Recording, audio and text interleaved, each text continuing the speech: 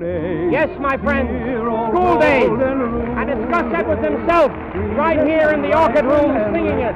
Wait a minute, Gus. Oh, this is too good. Wait a minute, Gus. We're so glad you're with us. Start it all over again. We'll all join in the chorus. Come Okay, on, Gus, everybody.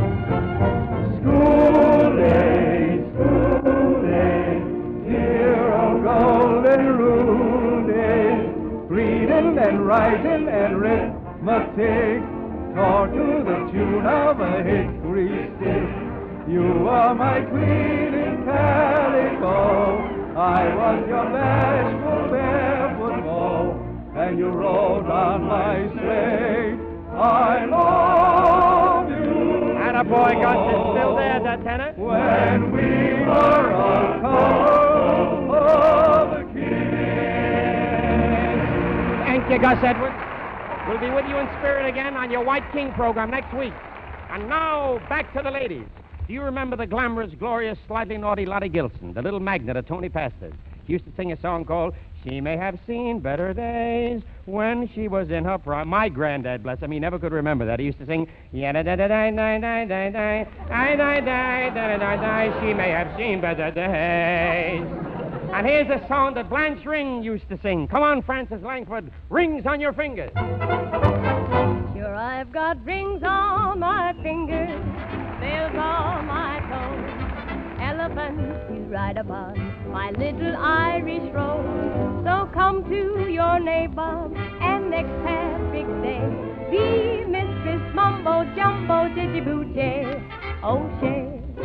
And who can forget this one? Nora Bayes singing Shine On Harvest Moon. Shine on, shine on, harvest moon, up in the sky. I ain't had no loving since April, January, June, or July. No time, ain't no time to stay outdoors and spoon. So shine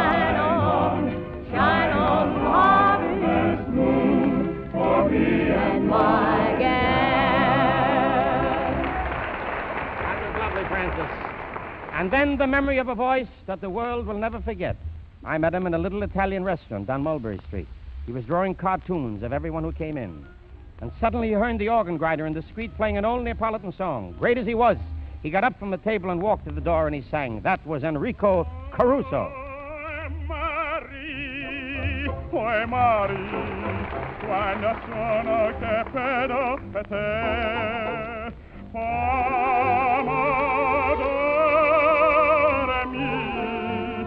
abbracciatano poco. Più te oi mari oi mari quando suona che te la peste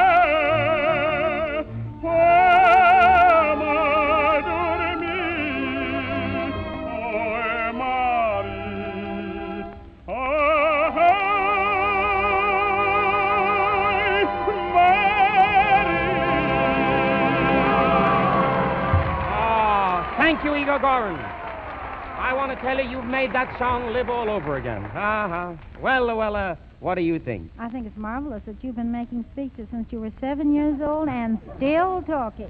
Uh, well, I've spent the best years of my life over empty coffee cups, really. This is the first time that I've ever made an address over a soup plate. I can tell you that right now. Don't forget Campbell. I know, the Campbells are coming. Hello, hello. There. But really, I have run the gamut in introducing personalities governors, mayors, actors, authors, dancers, prize fighters, champion flagpole setters, and tea with lemon drinkers from cups. Really, I have. But thanks to you, Luella, I now have the privilege of introducing another chap. A chap for whom every entertainer in the show business has a most majestic reverence, and deservedly so. The most dynamic personality the amusement world has ever known. Ladies and gentlemen, I thrill to bring you Al Jolson.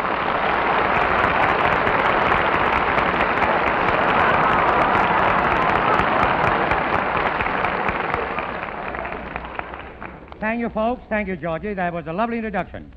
I always enjoy it. I really do. Even when you put somebody else's name at the finish of it. Oh, well. But you have the happy faculty of saying the right thing at the right time, Georgie. I remember at that Reverend Fields dinner the other night, you didn't do a wrong thing. Except eat my dessert. Well, Al, I was nervous and hungry, but I'm glad you mentioned that dinner, AC, because the biggest kick I got at that dinner was when you got up and sang a song, and I saw the tears come to the eyes of those old timers. You know the song? From the Weber and Fields music hall, Rosie, You Are My Posy. Al, will you sing it? Certainly I will. You don't think I came all the way from Encino just to hear you talk again? play it, Raymond, play it.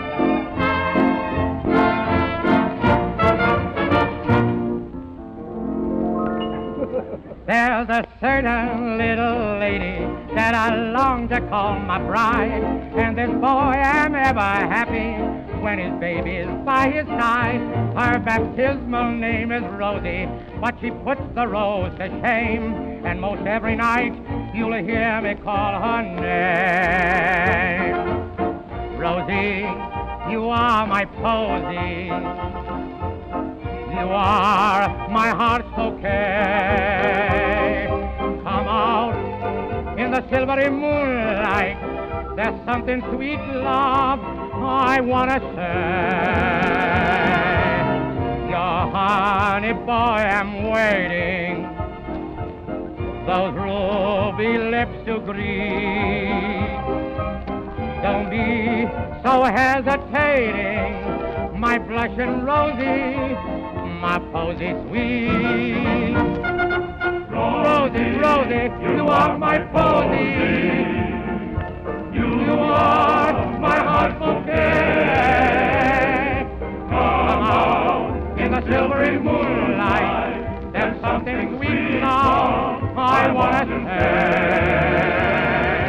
Oh, your honey, your little boy, your baby is waiting. Oh, Ruby, Ruby lips to greet.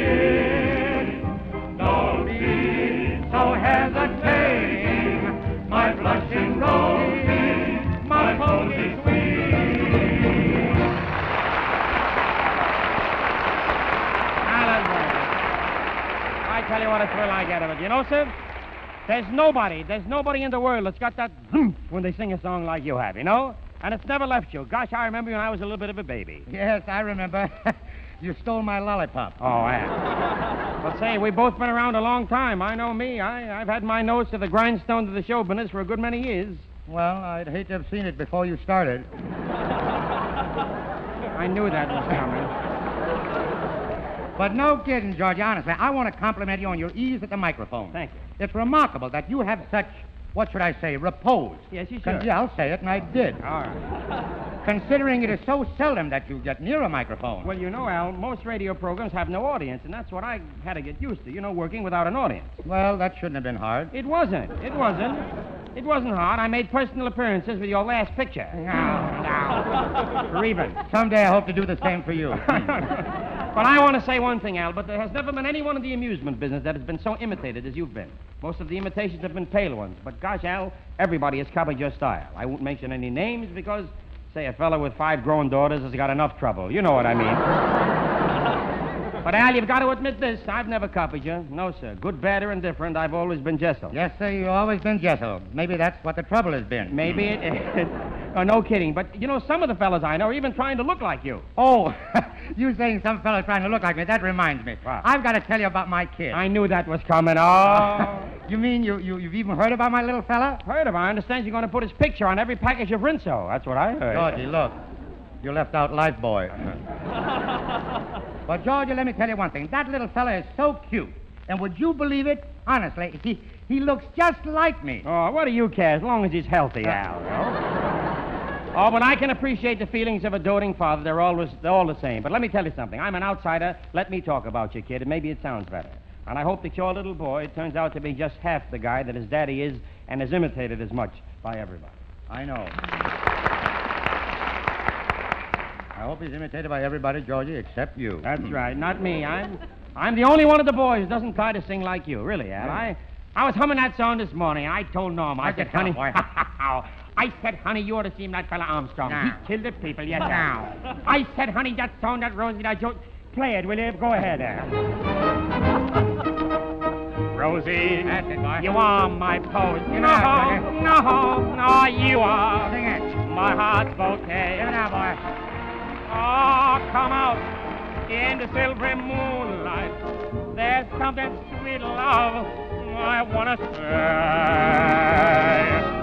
Your honey boy, no, is waiting, out is waiting. Those little ruby lips, ruby, those lips to breathe. Come on, boy. Oh, don't be so hesitating. My blushing rosy, my sweetie sweet. Good evening, friend. Well, you're still imitating Cantor, eh? but, but, Georgie, Yeah. since we're both bad, let's do the next one together. All right, Al, what song would you suggest? Well, I suggest a song that Weber and Fields are thinking of right now. Give my regards to Broadway. Remember me to Herald Square. And tell all the boys on 42nd Street that I will soon be there. Just whisper how I am a yearning to mingle with that old time throng. Give my regards to old Broadway and say that I'll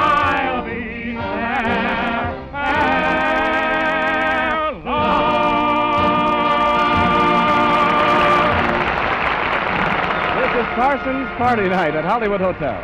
In a few seconds, the makers of those fine Campbell suits return you to the orchid room, where we shall continue with Allan Jones and the Mad Mad Marxes in the Marks of Time. This is the Columbia Broadcasting System.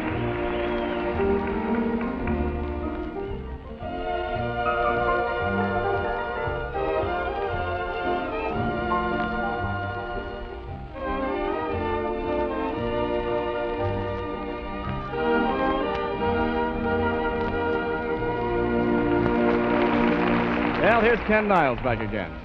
You know, there's not much change between the old Broadway and the new, is there? The tempo may be a little faster, but that's just the times we live in. Now, look at a photograph of a group of men about 50 years of age taken today, and one of a group of men of the same age taken about 20 or 30 years ago.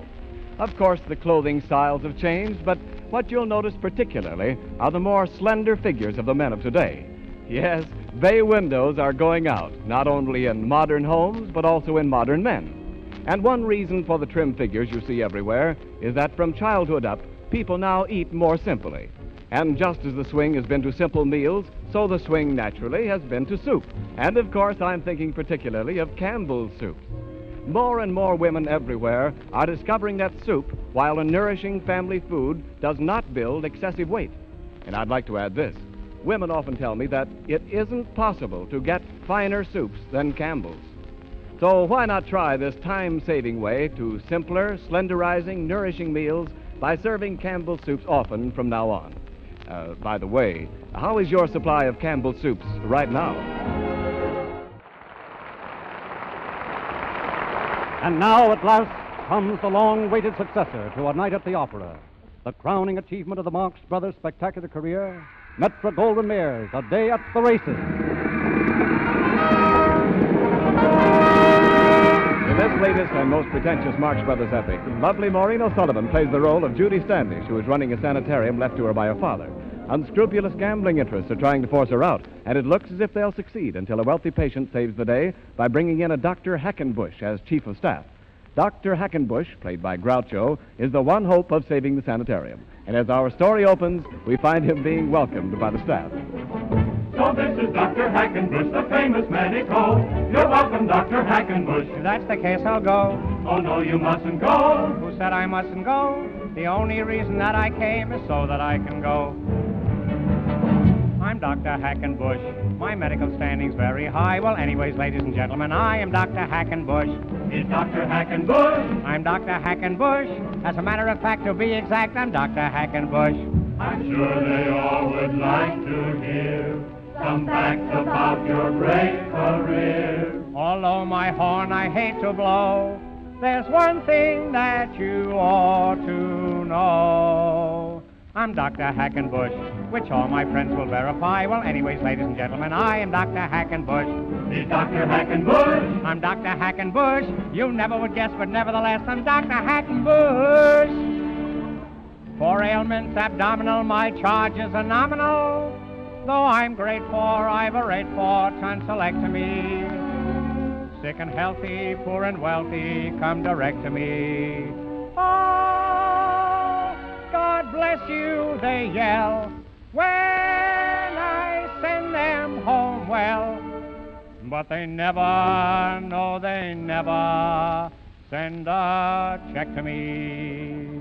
I've won a claim for curing ills, both in the north and south. You'll find my name is like my pills in everybody's mouth. I've never lost a case. He's never lost a case. I've lost a lot of patients, but I've never lost a case. My diagnosis never fails. I know just what to do. Whenever anybody ails, I'm sympathetic too. My heart within me melts. His heart within him melts. No matter what I treat treat 'em for, they die from something else.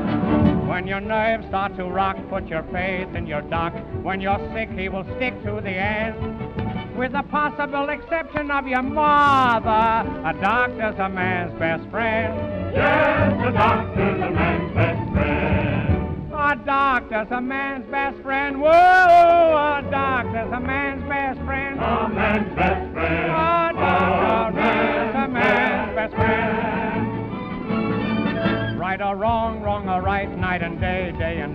On his call you can always depend. With the possible exception of your mother and your father and your uncle and your brother and your nephews and your nieces and your sisters and your cousins who you number by the dozen. A doctor's a man's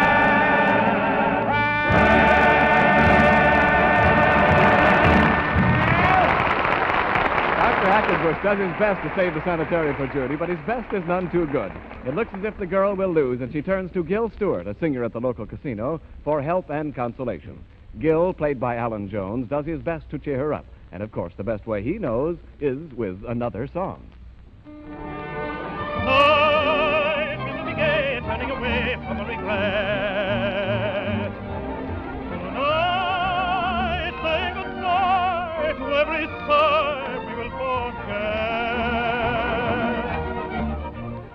And in fancy near a distant moon, you and I will drift upon a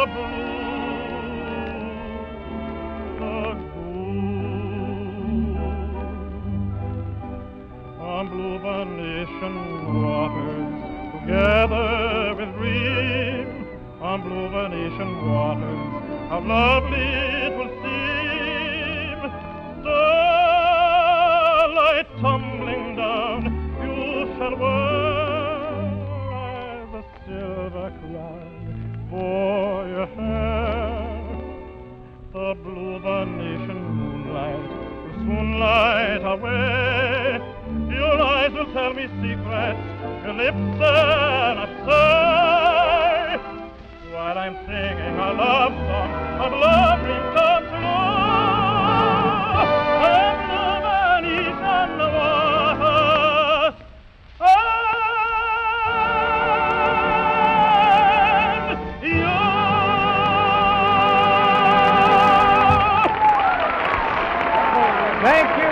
Jones. And now, getting back to the story, things look pretty desperate for Judy, and the resourceful Dr. Hackenbush decides to raise the money for her by betting on an inside tip at the races. At the track, he meets Tony, who seems to be selling ice cream from a pushcart. Tony, played by Chico, happens to have a tip on the same horse as Dr. Hackenbush, and his real purpose at the track is to keep everyone else from betting on him. Tony figures that the less money bet on the horse, the longer the odds will be. As our scene opens, we find Groucho at the ticket window, Chico passing by. Get your ice cream, Tootsie Fruitsy ice cream. Two dollars on sunup. Hey, boss. Hey, boss. You want something hot? Not now, I just had lunch. Anyhow, I don't like hot ice cream. Hey, boss. I don't sell ice cream. That's the fake at the fool of the police. I sell the tips on the horses. You want something good today? I've got something good. Run along. I'm betting on sunup. Two dollars on sunup. Right. Hey, wait, the boss, wait. Sunup is the worst horse in the track. I notice he wins all the time. Ah, it's just because he comes in first. Well, I don't want him any better than first. Two dollars on sunup. Right. Hey, boss, listen. Suppose you bet on Sunup. What do you get for your money? Two to one. Two to one? It says up on the board there. Sunup, ten to one. That's the time he went home last night. Hey, that Lady Lou is quite a tram. She didn't get home till 8 to 5.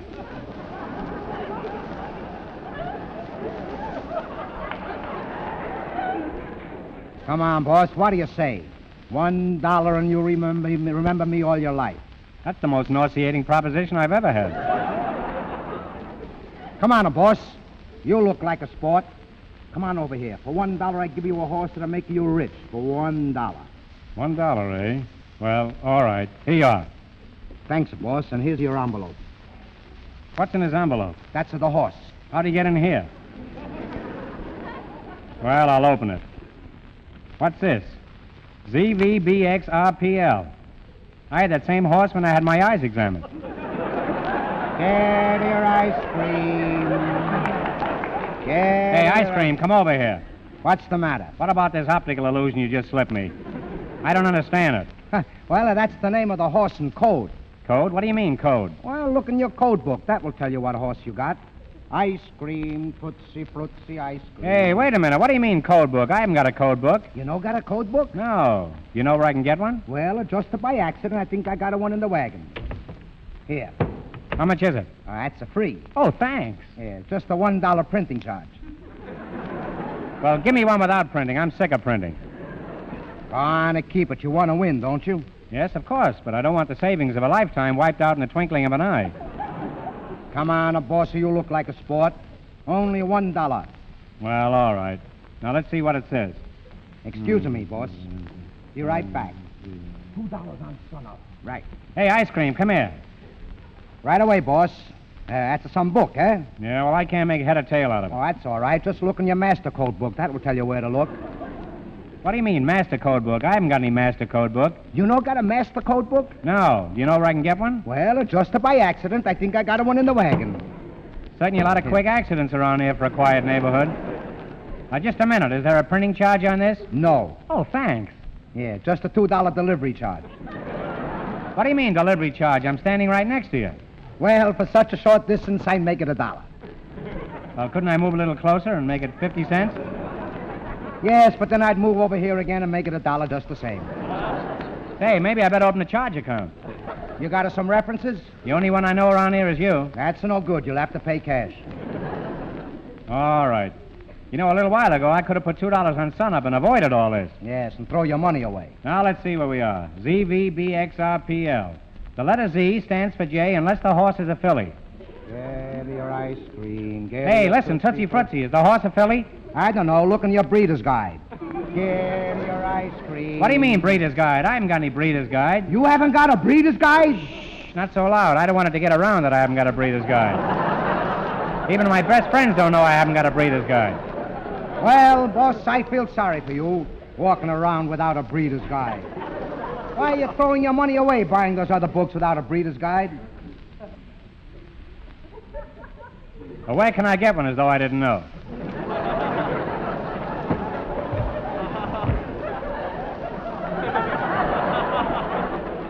One is no good. You gotta have the whole set.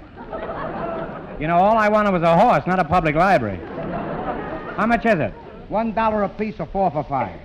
Well, all I've got is a two-foot shove, but all right, give him. Thanks, boss. Excuse me. Be right back.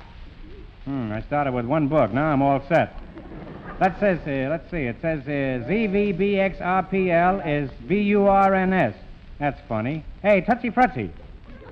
You got us some trouble, boss? Yeah, this book says I got Burns. There's no horse named Burns. Well, you see, that's at the jockey. Some of days they give you the jockeys instead of the horse. Now you find out who a jockey Burns is riding, and that's the horse you bet on. Just to look in the book. Oh, I'm getting the idea, all right. For a while, I didn't get the hang of it. Now, let's see. Uh, No, no, it's not that book. then maybe it's in... No, no, it's not that book. Well, then surely it's... No, no, it's not that book. No. No, you haven't got that book. Oh, you've got it, huh?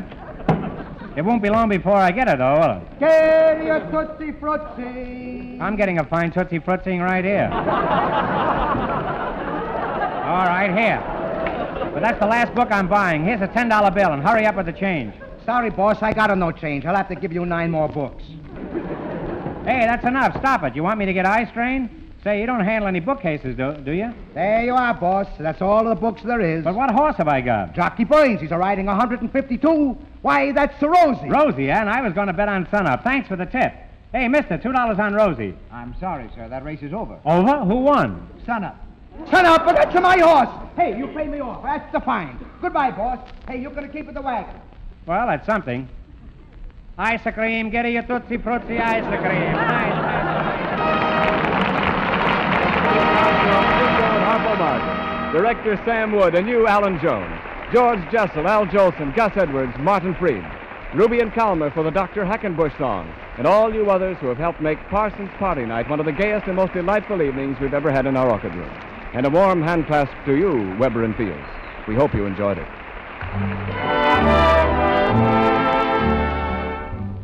Well, Ken, it's time for you to come to bat again. Step right up to the plate. Okay, Jerry, and speaking of plates, I want to say that more and more appetites everywhere are stepping right up to the plate all the time for Campbell's tomato soup. How many more, did you ask? Well, let's figure it out this way. Today, women are buying more than twice as much Campbell's soup as they did only three years ago. And the fact that Campbell's tomato soup has led the soup parade for years will give you some idea of the increased number of people that are going for this great soup all the time. And when I say going for it, I mean in a big way. First of all, it tastes good. So good, in fact, that its distinctive flavor has never been equaled. What's more, this popular soup is sustaining and nourishing without being heavy. You'll find it fills the bill exactly as the main part of a thoroughly enjoyable lunch or supper. There's a thought. Why not plan to serve it for tomorrow's lunch? All in favor, say aye. aye. Ah, that's the idea. And don't forget to say to your grocer in the morning, Campbell's tomato soup, please.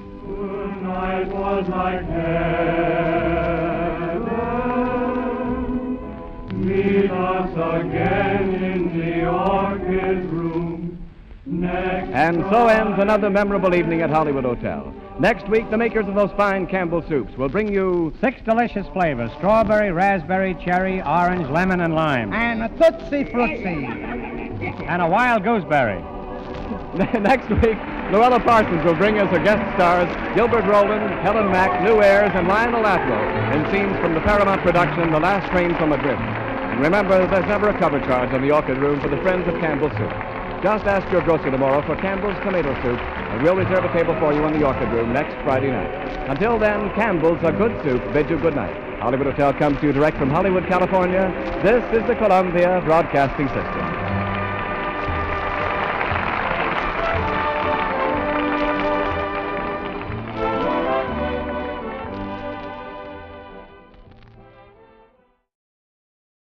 Makers of the coffee you know is fresh, Chase and Sanborn Coffee, whose big September sale now in progress will benefit everyone, presents the Chase and Sanborn Hour.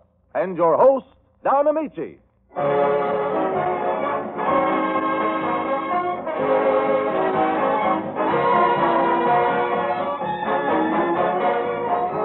This is the Chase and Sanborn Hour, and this is Don Ameche with greetings from all of us.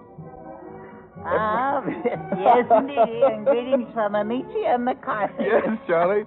And from Nelson Eddy, whose great baritone voice has made him the nation's favorite singer. Yes, indeed. Greetings from Eddy and McCarthy. And from our own W.C. Fields. Oh, yes. Greetings from McCarthy. Yeah, perk up, Charlie. And from Dorothy Lamour. After the bitter comes the sweet. From Robert Armbruster and Edgar Bergen, and of course, my volunteer assistant, Charlie McCarthy. And our lovely guest, the screen's foremost dramatic actress, Miss Bette Davis. We all hope that you'll enjoy our show and that throughout the week you'll enjoy Chase and Sanborn coffee.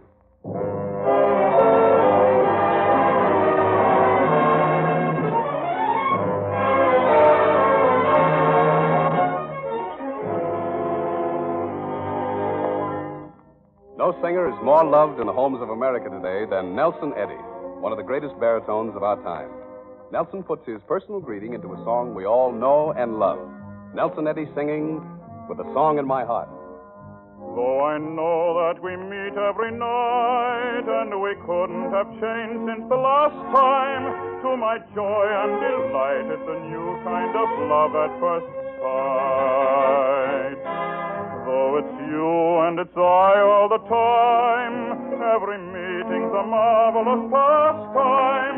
You're increasingly sweet, so whenever we happen to meet, I greet you with a song in my heart. I behold your adorable face, just a song at the start, but it soon is a hymn to your grace when the music swells. I'm touching your hand. It tells that you're standing near. And at the sound of your voice, heaven opens its portals to me. Can I help but rejoice? that a song such as ours came to be. But I always knew I would live life through.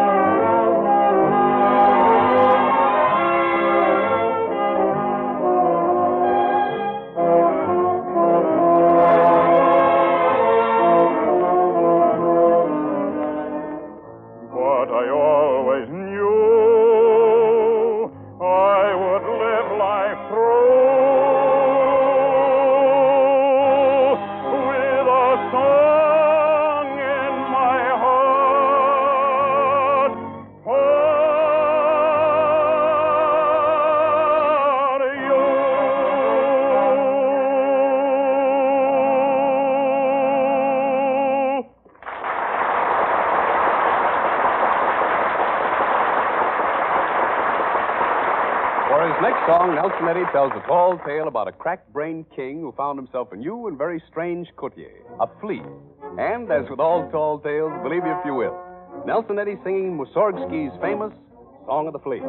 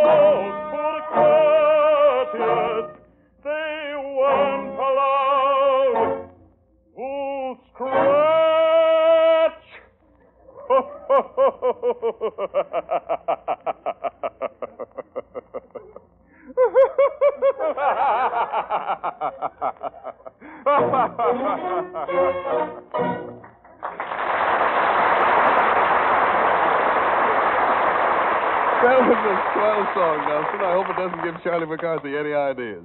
But maybe with vacation over and school days approaching, Charlie can reform. So let's leave it to Edgar Bergen, who always has the last word on McCarthy intentions. Yes. well done. I had to do that. Yes, I know. I think I got something there. Yeah. now the thing is how to get rid of it. All right. Don, I, I, I don't think I'd be far from right now if I said that Charlie's thoughts are of football and hunting and such now that September's here. Am I right, Charlie? Uh, yes, you are, Bergen. But uh, it only takes one thing to ruin fall, and that's school. I suppose so. Yes, of course, that's right. School is starting. Oh, how I remember those days. Yeah? Yes. School days, school days, dear old golden rule days. No, no, no. We don't sing that now. Oh, I see. That's old fashioned. I see. Well, what is the song? Well, I sing, uh, I sing, it goes like this, see. Uh, looky, looky, looky, let's play hooky. Zazoo, zazoo, get out of there.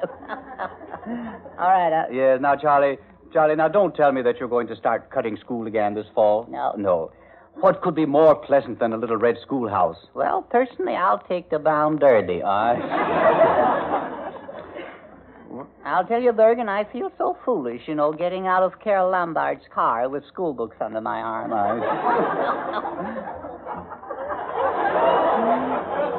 Going to 6A. Mm. But I shouldn't mind 6A. I should be getting used to it by now. Mark my words, young man, you will regret your attitude toward school. Yeah? Yes. Remember, knowledge is power. Yeah? Yes. Now, how are you equipped? Well, I'm not exactly muscle bound. I'm just a bundle of nerves, that's all. Just twitching nerves. That's all, just nerves. Twitching, yes. There I go again. Yes. Well, and also, Charlie, uh, success and education, remember, Yes. they work together. Uh-huh. They go hand in hand. Uh-huh. That's the trouble. They're ganging up on me. Let me quote Mr. Mann. A human being is not, in any proper sense, a human being till he is educated. I resent that. No, no, it's not. No, for instance, look at Don Ameche. Yeah?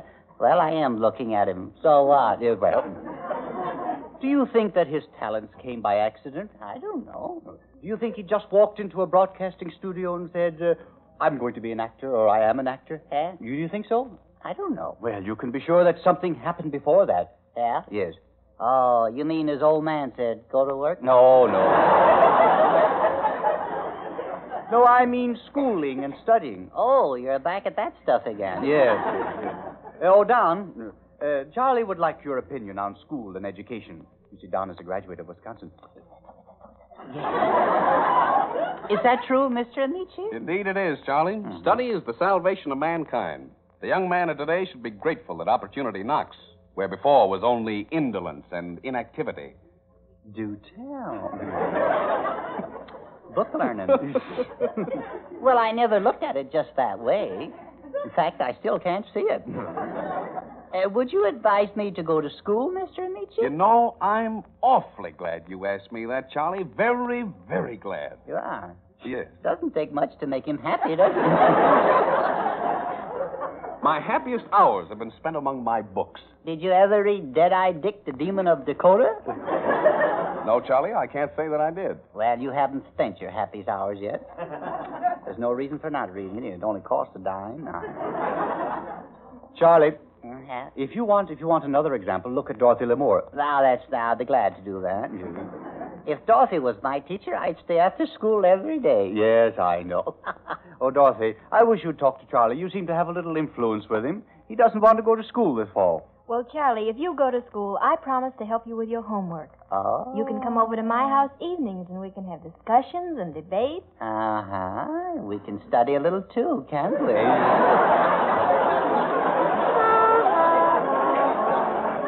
Oh, Charlie, you're so cute. Oh, stutter. oh, life is sweet. Yes. I forget all my studies for Daddy. Yes, well, play, play. That's all you think of. Yes. Don't you ever think of the higher things? You mean tall girls? No. no. No, I'm still speaking of education. Oh, you are? Yes. Haven't the examples of Don and Dorothy, haven't they impressed you? Well, you know, yes, they have. Yes. I bet you feel sorry that you didn't go, Mr. Bergen. Wait a minute. I, I want you to know that I studied at Northwestern Medical School. You did? Yes. You mean the college for doctors and fishes? No, physicians. Yes. Physicians? Yes. Physicians and surgeons. No. Surgeons. Yes. Surgeons and fishes. No, no. If, Yes. Um, forget it. all right. Well, say, why aren't you a doctor then? Well, after two years of study, I felt that my talents ran along other lines. Oh, I see. You flunked out, huh? You think you're pretty cute, don't you? Yes. But consider the years to come, young man. Uh-huh. What will you be 50 years from now? Uh, uh, 62. No. After all, why should I learn a lot of stuff like Latin? I never intend to go there. Go. It isn't what you learn that's so important, Charlie. It's learning to think. Oh, so that's it. Yes. That's why you have mathematical problems such as uh, if X plants 20 rows of potatoes, and at the end of each row he puts up a marker. Oh, X marks the spot. Yeah, no, no, no. Well, who is X? Well, X is hypothetical. Oh, that is too bad. he shouldn't be working. Well, uh, But now remember, Y, Y works twice as fast as X. well, he's feeling good. Well, that helps. Why don't you get rid of X? Well, maybe we will. But why? No, X. All right, all right. Now let's take another problem. Let's. Um, Why don't you plant tapioca? well, I'm tapioca wouldn't grow. Well, then we wouldn't have to bother picking it. All right. Suppose you have three cows. Uh, If the second cow gives twice as much milk as the first cow, and the third cow gives half as much milk as the first and the second cow give together, how much milk would you pick, or which cow would you pick? well, you didn't help that any, did you?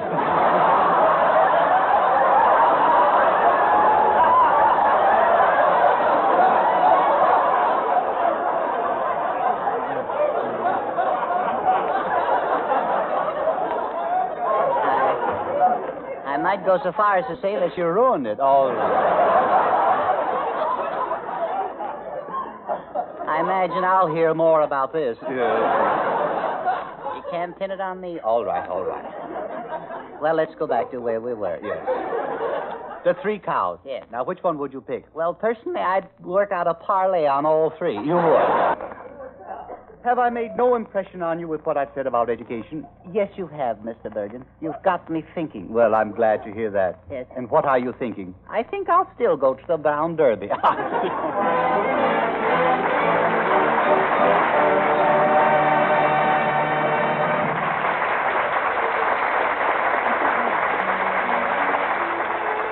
While Charlie cooks up schemes to dodge an education, Dorothy Lamour sings us a song that was written especially for her in the Chase and Sanborn program by that famous team of songwriters, Rodgers and Hart. Dorothy introduced this song a while back and so successfully that she's going to sing it again. And I'm going to try a chorus, too, of Please Make Me Be Good.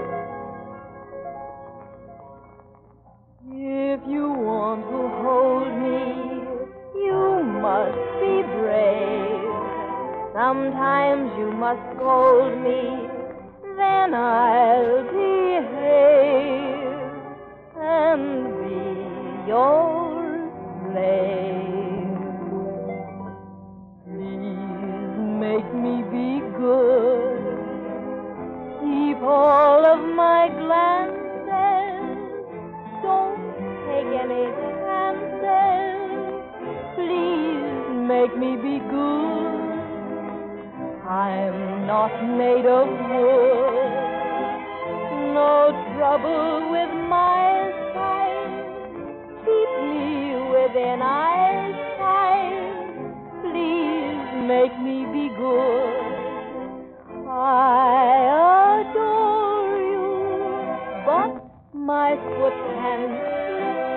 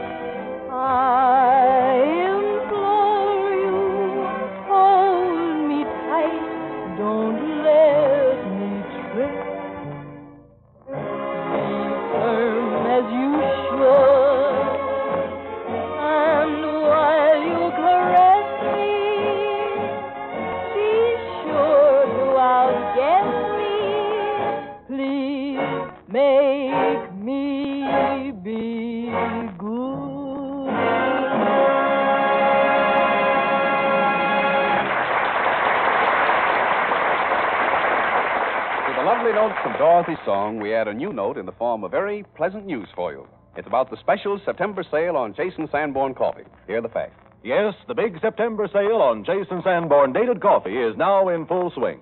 This is your big chance to get dated coffee. The coffee you can be absolutely sure is fresh at reduced prices. Remember, stale coffee not only tastes bitter and rancid, it is actually bad for you to drink. It can make you nervous and jumpy and irritable. It can slow up your digestion. It can give you headaches. To protect you from these bad effects of stale coffee, Chase and Sanborn have a unique dating and rapid delivery system. Every bag of dated coffee is rushed fresh to your grocer by a nationwide fleet of trucks, speeded to him just like your milk and cream. And every bag is clearly marked with the actual date of delivery. It can't be sold stale. And since freshness is assured, we can pack Chase and Sanborn dated coffee in the economical dated bag that saves you money. Dated coffee is a bargain anytime. And now, during all of September, you can enjoy the benefit of our special September sale prices.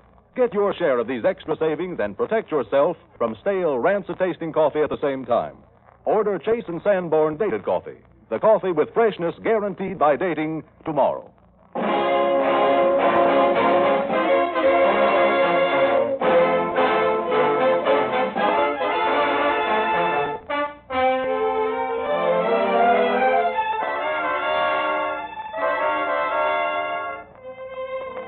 Popular music can surpass in varied appeal the songs composed by Irving Berlin. Robert Armbruster and the orchestra play a medley of his famous tunes.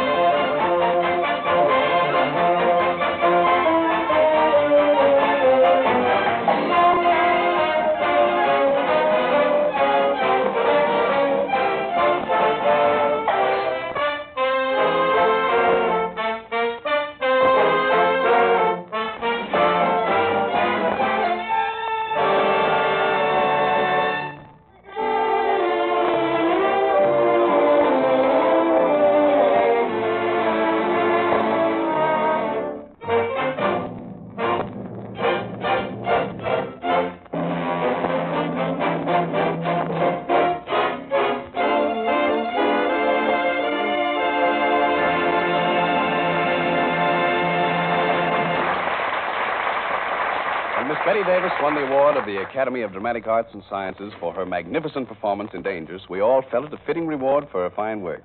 To every picture she makes, Miss Davis brings her gift for portraying vivid, passionately human characters. For Warner Brothers, she has just completed It's Love I'm After. For us, Bette Davis plays the girl in an original play, It's a Swell Night.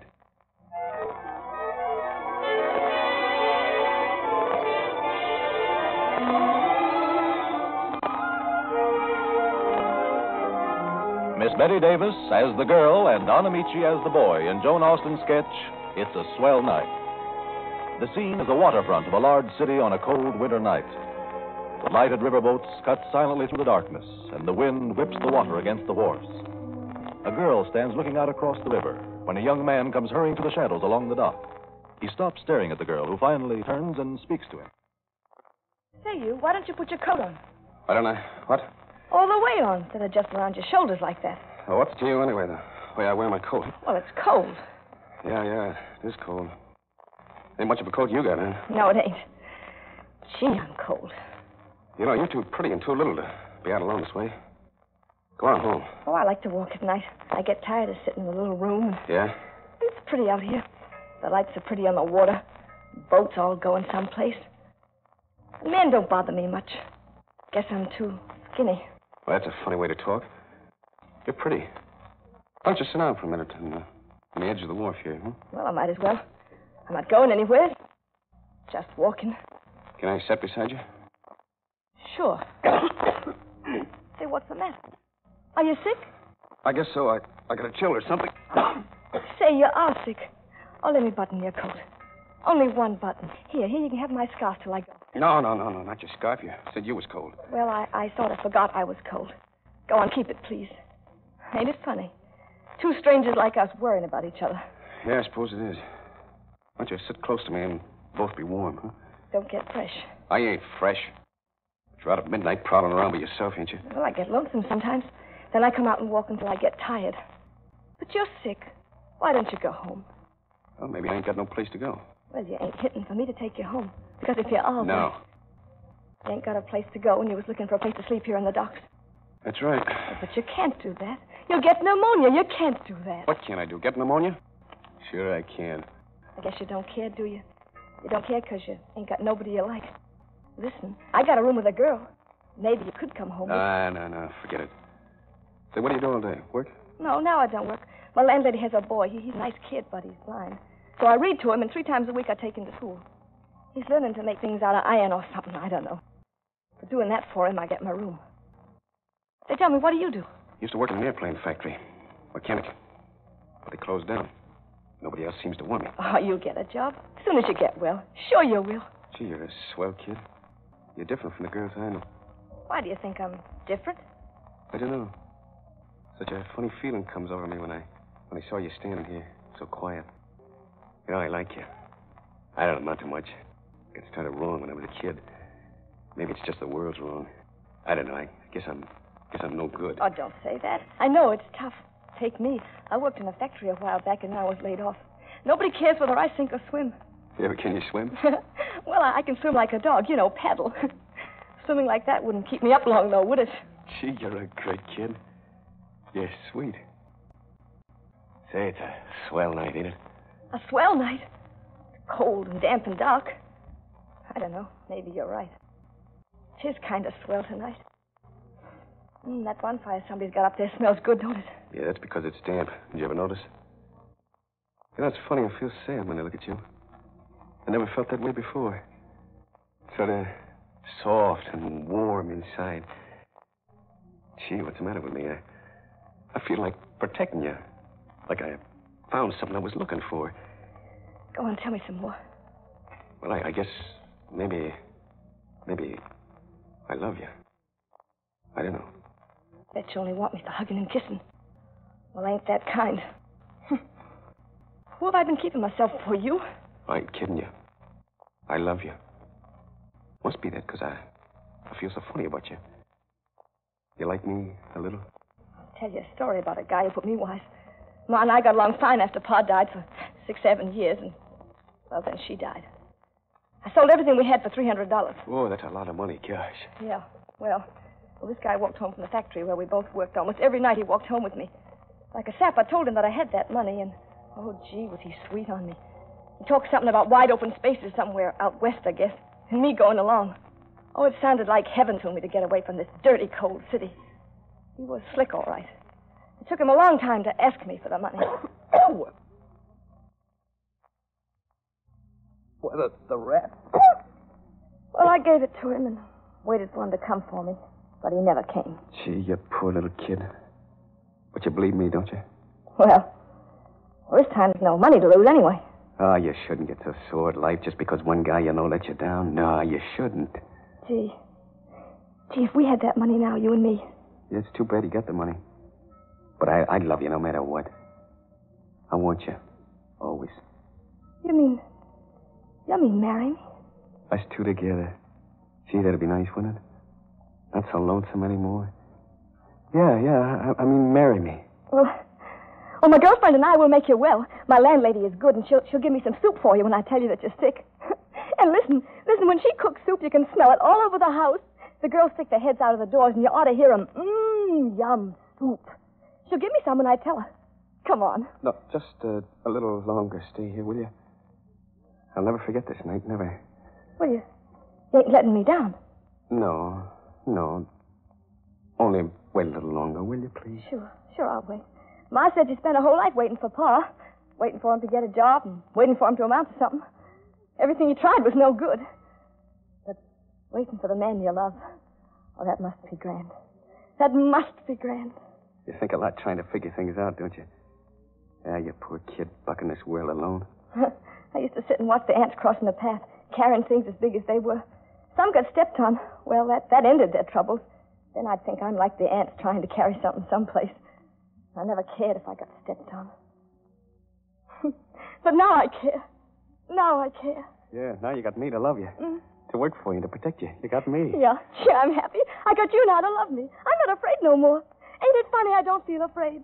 And I want to make you happy. Gee. Gee, what's your name? Harry, what's yours? Harriet. Gee, Harry and Harriet. Oh, gosh, that's great. Say, say, ain't, ain't that what you call fate? Your fate means you can't help yourself. It wouldn't be any use trying if you thought somebody had things all fixed up for you. Say, i- is fate a, a somebody? I don't know what it is. But you know, I was wondering what made me come here tonight. What made you? Well, uh, I was just walking. Uh, I, I didn't want to see nobody. Well, if nobody out tonight, maybe only a cop. Well, does, does, the, does the cop come along here? Sometimes. We ain't doing nothing, are we? Oh, no, no, no. Well, then why should we worry? Well, uh, there's, there's something I, I should I should tell you. I should. Listen, you go on home alone. I'm I'm sick, and I And leave you here? No, I won't. I should tell you tell you something. I, I gotta tell you something. Tell me when we get home. Come on. Say, don't you want to go? Come on. Harriet, Harriet, you, you're choking me. Pulling my scarf. Oh, oh, Harry, let go. Well, I you? want you to get up. Harriet, please stick by me. I couldn't live now without you. Stick by me, will you? Oh, I'll stick by you. I love you. Do you hear what I say? So help me. I love you. Now let's go. Say, say, there's a man coming. Come on, let's get out of here. Why? Come on, come on, hurry, run. I don't want to see nobody. Hurry. Say, say, wait a minute. What are you running for? Wait! Yeah, what's your hurry, sister? Your boyfriend walked out on you, ain't he?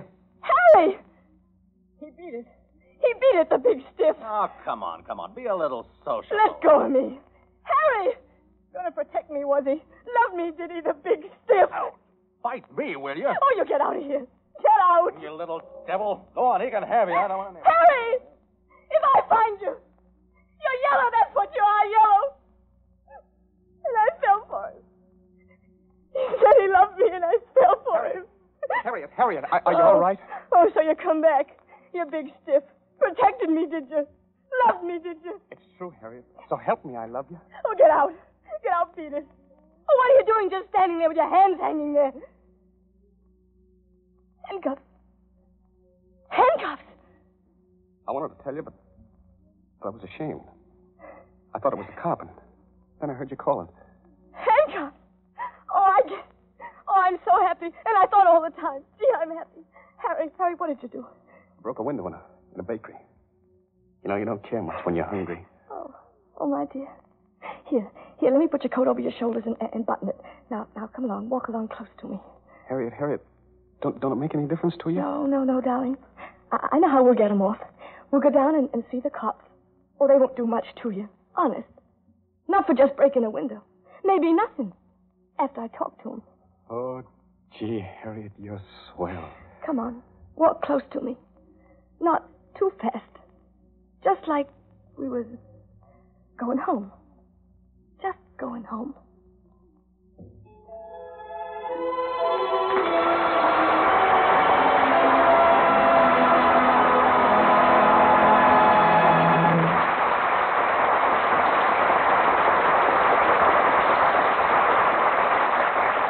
You, Bette Davis, for that fine performance.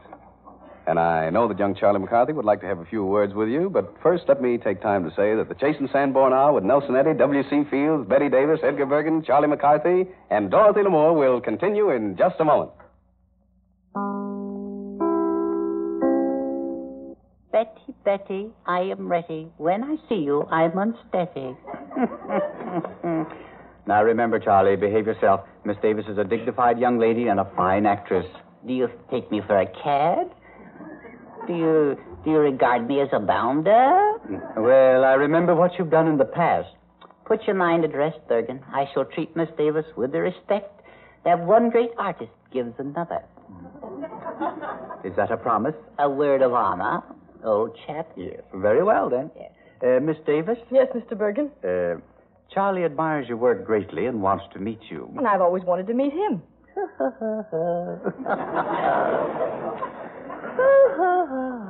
Mm, well, welcome, Miss Davis. Welcome indeed. Thrice welcome. You overwhelm me, Mr. McCarthy. That's not a bad idea. now, Charlie. No. I was carried away, Bergen. Carried away. Mm. No offense, Miss Davis. Oh, no offense, Mr. McCarthy. All right. Uh, Miss Davis, your performance tonight was no less than superb. Are you as flattering to all the girls you meet, Mr. McCarthy? Oh, no, no, no, no, no, no, no. girls may come and girls may go, but Davis is ever in my heart. You're very kind, Mr. McCarthy. Nothing, I?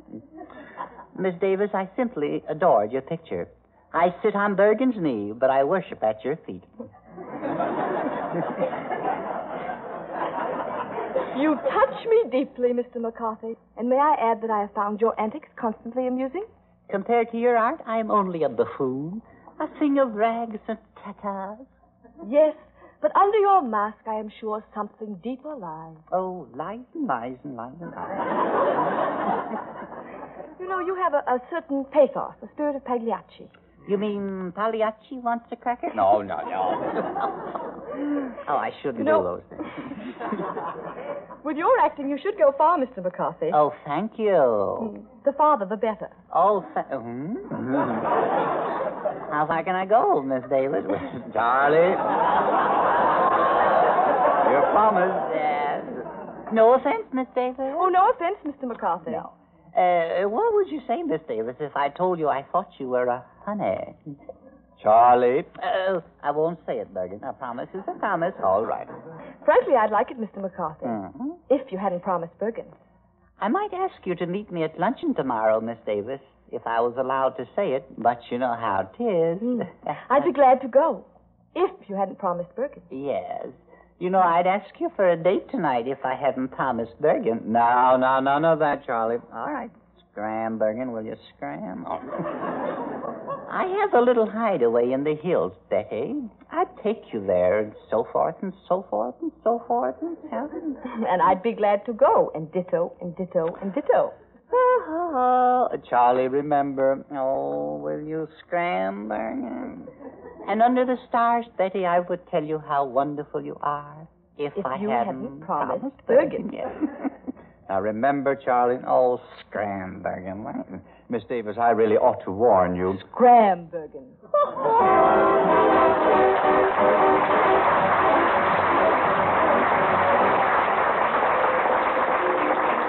Charlie may start out with studious intentions, but he always winds up in an amorous mood. The sight of a lovely girl such as Bette Davis invariably gives him that romantic feeling, which is the subject of my song, that old feeling.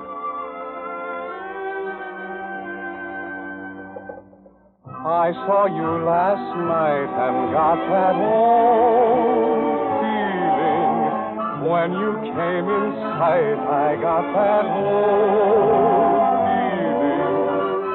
The moment that you danced by, I felt a thrill. And when you caught my eye, my heart stood still. Once again I seem to feel that old yearning, and I knew the spark of love was still burning. There'll be no new romance for me. It's foolish to start, for that old feeling is still in my heart.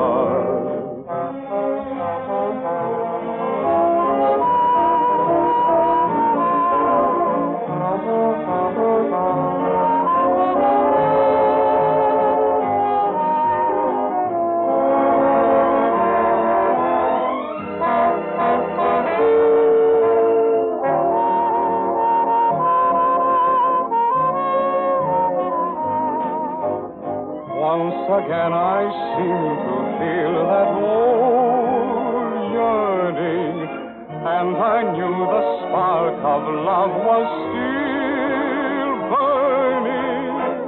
There'll be no new romance for me. It's foolish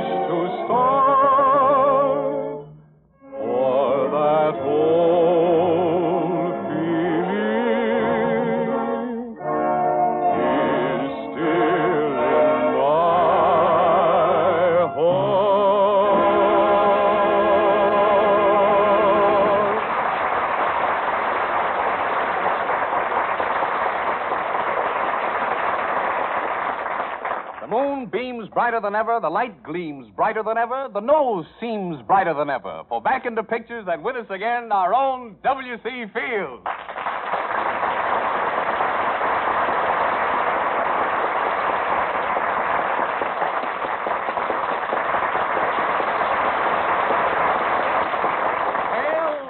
Now that your picture's started, how are you feeling? I feel all shot to pieces, Don. Shot to pieces. Yeah, close ups, close shots, long shots. Well, are they big shots, Bill? All about four fingers. I mean, uh. Been shooting me in all directions, Don. For a moment, I thought I was back in Bolivia, again. I love Bolivia. the door slammed again, Bill. Oh, tell him to keep that door shut, will you? My nerves are all on edge, Don. Bill, what's the name of your new picture? Are you good at charades, Don? Oh, yes, Bill. I'll make a game out of it. I'll speak a sentence containing clues to the title of the new picture. New picture at Paramount. William LeBaron, thief, uh, chief of... Oh, up and down. Fine fella, Don. He owns a lot of horses. Keeps livery stable or something. Oh. Can, can I guess too, Mr. Field? You're out. Don't bother me, Charles. Go take a nap under a falling axe.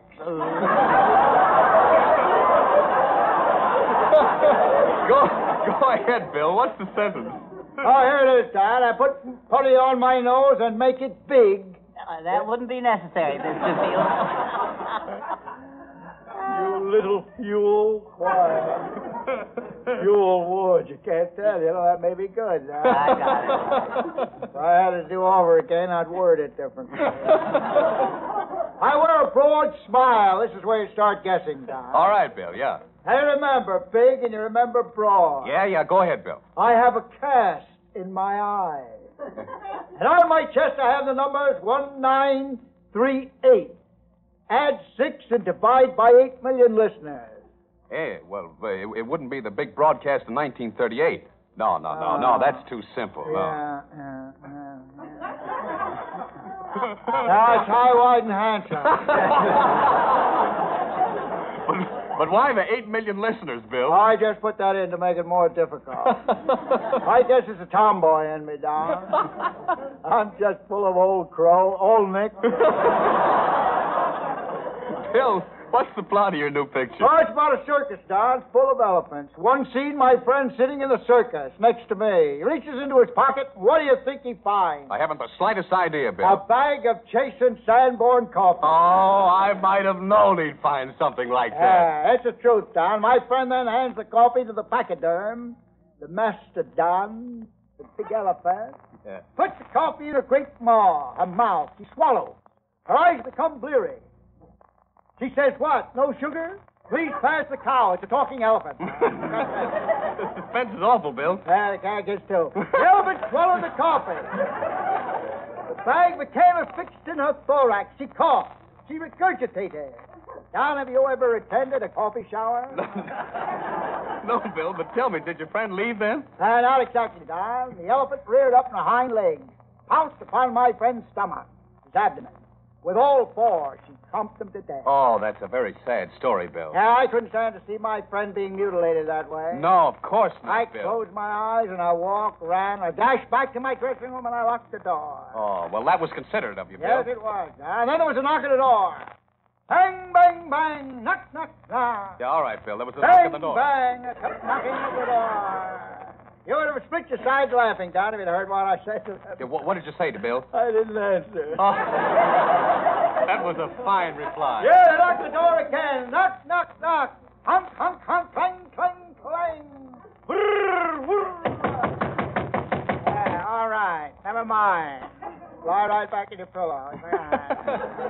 What did you do then, Bill? They, they, I said, not- who's there? Yeah?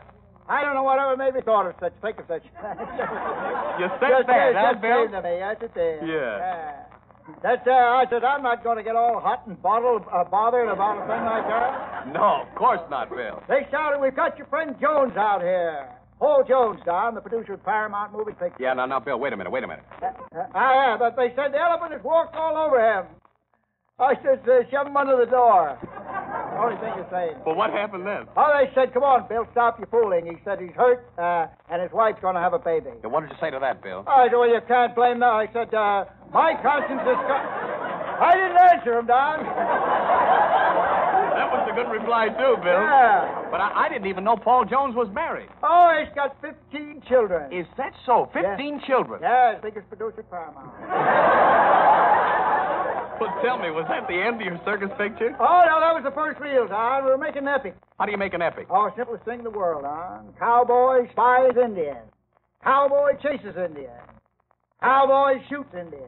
Fun for everybody but the Indian. I see. The Indian escapes the cowboys and flees, huh? I got away from the cowboys, but the fleas don't. I go for those cowboy and Indian pictures, Bill. You do, eh? Say, did, did you have a real Indian chief in this picture, Oh, Bill? yes, Okeechobee. Oh, he's back again, huh? Yeah, he flopped last week, so I'm giving him another chance. I see. now, here's the, la- the laziest Indian I ever saw. I caught him uh, uh, putting uh, uh, putting popcorn in his flapjacks so they turn over by themselves. he had a dog that used to bite his nails. Got rid of him. Go on, Bill. Hey, Spot Indian Squaw was in the picture too, Don. Princess Squat Squat. Later became a model. A model? Yeah, she was an auto- a model in an automobile factory. She'd sit on a platform and they build an automobile around her. Used to specialize in seven-passenger limousines. Oh, I see. One day she said to me, pale-face feels all but the nose. You remember, Don? Husband said it last week. Yeah, know, yeah, Bill, go on. Didn't go then either. No. she said, hey, she said, uh, uh, she saw Dorothy Lamour on the set. And she said to me, she says, am I as fat as that girl over there? What did you tell her, Bill? I said, oh, you're just about the same size. Well, was she, Bill? Don, Dorothy could have worn that squaw stocking for an evening dress and had enough left over to build a teepee. we got a lot of trouble over the picture, Don. Why? What happened, I Bill? A lot of, yeah. What? What happened? Oh, one of the property men uh, dropped an oak leaf on my head and almost cracked my skull. You mean to say that an oak leaf almost cracked your skull? Yeah, it was a leaf out of a dining room table. Oh, I see. Did it did it hurt you, Bill? Did it hurt me? How could a oak leaf out of a table hurt you by hitting you on the head? No. Well, did it did it come as a surprise, Bill? Oh, I was stunned. I played the part of a lunatic in the picture, too, Don. Do you sleep under a cra- crazy quilt, Mr. Field? Get it now, the Uh, uh, uh, uh, yeah. Okay. Uh, yeah. One oh, up. Dear, yes, did I sleep under a crazy quilt? Yes, Charles. I shudder to think of you spending your old age in a beaver dam. No wonder. no wonder Mr. Field's nose looks like a flame. He's an alcohol burner. Very good, Charles. Charles, the world is getting tired of little people. By the way, my new picture is part for you, Charles. You walk into a flaming forest fire. Yeah, but Bill, Charlie can't walk. That'll be all right. I can throw him in. there he goes, there he goes. Kicks me around the place like a football. Charles, someday I'll spread your legs apart and use you for a goalpost. Bill, you know, I, I, I think you could make something out of Charlie. Yeah, I'll show him into a hula skirt. Hold it, Paramount. Here I come. Action, camera, shoot. I love Bolivia. Lights, action, camera, shoot. He loves Bolivia. Thank you, Edgar Bergen and Charlie McCarthy. And thank you very much, WC.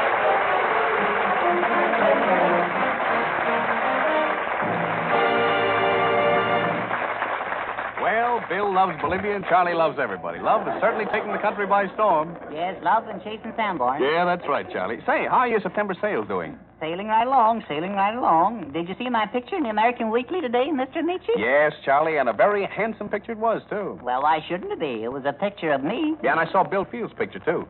Oh, yes, yeah. They almost had to take an extra page for his nose. but go on, Mr. Ameche. Tell the world how our Chase and Sanborn sale is going on. All right, Charlie. During the next few seconds, you will hear about the sale that is being welcomed by families all over the United States and Canada. And you will want to listen carefully to this news. All real coffee lovers will want to take advantage of the big September sale on Chase and Sanborn dated coffee that is going on right now and all this month. It's a wonderful opportunity to get dated coffee, the coffee with freshness guaranteed by a dating system at special sale prices. Staleness in coffee is harmful. It not only produces a bitter, rancid taste, it frequently upsets your stomach and your nerves. It can make you headachy and irritable and unhappy. Keep away from it. Chase and Sanborn dated coffee is guaranteed fresh by a great dating and delivery system that rushes every bag fresh to your grocer, just like your milk and cream. And every bag is clearly marked with the delivery date. Look for this date. Dated coffee can't be sold stale and rancid tasting. There is no need for high priced containers, so we use an inexpensive dated bag. And you get the savings. Dated coffee is always a wonderful buy. And now you get additional savings in our big September sale. Make the most of these special September savings. Find out what real coffee enjoyment means and save money at the same time. Order a pound of Chase and Sanborn dated coffee. The coffee you can be sure is fresh and good for you tomorrow.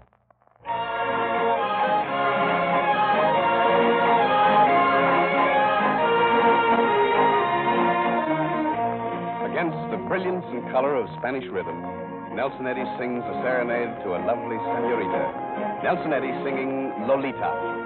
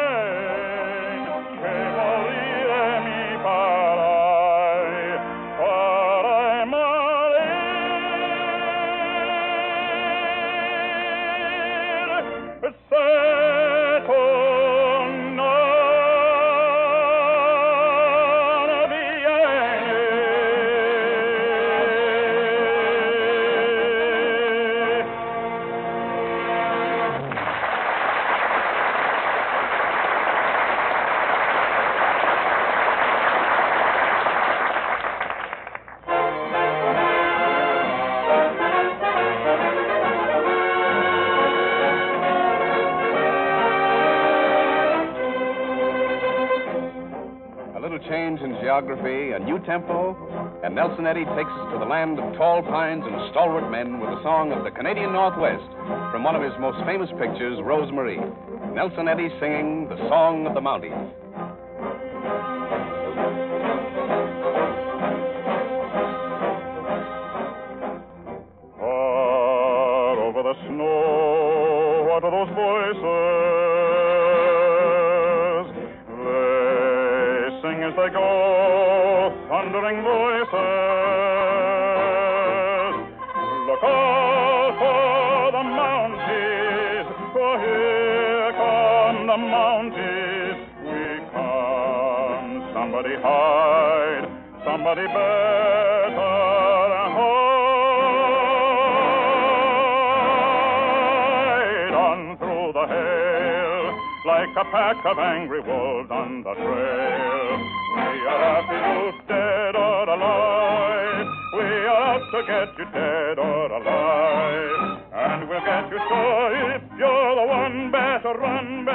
Run away. Son, you are done. Throw your gun, throw your gun away. Here come the Mounties to get the man they're after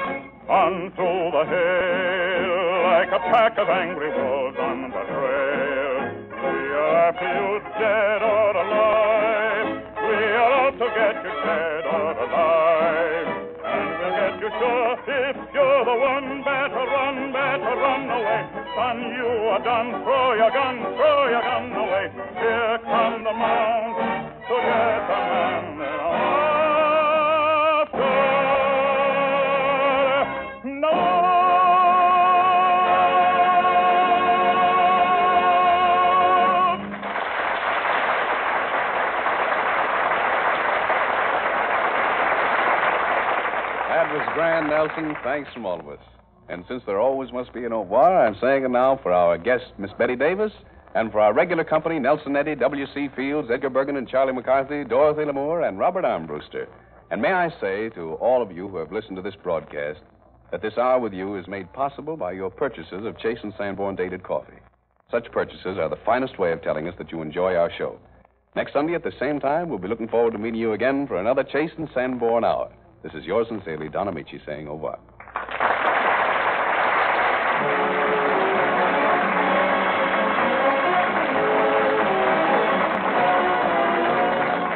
Heard on this program were With a Song in My Heart from Spring is Here, A Pretty Girl is Like a Melody from Ziegfeld Follies, Everybody Step from Music Box Revue, This Year's Kisses from On the Avenue, The Piccolino and Cheek to Cheek from Top Hat, That Old Feeling from Walter Wanger's Vogues of 1938, and The Big Show from Head Over Heels. This is Carlton KaDell speaking for the makers of Chase and Sanborn Coffee.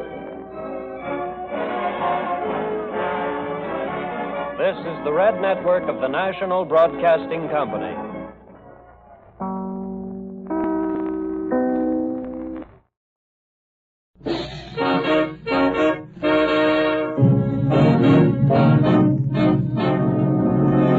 The makers of Grape Nuts bring you George Burns and Gracie Allen with Tony Martin, Ray Noble and his orchestra, and yours truly, John Conte. All right, Ray. One, two.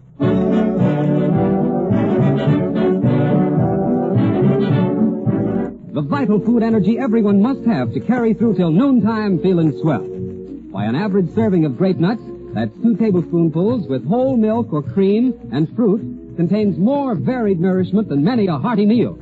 And so remember that in the case of children who aren't hungry in the morning, or adults who prefer a light breakfast, grape nuts make even a light breakfast a safe breakfast. A breakfast that's packed with food energy. So start off the day right with grape nuts. Your grocer has them in the yellow and blue pack.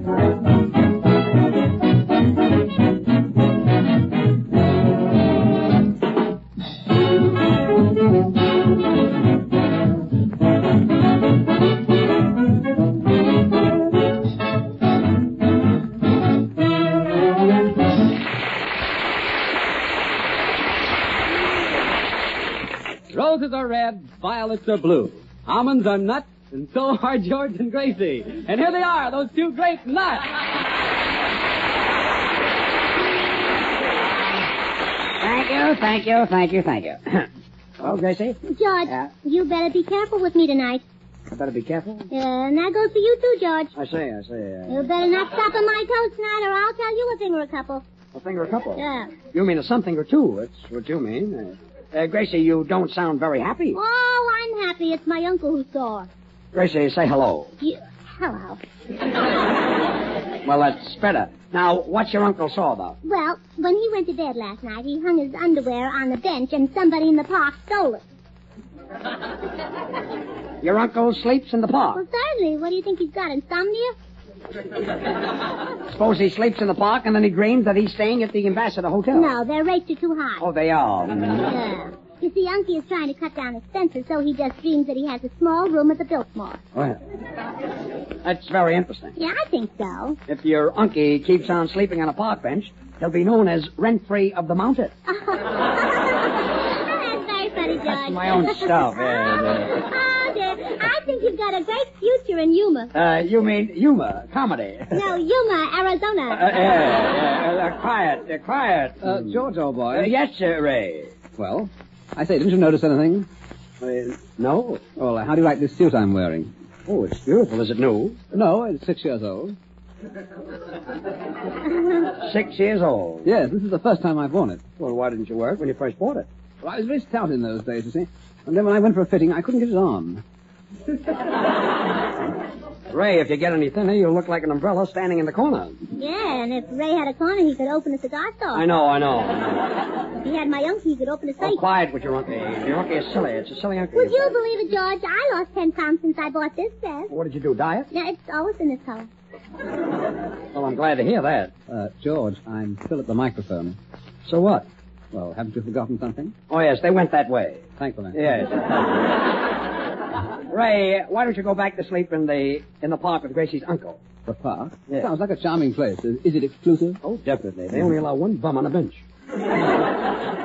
Say, George. Yeah, yes, Tony. I saw your picture down from the stress last night at the Pantages Theater, and it was swell. Well, I'm glad you liked it, Tony. Gracie and John Conte were sitting with me, and you know me, George. I'm a pretty tough critic. Well, Tony, coming from you, it's... You might not have been awfully good in this picture, but I still think it's the best picture you ever made. Oh, thanks, Tony, and don't think I'll forget this when your option is due for renewal. Ah, don't listen to Tony, George. If you'd have been any better, you'd have been pretty fair. Call that a pretty nice compliment. Sure, it's better than you can get from anybody else. Well, then I'll take a case. Yeah. George, remember the part in the picture where you tell that joke to Fred Astaire? Yeah, that was quite funny. I oh, enjoyed that Tony part. was in hysterics. Oh, I don't believe it. Oh, I'm telling you, Tony laughed his head off. Really? Oh, well, he was laughing so hard that the usher had to come down and take the funny paper away from him.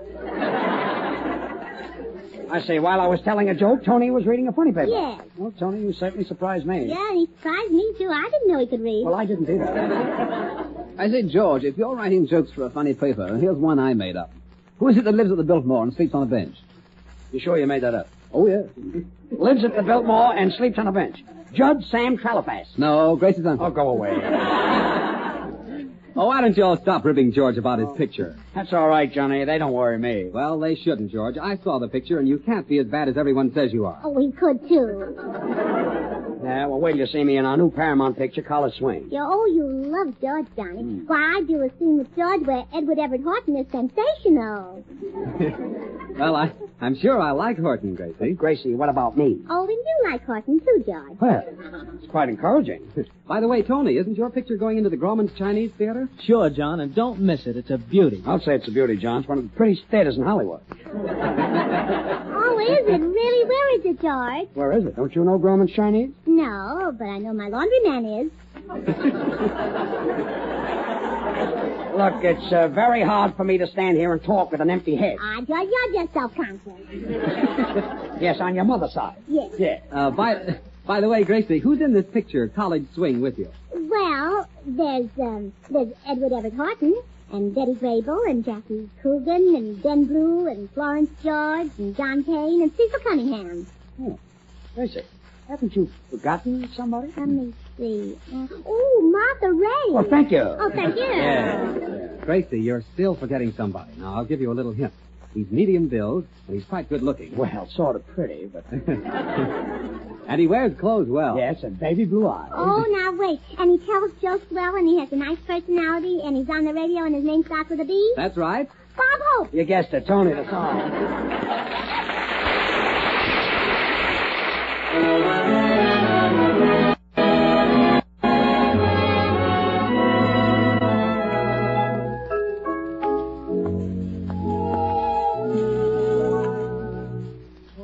I can see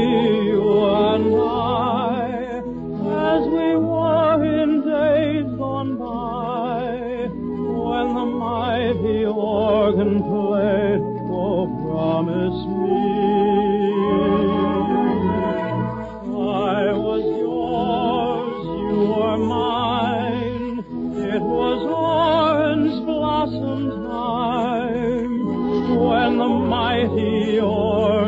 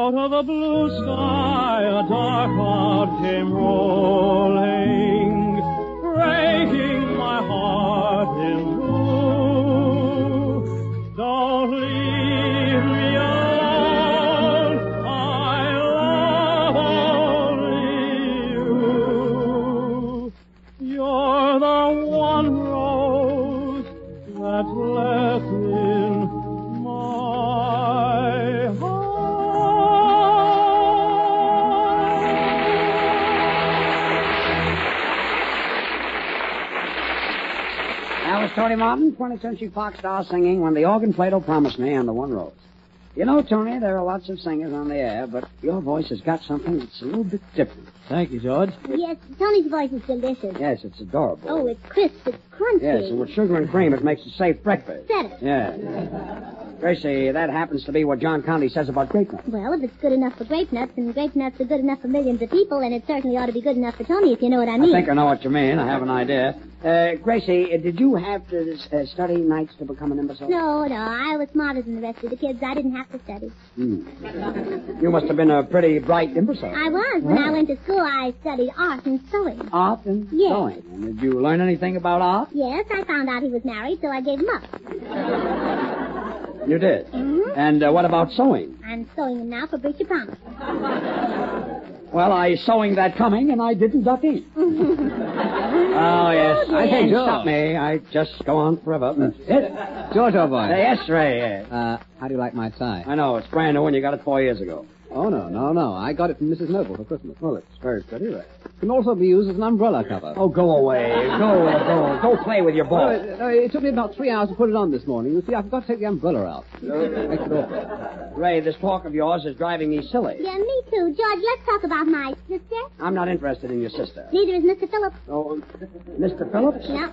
Who, who is Mr. Phillips? Oh, he's the fellow she was supposed to elope with. Oh, I see, I see. I see. And she was engaged to him for five years, but it wasn't long enough. The engagement wasn't long enough. No, the ladder. Oh, the ladder, the ladder. The ladder wasn't long enough. No, you see, it wouldn't reach to her third floor window. So what?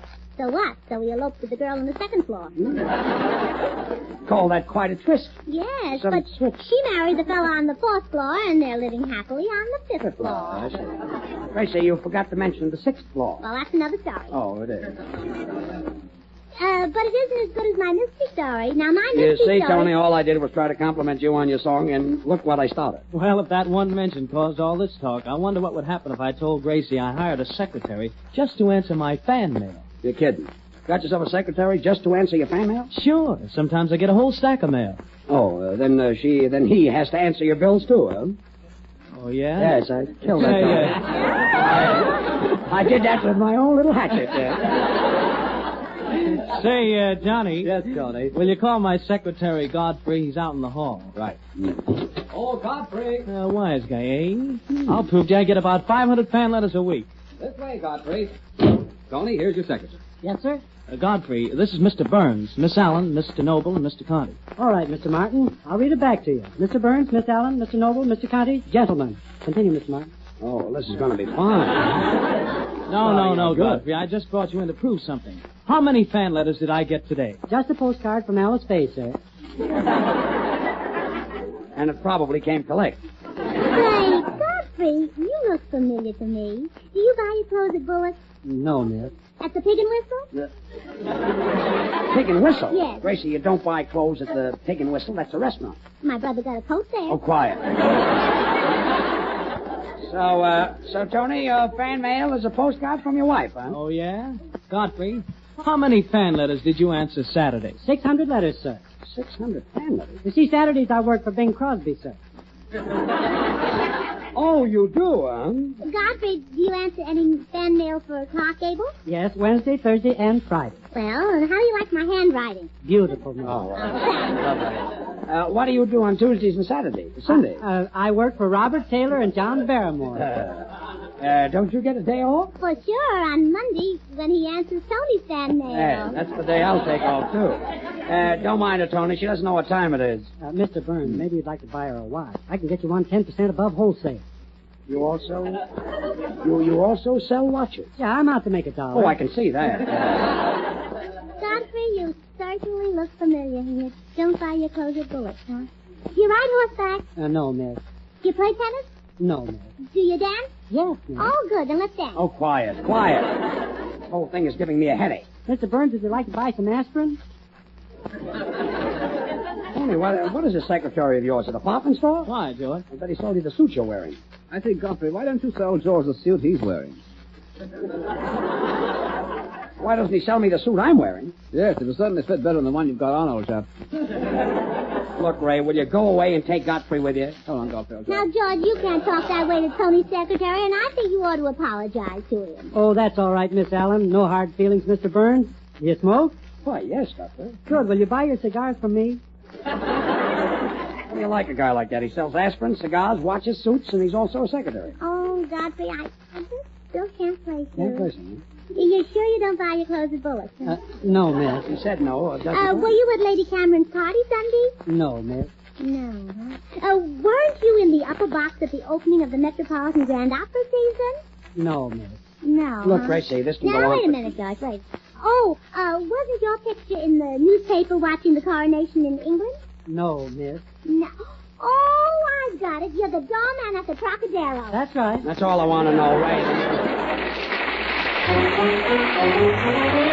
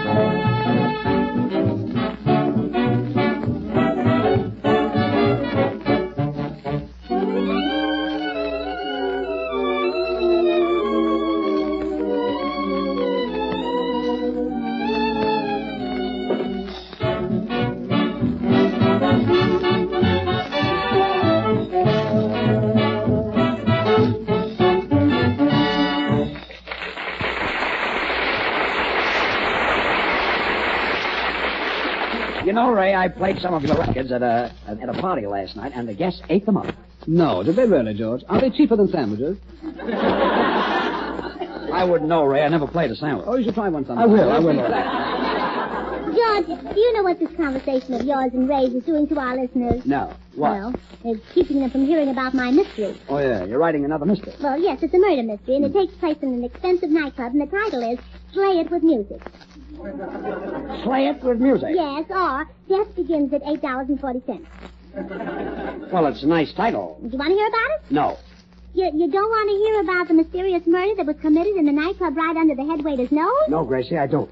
You're not interested in knowing why the pearls were stolen and how the detectives had to eat 500 oysters before they found the pearls? No, no, no, Gracie, I'm not. Oh, well, then you wouldn't like to know how the busboy tracked down the murder by identifying the way waiter's fingerprints in the suit.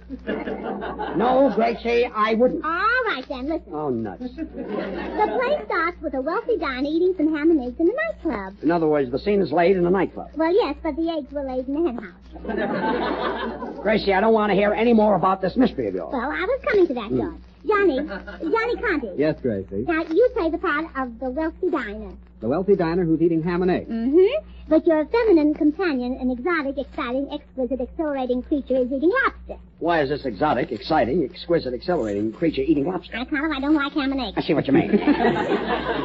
Gracie, do you have to do you have to tell me about this mystery play? Well, no, but I will. I say. Tony. I'm waiting, Gracie. What part do I play? Well, you play a suspicious-looking character in a checkered coat A checkered coat? A checkered coat. Where will I get a checkered coat? in the check room. Hmm. I suppose Tony finds a loud vest in the vestibule. Yeah, and a pair of pants in the back. In the back there. well, all right, Tony. You're a suspicious character, and Johnny Conte is a wealthy diner. Oh, yes. And just as Johnny finishes his ham and eggs, somebody howls murder, Murder. and they find the orchestra leader dead. The orchestra leader is dead. Well, everybody thinks he's dead, but they discover that it's only Ray Noble. Well, that's a natural mistake, don't you think so? Yes, I think so. I do, too. George, old boy, Yeah. did I hear somebody say that I was dead? No, right. Uh, there's a mistake. The people just think you're dead. Well, I'm glad to hear that, old man, because if I'm dead, I ought to stop paying my life insurance. Pay it, Ray. Uh, if they ever get a look at you, you'll be able to collect it. Now, please, Bob. Well, anywho, the police finally rush to the nightclub, and while they're there, the proprietor robs them. That's you, George. I'm the proprietor of the nightclub, and I robbed the police. Well, sure, you charge them three and a half dollars for a steak sandwich. I do, huh? Yes. Hmm. And how do the police take it? Without salt, pepper, or ketchup. Without salt, pepper, or ketchup? Well, yeah, you see, Judge, we're not allowed to use any spicy stuff on the radio. think I get what you mean, yeah. And now the plot really thickens. You mean sickened. That's what I mean. That's what I thought you meant. So, one of the cops grabs Tony, snaps the handcuffs on him, and he's charged with murder. Who have I murdered, Gracie? Well, you haven't murdered anybody, but you admit the murder and show the police the body just to throw them off the trail. Well, that's a quick piece of thinking. Well, Tony didn't think of it. I thought of it. Well, that explains it, yeah. You know, there's one thing that just puzzles me, George. There usually is, Ray. Oh, quiet. When I go down to collect my life insurance, uh, do I get somebody to swear that I'm dead, or will they take my word for it? Well, if they doubt your word, Ray, just send them to me. Oh, it's awfully sweet of you. Oh, man. don't make Not so. No, don't. Gracie, don't I do anything else in this mystery but sit and eat ham and eggs? Oh, sure you do, Johnny. When the murderer fires the first shot from his six shooter, you get so excited you kiss me. You just kiss her, and Johnny. when he fires the third shot, you kiss me three times. What are you, lucky fellow? Yeah. When you hear the sixth shot, you kiss me six times. All you do is kiss her, Johnny. And when you hear the twelfth shot, you kiss me twelve times. Wait a minute, And wait a you- minute. Twelve shot. I thought the murderer only had a six shooter. Yeah, but I carry a gun too. Oh, I forgot. You you wrote this play. Yes. I can under... Come in. Oh, it's Miss Eggnob. Sit right down, Miss Eggnob. I'll be right with you. So, Miss the uh, police... Miss Eggnog? Yes. So the police... Who is Miss Eggnog? Well, she's the lady who's going to do the screaming in my mystery. She's a professional screamer, you know. So the police offer her a professional reward. screamer? Oh, yes, she's one of the best screamers on the radio. Miss Eggnob, will you scream for George, please?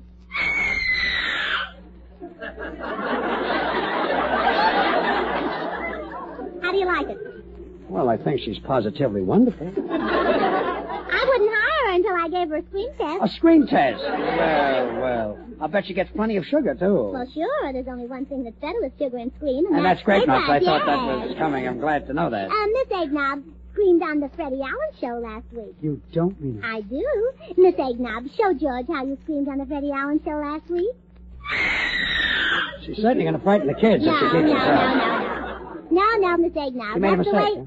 She made a mistake? way. that's the way you screamed on the Jack Benny show. Now scream the way you screamed on the Freddie Allen show. Yeah, well that's it. Oh, yeah.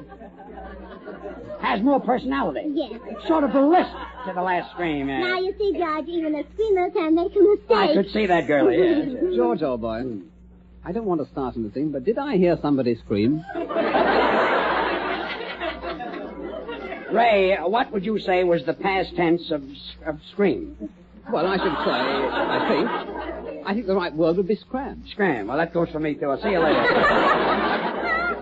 You know, George, Certainly ad living nothing. Miss Eggnob comes from a family of screamers. You don't say. Her whole family screams for a living. Is that so? Oh, yes, yes. Uh, Miss Eggnob, show George how your mother screams. That's pretty good, isn't it, George, for a woman 75 years old? Yeah. Is that the, the woman just? That wasn't the sound man laying an egg, was it? No. Why, her grandmother was a screamer. Yeah. And her grandfather was a screamer. Her mother was a screamer. Her father was a screamer. Her brothers and sisters are screamers. And she's a screamer. Right down the line, huh? Oh, sure. They're a scream line family. A scream line? Well, that's enough. Ray, the music.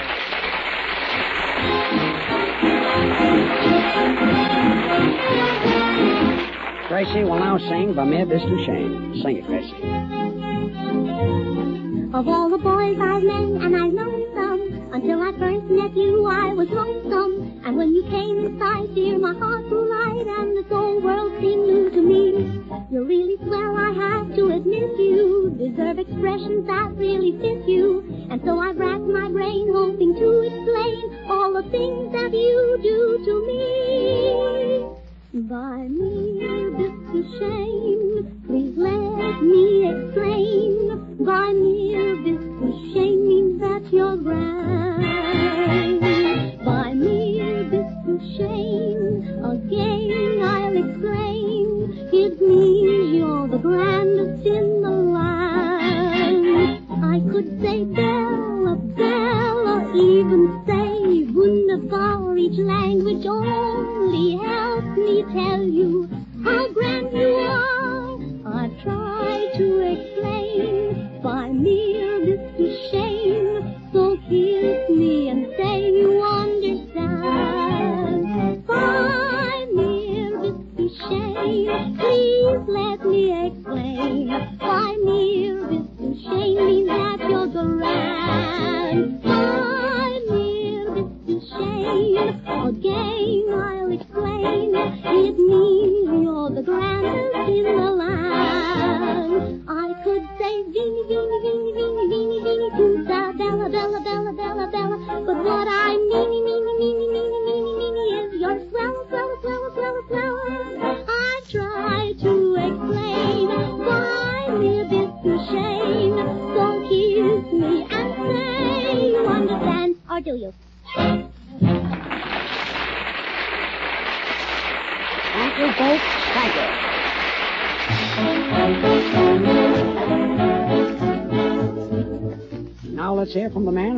Charge of the minutes for this meeting. You've all met him, John Conte. Uh, oh, I'm sorry, George. I was just reading this letter from a friend of mine in New York State. He says they're having an old-fashioned winter up there. Cold with snow and ice and all the rest of it. Hey, John, if you've finished your weather report, we might get on with it. Oh, but George, that weather report, as you call it, has a great deal to do with what I want to say about grape nuts. Because, ladies and gentlemen, most of you listeners live in parts of the country where winters are cold. And in cold weather, you burn up more energy. So some people feel that they ought to eat a hot cereal on cold mornings. That there is some extra nourishment to be derived from a cereal simply because it's hot. Well, this is not true. The amount of nourishment you get from a cereal depends upon the grain from which it is made, and not upon the temperature at which it's served. Therefore, grape nuts, which are ready to serve and save you trouble, are just as good for you as any hot cereal of equal nourishment. And those crisp, crunchy, golden brown kernels taste so downright delicious, whether they start off your breakfast in Maine or sunny California, you'll always say they're great. So remember to ask your grocer tomorrow for grape nuts. Uh, good night. This is John Conte saying good night for the makers of grape nuts. Included on the program this evening were Bei Mir Bist Du Schön from the picture Love, Honor, and Behave, and Nice Work If You Can Get It from Damsel in Distress. This is the National Broadcasting Company.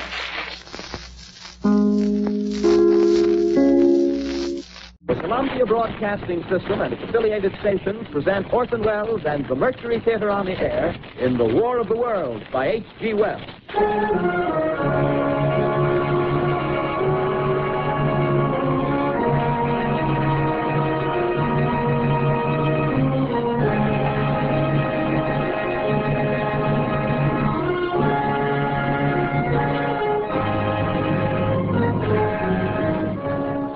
Ladies and gentlemen, the director of the Mercury Theater and star of these broadcasts, Orson Welles. We know now that in the early years of the 20th century, this world was being watched closely by intelligences greater than man's, and yet as mortal as his own.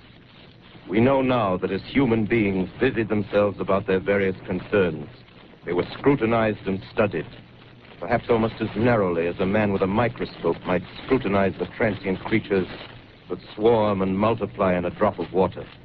With infinite complacence, people went to and fro over the earth about their little affairs, serene in the assurance of their dominion over this small, spinning fragment of solar driftwood, which by chance or design, man has inherited out of the dark mystery of time and space.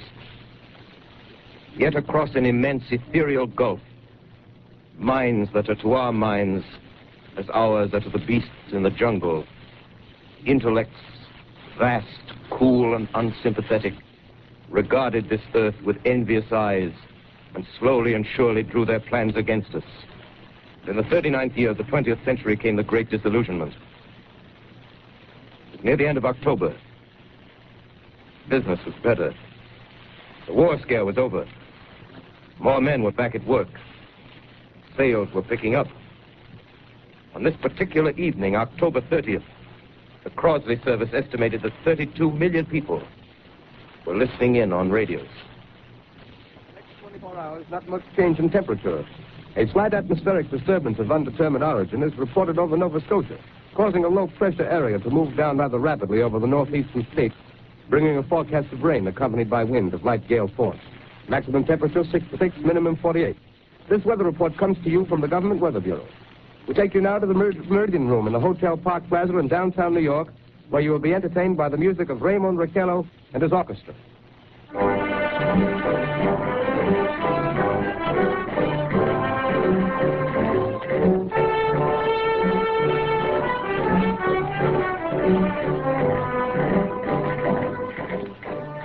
Good evening, ladies and gentlemen. From the Meridian Room in the Park Plaza Hotel in New York City, we bring you the music of Ramon Raquello and his orchestra. A touch of the Spanish, Ramon Raquello leads off with La Cumparsita.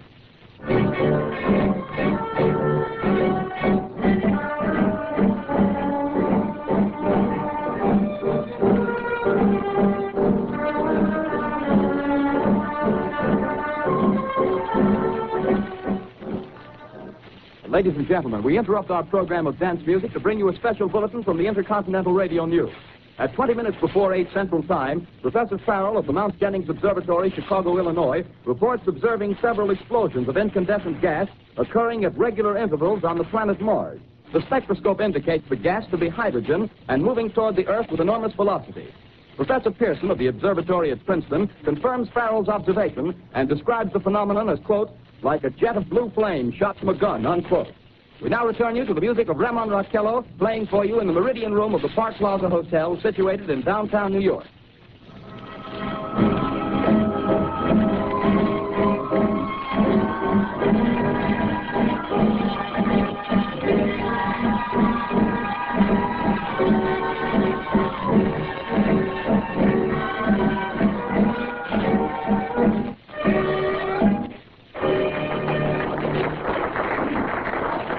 A tune that never loses favor. The ever popular Stardust. Ramon Raquello and his orchestra.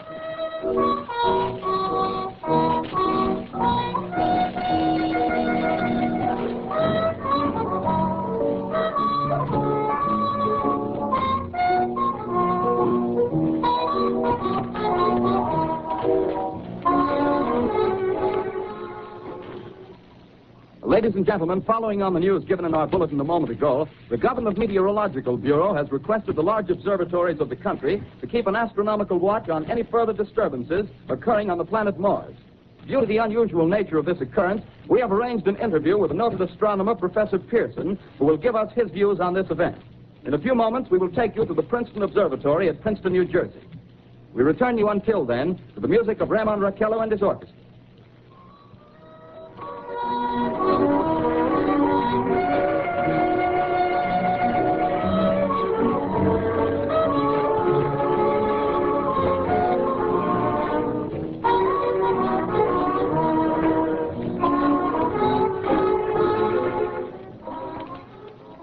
We are ready now to take you to the Princeton Observatory at Princeton, where Carl Phillips, our commentator, will interview Professor Richard Pierson, famous astronomer. We take you now to Princeton, in New Jersey. Carl Phillips speaking to you from the observatory at Princeton. I'm, I'm, I'm standing in a large semicircular room, pitch black except for an oblong slit in the ceiling. Through this opening, I can see a sprinkling of stars that cast a kind of frosty glow over the intricate mechanism of the huge telescope. The ticking sound you hear the vibration of the clockwork. Professor Pierson stands directly above me on a small platform, peering through the giant lens. I ask you to be patient, ladies and gentlemen, during any delay that may arise during our interview. Besides the ceaseless watch of the heavens, Professor Pierson may be interrupted by telephone or other communications. During this period, he is in constant touch with the astronomical centers of the world.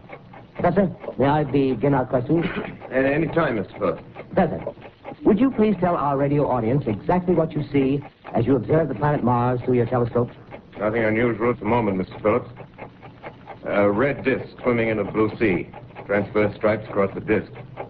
Quite distinct now because Mars happens to be at the point nearest the Earth, in opposition, as we call it. In your opinion, what do these transverse stripes signify, Professor Pierson? Not canals, I can assure you, Mr. Phillips. They... Although that's the popular conjecture of those who imagine Mars to be inhabited. From a scientific viewpoint, the stripes are merely the result of atmospheric conditions peculiar to the planet. Then you're quite convinced, as a scientist, that living intelligence as we know it does not exist on Mars? I'd say the chances against it are a thousand to one. And yet, how do you account for these gas eruptions occurring on the surface of the planet at regular intervals? Phillips, I cannot account for it. By the way, Professor, for the benefit of our listeners, how far is Mars from the Earth? Approximately 40 million miles. well, that seems a safe enough distance. Uh, just a moment, ladies and gentlemen. Someone has just handed Professor Pierson a message. While he reads it, let me remind you that we, we are speaking to you from the observatory in Princeton, New Jersey, where we are interviewing the world-famous astronomer, Professor Pierson. Uh, one moment, please. Professor Pierson has passed me a message which he has just received. Professor, may I read the message to the listening audience? Certainly, Mr. Phillips. Ladies and gentlemen, I shall read you a wire addressed to Professor Pierson from Dr. Gray of the Natural History Museum, New York. Quote, 9.15 p.m. Eastern Standard Time. Seismograph registered shock of almost earthquake intensity occurring within a radius of 20 miles of Princeton. Please investigate. Signed Lloyd Gray, Chief of Astronomical Division. Unquote. Professor Pierson, Could this occurrence possibly have something to do with the disturbances observed on the planet Mars? Uh, hardly, Mr. Phillips. This is probably a meteorite of unusual size, and its arrival at this particular time is merely a coincidence. However, we shall conduct a search as soon as daylight permits. Thank you, Professor. Ladies and gentlemen, for the past ten minutes, we've been speaking to you from the observatory at Princeton, bringing you a special interview with Professor Pierson, noted astronomer. This is Carl Phillips speaking. We are returning you now to our New York studio.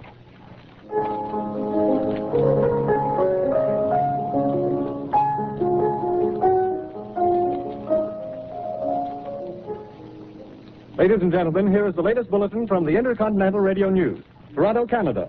Professor Morse of Macmillan University reports observing a total of three explosions on the planet Mars between the hours of 7.45 p.m. and 9.20 p.m. Eastern Standard Time. This confirms earlier reports received from American observatories. Now, nearer home, comes a special bulletin from Trenton, New Jersey. It is reported that at 8.50 p.m., a huge flaming object, believed to be a meteorite, fell on a farm in the neighborhood of Grover's Mill, New Jersey, 22 miles from Trenton. The flash in the sky was visible within a radius of several hundred miles, and the noise of the impact was heard as far north as Elizabeth. We have dispatched a special mobile unit to the scene, and we'll have our commentator, Carl Phillips, give you a word picture of the scene as soon as he can reach there from Princeton. In the meantime, we take you to the Hotel Martinet in Brooklyn, where Bobby Millette and his orchestra are offering a program of dance music.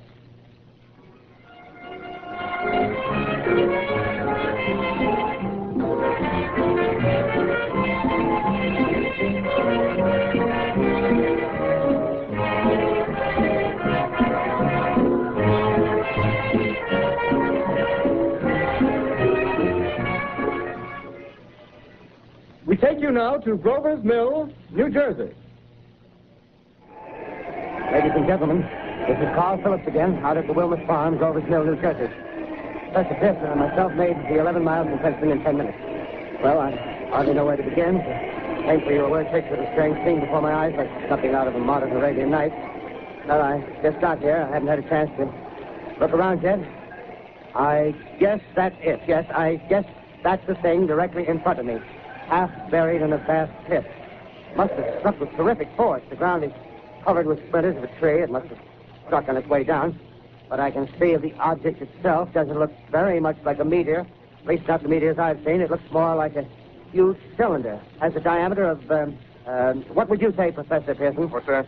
Uh, what would you say? What's the diameter of this? About 30 yards. About 30 yards. The metal on the sheath is, well, I've never seen anything like it. The color is sort of yellowish white. It's curious spectators now are pressing close to the object in spite of the efforts of the police to keep them back. Uh, getting in front of my line. Uh, uh, uh, would you mind standing one side, please?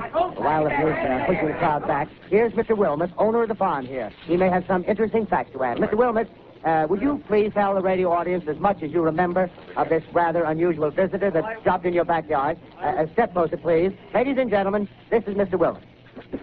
Well, I was listening to the radio. Closer and louder, please. Pardon me? Uh, louder, please, closer. Yes. I was listening to the radio and kind of drowsy. That professor fellow was talking about Mars, so I was half chosen and half. Yes, yes, Mr. Wilmot. And uh, then what happened? Well, as I was saying, I was listening to the radio, kind of halfway. Yes, Mr. Wilmot. And then you saw something. Well, not first off. I heard something. And what did you hear? A hissing sound like this. Uh, kind of like a Fourth of July rocket. Yes, then what? I turned my head out the window and would have sworn I was asleep and dreaming. Yes? I seen a kind of greenish streak and then zingo. Something smacked the ground, knocked me clear out of my chair. Well, were you frightened, Mr. Wilmot? Well, I ain't quite sure. I reckon I was kind of riled. Well, thank you, Mr. Wilmot. Thank you very much. Yeah, you want me to tell No, that's quite all right. That's plenty. Ladies and gentlemen, you've just heard Mr. Wilmot, owner of the farm where this thing has fallen. I wish I could convey the atmosphere, the background of this fantastic scene. Hundreds of cars are parked in the field in back of us, and the police are trying to rope off the roadway leading into the farm, but it's no use. They're breaking right through. Cars' headlights throw an enormous spotlight on the pit where the object's half buried. Now, some of the more daring souls now are venturing near the edge. Uh, their silhouettes stand out against the metal screen. One man wants to touch the thing. He's having an argument with the policeman. Now, the policeman wins. Now, ladies and gentlemen, there's something I haven't mentioned in all this excitement, but it's becoming more distinct. Perhaps you've caught it already on your radio. Listen, please. Do you hear it? The curious humming sound that seems to come from inside the object. I'll uh, move the microphone nearer. Here. Now, we're not more than 25 feet away. Uh, can you hear it now? Uh, Professor Pierson. Yes, Uh, can you tell us the meaning of that scraping noise inside the thing? Possibly the unequal cooling of its surface. I say, do you still think it's a meteor, Professor? I don't know what to think. The uh, metal casing is definitely extraterrestrial. Uh, not found on this Earth. Friction with the Earth's atmosphere usually tears holes in a meteorite. This thing is smooth and you can see its Uh, cylindrical just shape. Something's happening. Ladies and gentlemen, this is terrific. This end of the thing is beginning to flake off. The top is beginning to rotate like a screw, and the thing must be hollow. Keep those men back! Keep back! Keep those idiots back! Ladies, off! The top blew! Go down! Stand back! ladies and gentlemen, this is the most terrifying thing I, I've ever witnessed. Wait a minute. Something I can see spring out of that black hole through lu- luminous discs. The eyes, it might be a face, might be almost. Good heavens, something wriggling out of the shadow like a gray snake. Now it's another one, and another one, and another one. They look like tentacles to me. Yeah, I can see the thing's body now. It's large, as large as a bear. It glistens like wet leather, but that face, it, it, ladies and gentlemen, it's indescribable. I can hardly force myself to keep looking at it. It's so awful. The eyes are black, and they gleam like a serpent. The mouth is that's kind of V-shaped with saliva dripping from its rimless lips. It seems to oh, quiver and pulsate. The monster, or whatever it is, can hardly move. It seems weighed down by uh, possibly gravity or something. The thing's rising up now, and the crowd falls back. They see plenty. The most extraordinary experience, ladies and gentlemen. I can't find words. Well, I'll pull this microphone with me as I talk. I'll have to stop the description until I can take a new position. Hold on, will you please? I'll be right back in a minute.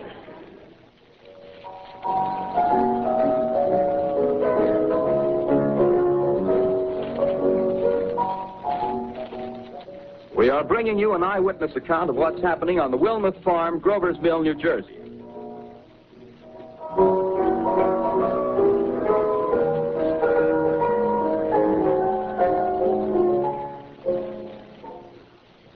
We now return you to Carl Phillips at Grover's Mill. Ladies and gentlemen, my on. Ladies and gentlemen, ladies and gentlemen, here I am, back of a stone wall that adjoins Mr. Wilmer's garden. From here, I get a sweep of the whole scene. I'll give you every detail as long as I can talk and as long as I can see. More state police have arrived. They're drawing up a cordon in front of the pit. About 30 of them. No need to push the crowd back now. They're willing to keep their distance. The captain conferring with someone. Can't quite see who. Ah, yes, I believe it's Professor Pierson. Yes, it is. Now, now they've parted, and the professor moves around one side, studying the object while his captain and two policemen advance with something in their hands. I can see it now. It's a white handkerchief tied to a pole. Flag of truce. Those creatures know what that means, what anything means. Wait a minute, something's happening. Humped shape is rising out of the pit. I can make out a small beam of light against the mirror. What's that? There's a jet of flame springing from the mirror and it leaps right at the advancing men. It strikes them head on. Lord, they're turning into flames. Oh, the whole field caught by the woods, the barns, the, the gas tanks, tanks of the automobiles spreading everywhere. Coming this way now, about 20 yards to my right. Ladies and gentlemen, due to circumstances beyond our control, we are unable to continue the broadcast from Grover's Mill. Evidently, there's some difficulty with our field transmission. However, we will return to that point at the earliest opportunity. In the meantime, we have a late bulletin from San Diego, California. Professor Indelkoffer, speaking at a dinner of the California Astronomical Society, expressed the opinion that the explosions on Mars are undoubtedly nothing more than severe volcanic disturbances on the surface of the planet. We continue now with our piano interlude.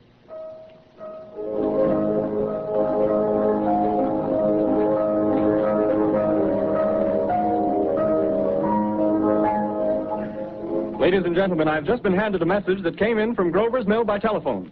Just one moment, please. At least 40 people, including six state troopers, lie dead in a field east of the village of Grover's Mill. Their bodies burned and distorted beyond all possible recognition. The next voice you hear will be that of Brigadier General Montgomery Smith, commander of the state militia at Trenton, New Jersey. I have been requested by the governor of New Jersey to place the counties of Mercer and Middlesex as, as far west as Princeton and uh, east to Jamesburg under martial law. No one will be permitted to enter this area except by special pass issued by state or military authorities. Four companies of state militia are proceeding from Trenton to Grover's Mill and uh, will aid in the evacuation of homes within the range of military operations. Thank you. You have just been listening to General Montgomery Smith, commanding the state militia at Trenton. In the meantime, further details of the catastrophe at Grover's Mill are coming in. The strange creatures, after unleashing their deadly assault, crawled back in their pit and made no attempt to prevent the efforts of the firemen to recover the bodies and extinguish the fire. The combined fire departments of Mercer County are fighting the flames which menace the entire countryside. We have been unable to establish any contact with our mobile unit at Grover's Mill, but we hope to be able to return you there at the earliest possible moment. In the meantime, we take you to. Just one moment, please. Ladies and gentlemen, I have just been informed that we have finally established communication with an eyewitness of the tragedy. Professor Pierson has been located at a farmhouse near Grover's Mill, where he has established an emergency observation post. As a scientist, he will give you his explanation of the calamity. The next voice you hear will be that of Professor Pierson, brought to you by direct wire. Professor Pierson. Of the creatures in the rocket cylinder at Grover's Mill, I can give you no authoritative information either as to their nature, their origin, or their purposes here on Earth. Of their destructive instrument, I might venture some conjectural explanation. For want of a better term, I shall refer to the mysterious weapon as a heat ray. It's all too evident that these creatures have scientific knowledge far in advance of our own. It's my guess that in some way they are able to generate an intense heat in a chamber of practically absolute non-conductivity. This intense heat they project in a parallel beam against any object they choose by means of a polished parabolic mirror of unknown composition, much as the mirror of a lighthouse projects a beam of light. That, that is my conjecture of the origin of the heat ray. Thank you, Professor Pierson. Ladies and gentlemen, here is a bulletin from Trenton. It is a brief statement informing us that the charred body of Carl Phillips has been identified in the Trenton Hospital. Now, here's another bulletin from Washington, D.C. The Office of the Director of the National Red Cross reports 10 units of Red Cross emergency workers have been assigned to the headquarters of the state militia, stationed outside of Grover's Mill, New Jersey. Here's a bulletin from State Police, Princeton Junction. The fires at Grover's Mill and vicinity are now under control. Scouts report all quiet in the pit, and there is no sign of life appearing from the mouth of the cylinder. Now, ladies and gentlemen, we have a special statement from Mr. Harry McDonald, Vice President in charge of operations. We have received a request from the state militia of Trenton to place at their disposal our entire broadcasting facilities. In view of the gravity of the situation, and believing that radio has a responsibility to serve in the public interest at all times, we are turning over our facilities to the state militia at Trenton. We take you now to the field headquarters of the state militia near Grover's Mill, New Jersey. This is Captain Lansing of the Signal Corps, attached to the state militia, now engaged in military operations in the vicinity of Grover's Mill. Situation arising from the reported presence of certain individuals of unidentified nature is now under complete control. The cylindrical object, which lies in a pit directly below our position, surrounded on all sides by eight battalions of infantry, without heavy field pieces, but adequately armed with rifles and machine guns. All cause for alarm, if such cause ever existed, is now entirely unjustified. Things, whatever they are, do not even venture to poke their heads above the pit. I can see their hiding place plainly in the glare of the searchlights here. With all their reported resources, these creatures can scarcely stand up against heavy machine gun fire. Anyway, it's an interesting outing for the troops. I can make out their khaki uniforms crossing back and forth in front of the lights. Looks almost like a real war. There appears to be some slight smoke in the woods bordering the Millstone River. Probably fire started by campers. Well, uh, we ought to see some action soon. One of the companies is deploying on the left flank. A quick thrust and it'll all be over. Oh, wait a minute. I see something on top of the cylinder. No, no, it's nothing but a shadow. Now the troops are on the edge of the Wilmot farm. 7,000 armed men closing in on an old metal tube. A tub, rather. Well, wait, that wasn't a shadow. It's something moving. Solid metal, kind of a shield-like affair rising up out of the cylinder. It's going higher and higher. What? It's, it's standing on legs, actually rearing up on a sort of metal framework. Now it's reaching above the trees and the searchlights are on it. Hold on. Ladies and gentlemen, I have a grave announcement to make. Incredible as it may seem, both the observations of science and the evidence of our eyes lead to the inescapable assumption that those strange beings who landed in the Jersey farmlands tonight are the vanguard of an invading army from the planet Mars. The battle which took place tonight at Grover's Mill has ended in one of the most startling defeats ever suffered by an army in modern times. 7,000 men armed with rifles and machine guns pitted against a single fighting machine of the invaders from Mars. 120 known survivors. The rest strewn over the battle area from Grover's Mill to Plainsboro, crushed and trampled to death under the metal feet of the monster, or burned to cinders by its heat ray. The monster is now in control of the middle section of New Jersey and has effectively cut the state through its center. Communication lines are down from Pennsylvania to the Atlantic Ocean. Railroad tracks are torn and service from New York to Philadelphia discontinued except routing some of the trains through Allentown and Phoenixville. Highways to the north, south, and west are clogged with frantic human traffic. Police and army reserves are unable to control the mad flight. By morning, the fugitives will have swelled Philadelphia, Camden, and Trenton. It is estimated to twice their normal population. Martial law prevails throughout New Jersey and eastern Pennsylvania. At this time, we take you to Washington for a special broadcast on the national emergency. The Secretary of the Interior. Citizens of the nation, I shall not try to conceal the gravity of the situation that confronts the country, nor the concern of your government in protecting the lives and property of its people. However, I wish to impress upon you, private citizens and public officials, all of you, the urgent need of calm and resourceful action. Fortunately, this formidable enemy is still confined to a comparatively small area, and we may place our faith in the military forces to keep them there. In the meantime, placing our faith in God, we must continue the performance of our duties, each and every one of us, so that we may confront this destructive adversary with a nation united, courageous, and consecrated to the preservation of human supremacy on this earth. I thank you. You have just heard the Secretary of the Interior speaking from Washington. Bulletins too numerous to read are piling up in the studio here. We're informed that the central portion of New Jersey is blacked out from radio communication due to the effect of the heat ray upon power lines and electrical equipment. There is a special bulletin, in New York. Cables have been received from English, French, and German scientific bodies offering assistance. Astronomers report continued gas outbursts at regular intervals on the planet Mars. The majority voiced the opinion that the enemy will be reinforced by additional rocket machines. There have been several attempts made to locate Professor Pierson of Princeton, who has observed Martians at close range. It is feared he was lost in the recent battle. Langham Field, Virginia. Scouting planes report three Martian machines visible above treetops, moving north toward Somerville with population fleeing ahead of them. The heat ray is not in use, although advancing at express train speed. Invaders pick their way carefully. They seem to be making a conscious effort to avoid destruction of cities and countryside. However, they stop to uproot power lines, bridges, and railroad tracks. Their apparent objective is to crush resistance, paralyze communication, and disorganize human society. Here is a bulletin from Basking Ridge, New Jersey. Coon hunters have stumbled on a second cylinder similar to the first, embedded in the great swamp 20 miles south of Morristown. Army field pieces are proceeding from Newark to blow up the second invading unit before the cylinder can be opened and the fighting machine rigged. They're taking up a position in the foothills of Watchung Mountains. Another, another, another bulletin from Langham Field, Virginia. Scouting planes report enemy machines now three number, increasing speed northward, kicking over houses and trees in their evident haste to form a conjunction with their allies south of Morristown. Machines also sighted by telephone operator east of Middlesex within 10 miles of Plainfield. Here's a bulletin from Winston-Field, Long Island.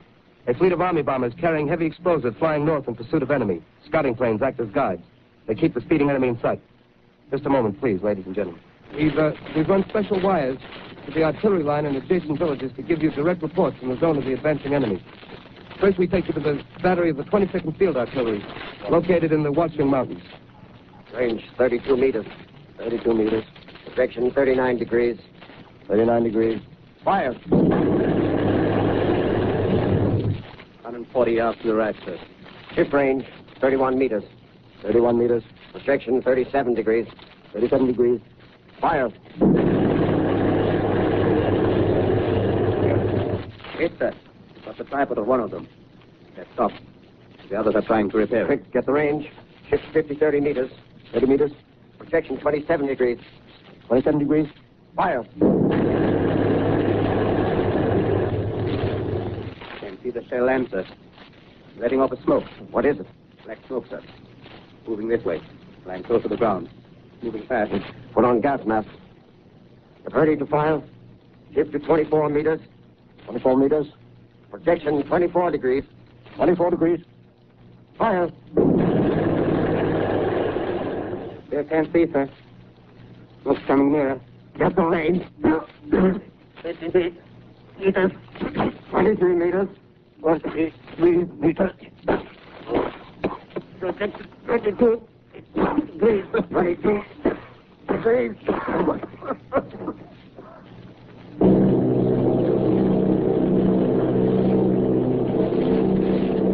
Army bombing plane B-843 off Bayonne, New Jersey. Lieutenant Voght, commanding eight bombers, reporting to Commander Fairfax Langham Field. This is Voght reporting to Commander Fairfax Langham Field. Enemy tripod machines now in sight. Reinforced by three machines from the Morristown cylinder. Six altogether. One machine partially crippled. Believed hit by shell from Army gun in Watchung Mountains. Guns now appear silent.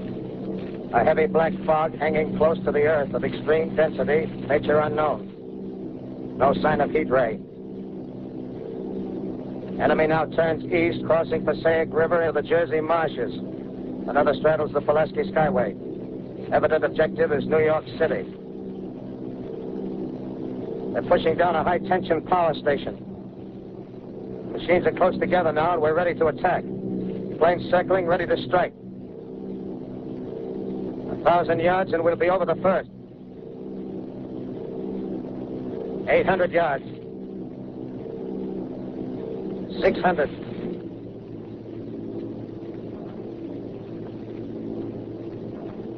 Four hundred. Two hundred.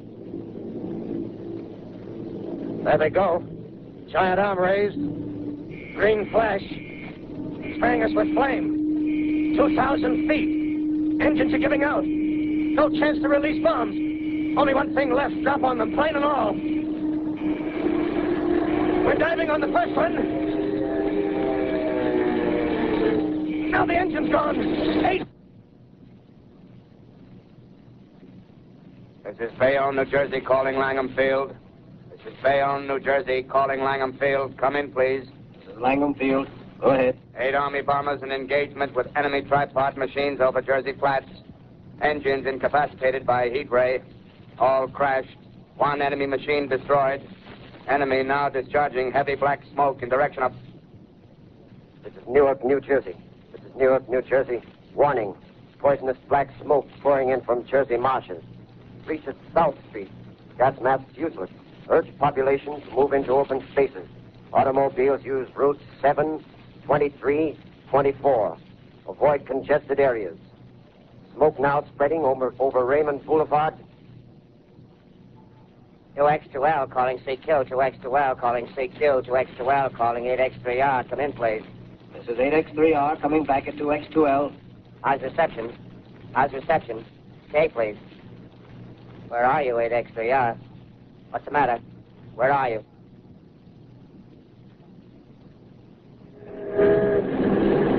I'm speaking from the roof of Broadcasting Building. I'm speaking from the roof of Broadcasting Building, New York City. The bells you hear are ringing to warn the people to evacuate the city as the Martians approach. Estimated in the last two hours, three million people have moved out along the roads to the north. Hutchison River Parkway still kept open for motor traffic. Bridges to Long Island, hopelessly jammed.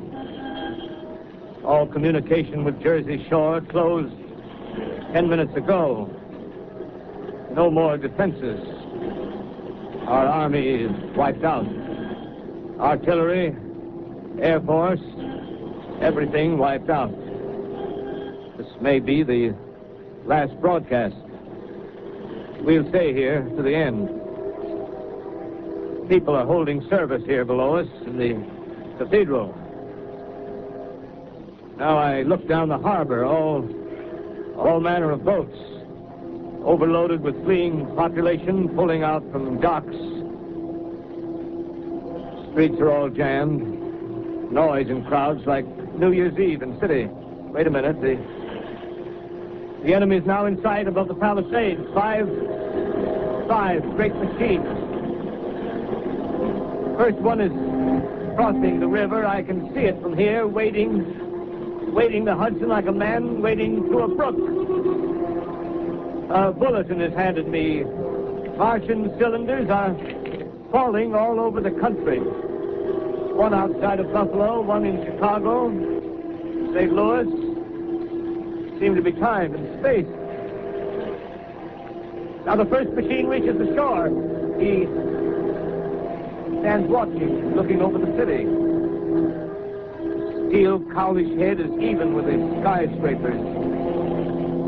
He waits for the others. They rise like a line of new towers on the city's west side. Now they're lifting their metal hands. This is the end now. Smoke comes out, black smoke drifting over the city. People in the streets see it now. They're running toward the East River, thousands of them, dropping in like rats. Now the smoke's spreading faster. It's reached Times Square. People are trying to run away from it, but it's no use. They, they're falling like flies. Now the smoke's crossing Sixth Avenue. Fifth Avenue. Uh, a hundred yards away. It's, 50 feet. Two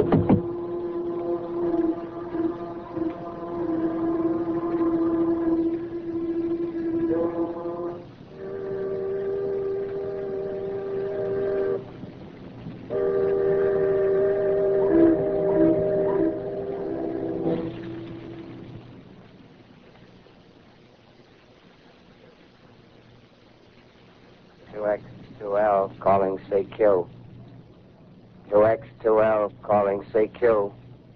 2X2L calling CQ, New York. Is there anyone on the air?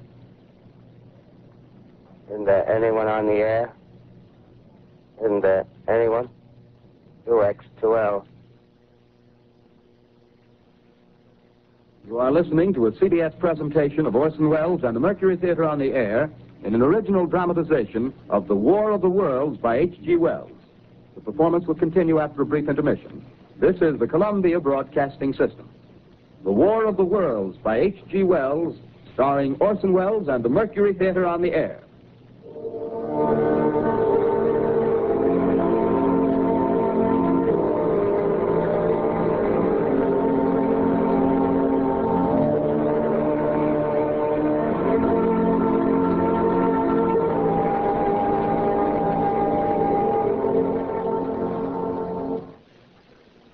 Set down these notes on paper, I'm obsessed by the thought that I may be the last living man on Earth.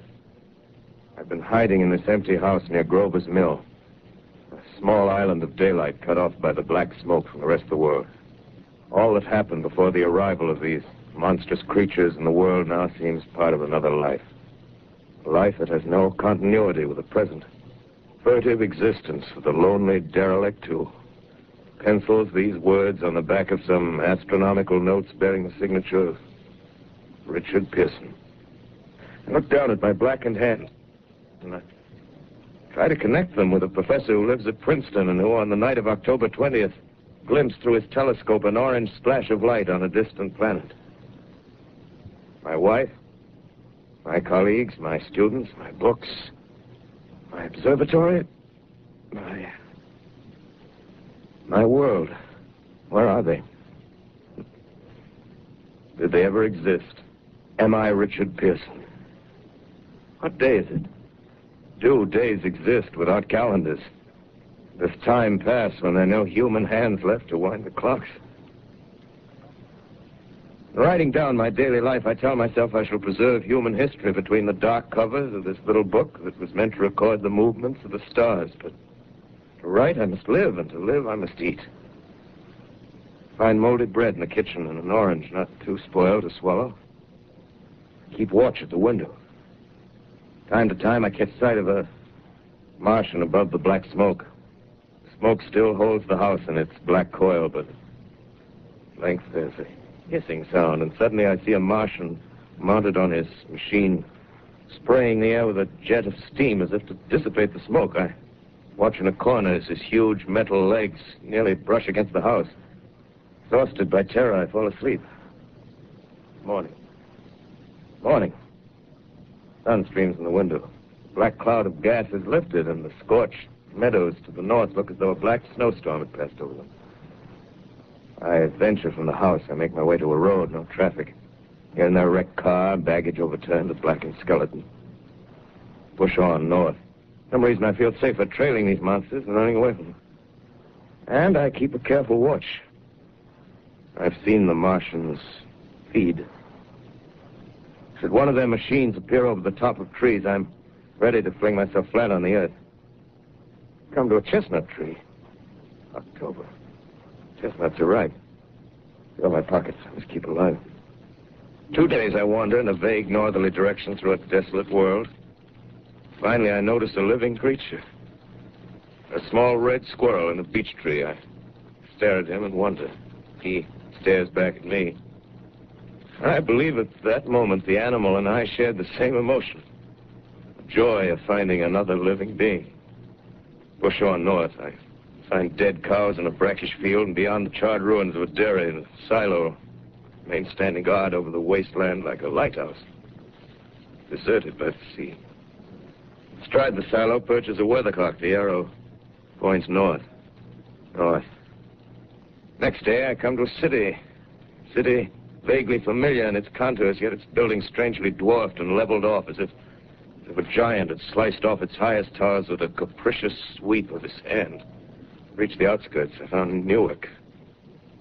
Newark, undemolished but humbled by some whim of the advancing Martians. Presently, with an odd feeling of being watched, I caught sight of something crouching in a doorway. I made a step towards it. It rose up and became a man. A man armed with a large knife. Stop. Where do you come from? I come from.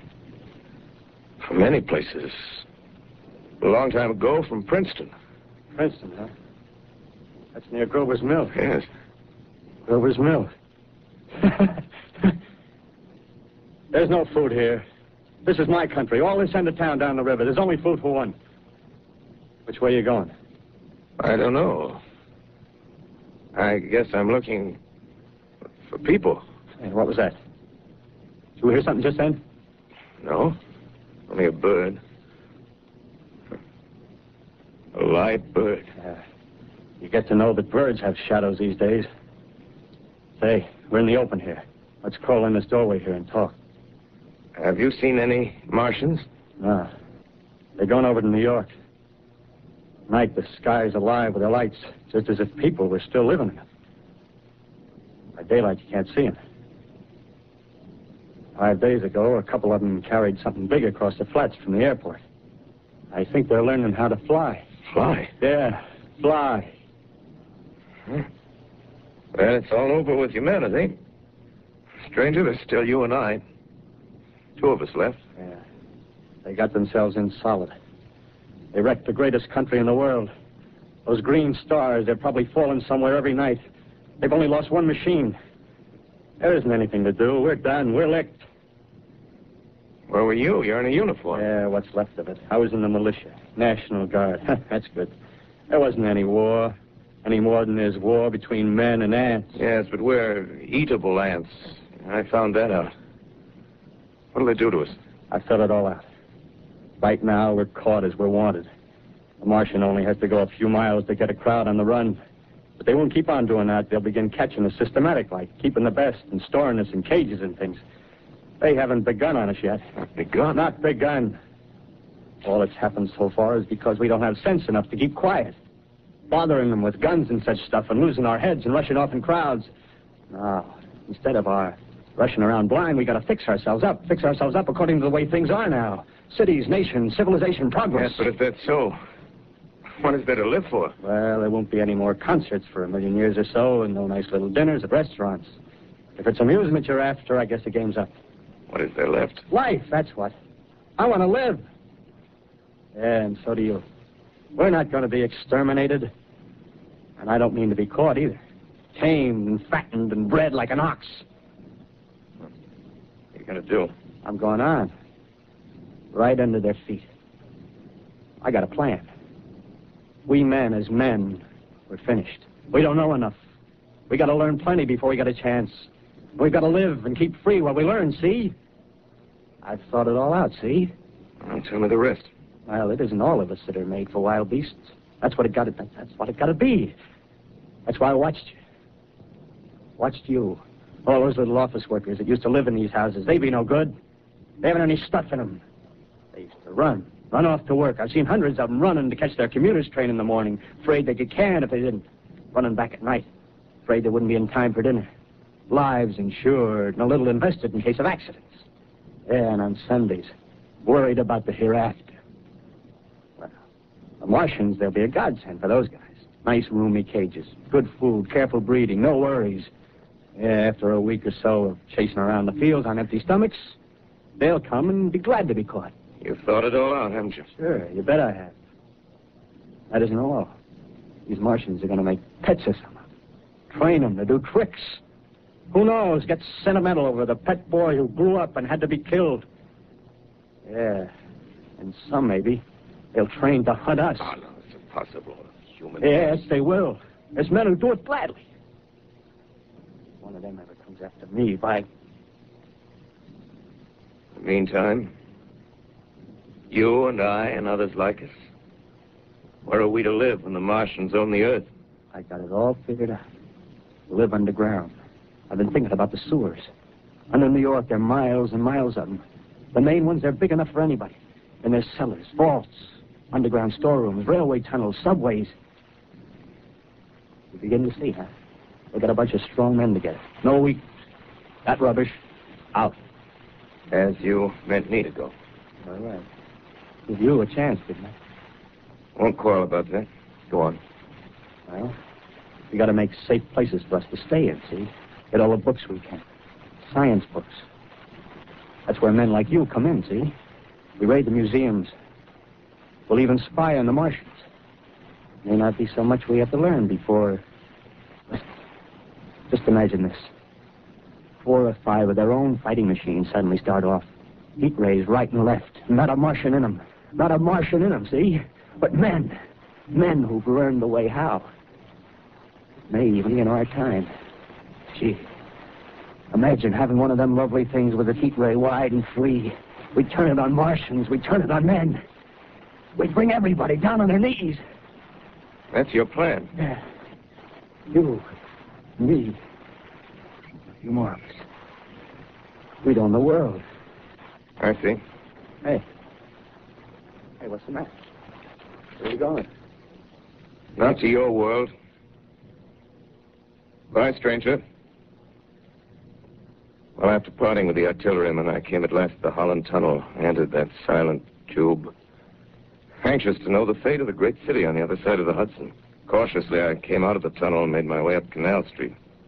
Reached 14th Street, and there again were black powder and several bodies and an evil, ominous smell from the gratings of the cellars of some of the houses. I wandered up through the 30s and 40s, stood alone on Times Square, caught sight of a lean dog running down 7th Avenue with a piece of dark brown meat in his jaws and a pack of starving mongrels at his heels. Made a wide circle around me as though he feared I might prove a fresh competitor. Walked up Broadway in the direction of that. that strange powder, past silent shop windows, displaying their mute wares to empty sidewalks. Past the Capitol Theater, silent, dark. Past a shooting gallery where a row of empty guns faced an arrested line of wooden ducks. Near Columbus Circle, I noticed models of 1939 motor cars in the showrooms facing empty streets. Over the top of the General Motors building, I watched a flock of black birds circling in the sky. Hurried on. Suddenly, I caught sight of the hood of a Martian machine, standing somewhere in Central Park, gleaming in the late afternoon sun. An insane idea. I, I, I rushed recklessly across Columbus Circle and into the park. I, I climbed a small hill above the pond at 60th Street, and from there I could see standing in a silent row along the mall 19 of those great metal titans, their cowls empty, their steel arms hanging listlessly by their sides. I looked in vain for the monsters that inhabit those machines. Suddenly, my eyes were attracted to the immense flock of black birds that hovered directly below me. They circled to the ground. And there before my eyes, stark and silent, lay the Martians with the hungry birds pecking and tearing brown shreds of flesh from their dead bodies. Later, when their bodies were examined in laboratories, it was found that they were killed by the putrefactive and disease bacteria against which their systems were unprepared. Slain, after all, man's defenses had failed. by the humblest thing that God, as wisdom, has put upon this earth. Before the cylinder fell, there was a general persuasion that through all the deep of space, no life existed beyond the petty surface of our minute sphere. Now we see further. Dim and wonderful is the vision I've conjured up in my mind of life spreading slowly from this little seedbed of the solar system throughout the inanimate vastnesses of sidereal space. But a remote dream, maybe. Maybe that the destruction of the Martians is only a reprieve to them and not to us. The future ordained, perhaps. Ah, strange it now seems to sit in my peaceful study Princeton, writing down this last chapter of the record, begun at a deserted farm in Grover's Mill. Strange to watch children playing in the streets. Strange to see young people strolling on the green where the new spring grass heals the last black scars of a bruised earth. Strange to watch the sightseers enter the museum where the disassembled parts of a Martian machine are kept on public view. Strange when I recall the time when I first saw it. Bright and clean cut, hard and silent under the dawn of that last great day.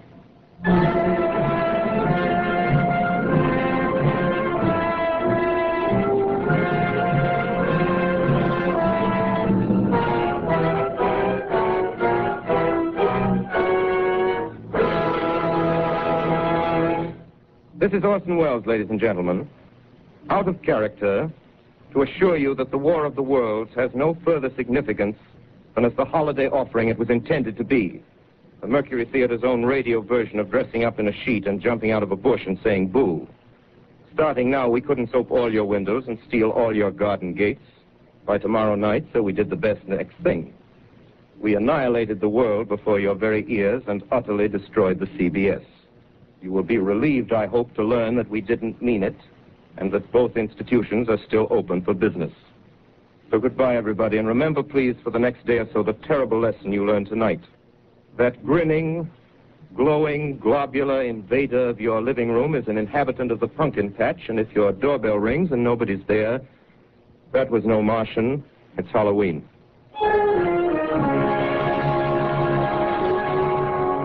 Tonight, the Columbia Broadcasting System and its affiliated stations coast to coast has brought you The War of the World by H.G. Wells, the 17th in its weekly series of dramatic broadcasts featuring Orson Welles and the Mercury Theater on the air.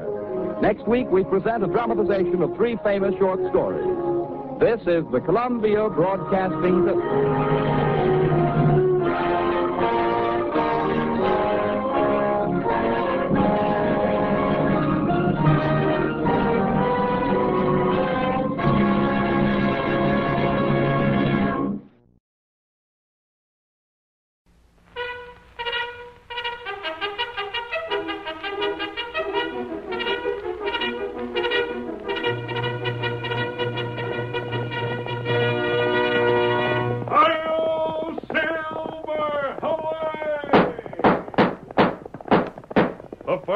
With the speed of light, a cloud of dust, and a hearty hi-yo, Silver, the Lone Ranger.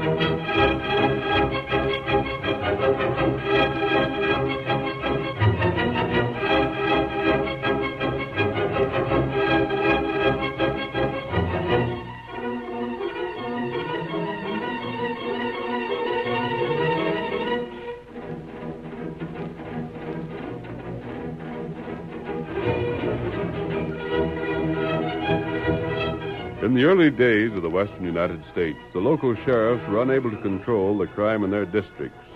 And when emergencies arose, many communities took the law into their own hands. The Lone Ranger fought this mob rule and saved the lives of many innocent men. In time, he proved to the pioneers that there could be no justice where violence reigned. It was the famous masked rider who finally brought law and order to a lawless frontier. Return with us now those thrilling days when the West was young. From out of the past come the thundering hoofbeats of the great horse Silver. The Lone Ranger rides again. Come on, Silver! There's been more trouble in Pecos. us, waiting on the trail ahead. Hi-yo, Silver!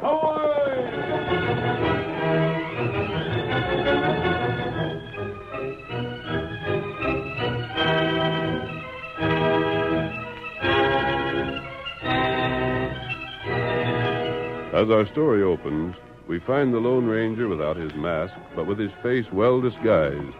He and Tonto, his faithful Indian friend, are riding along a familiar trail, and There's something mighty wrong with the law in Pecos, Tonto. I'm not going to leave this part of the country till we see things in order. There always plenty of trouble there. I wonder how Jack is getting along. Celia Wellington was going to give him a lot of book learning. Him maybe not like that. That boy certainly deserved a good home. He saved my life, Tonto, and I'll never forget that. Oh, you help him. Not very much, Tonto. Oh, him got good home now. While we're in Pecos, I'm going to see how he's getting along. Wait. What is it, Tonto? You look there. Oscar. Oh, oh, oh. Horse come plenty fast. There, you see? Yes. That rider's certainly getting all that Mustang can give. Look at him travel coming this way. That Jack. That friend. It is, Tonto. Where's he going? He looks as if he was trying to outrun Six Gun Lad. Someone chase him. Him look back all time. Come on, Silver. Hi, Jack! This way! What's the trouble? Come on, Silver!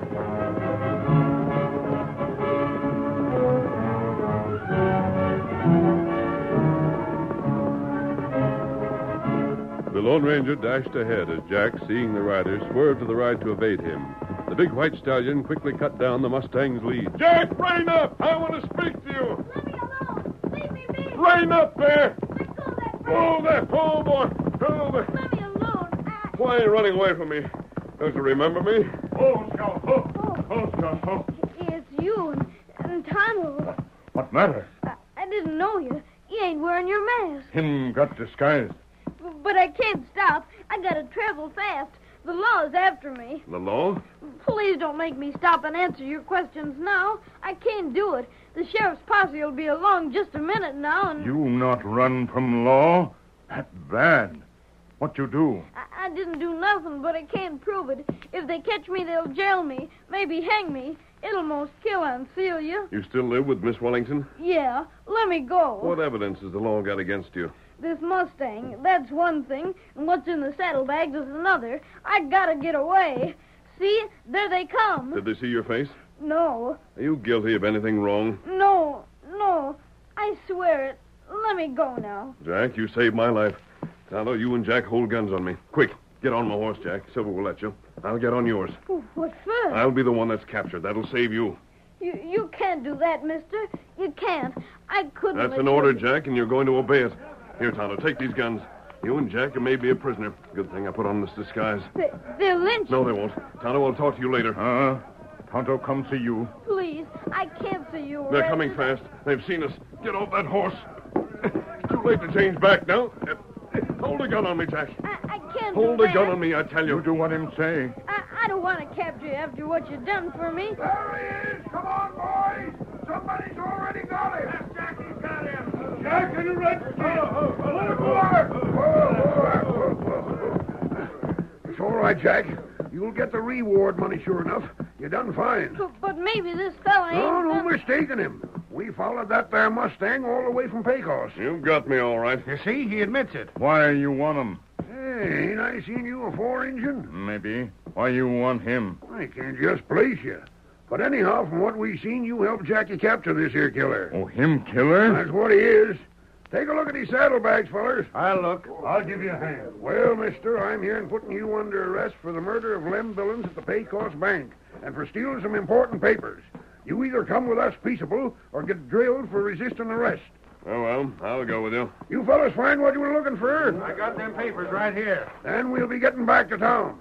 Get along with this crook, boys. All uh, right. Come on. Yeah.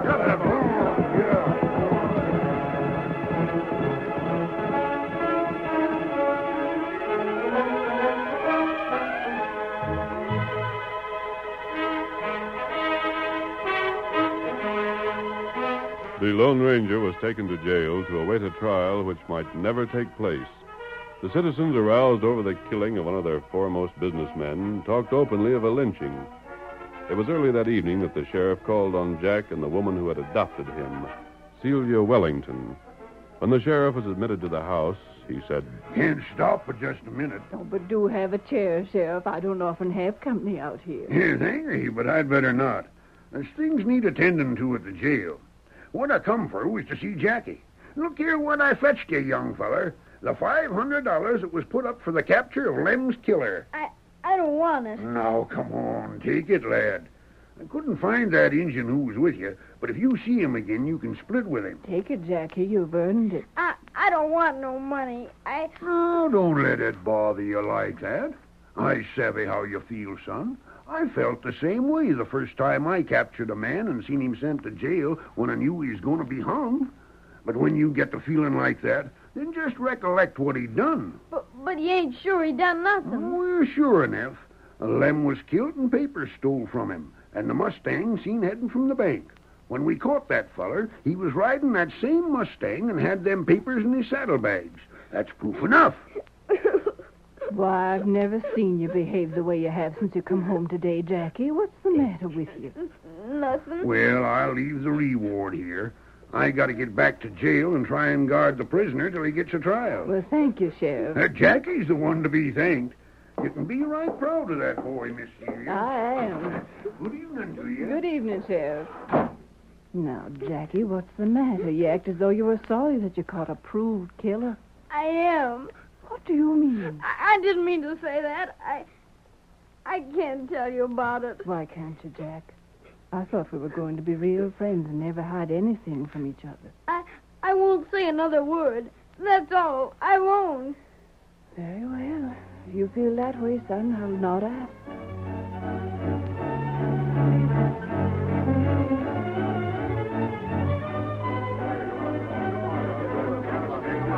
In the meantime, a mob gathered and moved toward the jail where the Lone Ranger was being held. Flash Billings, brother of the murdered man, led the way. Come on, fellas. We'll make the sheriff turn over the prisoner. If he refuses, we'll take him anyhow. Are you with me? Yeah. Get back from the jail. There's the sheriff now. He got his gun ready. He can't hold out against all of us. We'll get that killer anyhow. Well, we have to be smart. Well, fellas, I told you fellas to stand back. Break up that mob and go back home. You can't make it, Sheriff. Now listen to me, you idiots. What's this mean, Flash Billings? Did you get these fellas to come here? What if I did? Then tell them they're wasting their time and they're going back. Like fun I will. We're after the skunk that killed my brother. Can't. It's all well and good to want to see a killer get hung, but there's ways of doing that same. It's the county should do the hanging, not you fellas. Never mind the talk. Let us get at that feller. And what if I don't surrender it? And you'll have to fight us, and you won't have a chance. Every man here is willing to help break into that jail. Ain't that so, man? Yeah. Well, I'm blamed if I'll send him out to you. Still figuring to fight us? Nope, that'd be foolish again the kind of odds there is. But if you want him, you'll have to go in and get him. I'm staying neutral. You hear that, fellas? Come on. Into the jailhouse. We'll get that killer.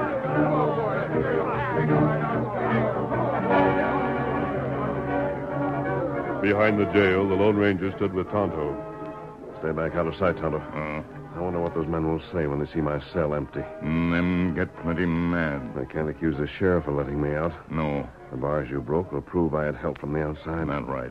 Those men don't know it, but they were closer to me outside the jail than now when they're in it. Mm, that heap funny.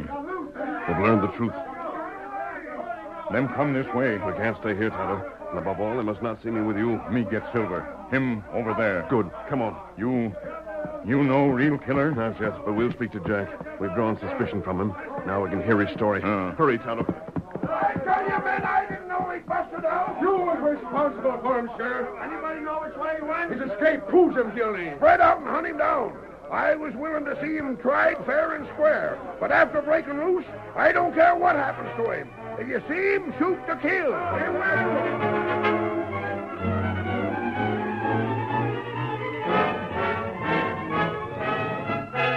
For long hours that night, Jack tossed and turned in his bed. Worry over his friend, the Lone Ranger, made it impossible for him to sleep. And Celia, hearing his restless movements, entered his room. Jackie, Oh, uh, oh, yeah, Aunt Celia? I've been listening to you for the past hour. Can't you go to sleep? What was that shouting I heard a while back? It was the lynch mob. They were after the prisoner. Oh, did they get him? No, from what I heard, someone broke him free from jail and he escaped. I, I'm glad. Now try to sleep, Jack. It's awful late. I, I hope they never find him again. You wouldn't want a murderer to go free. But, but he ain't. Or you can't understand. You don't know about it. Now, don't try to keep all your troubles to yourself, son. You'll learn that troubles are easier to bear when you share them with someone who loves you. Please. No matter what it is, I can help you. You're only a young boy, you know. Is it. Are you in some kind of trouble? No. Oh, please let me help. Leave me be, Aunt Celia. Go away. Leave me be, please. All right. I'll do as you say. But you've got to get some rest. I'll open the window further. Perhaps the fresh air will help you. Hey, good night, dear. Night.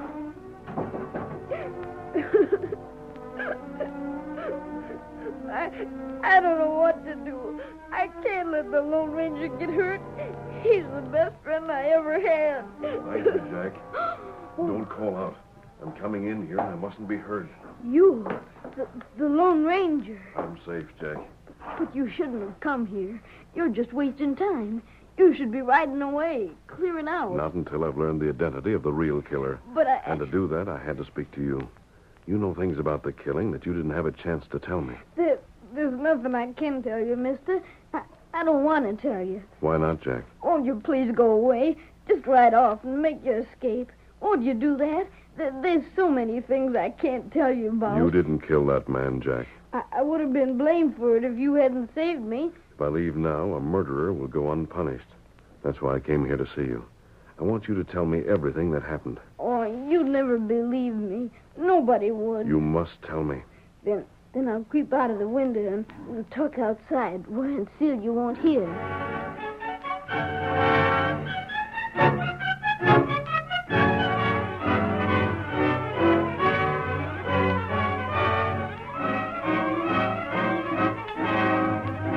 The curtain falls on the first act of our Lone Ranger story.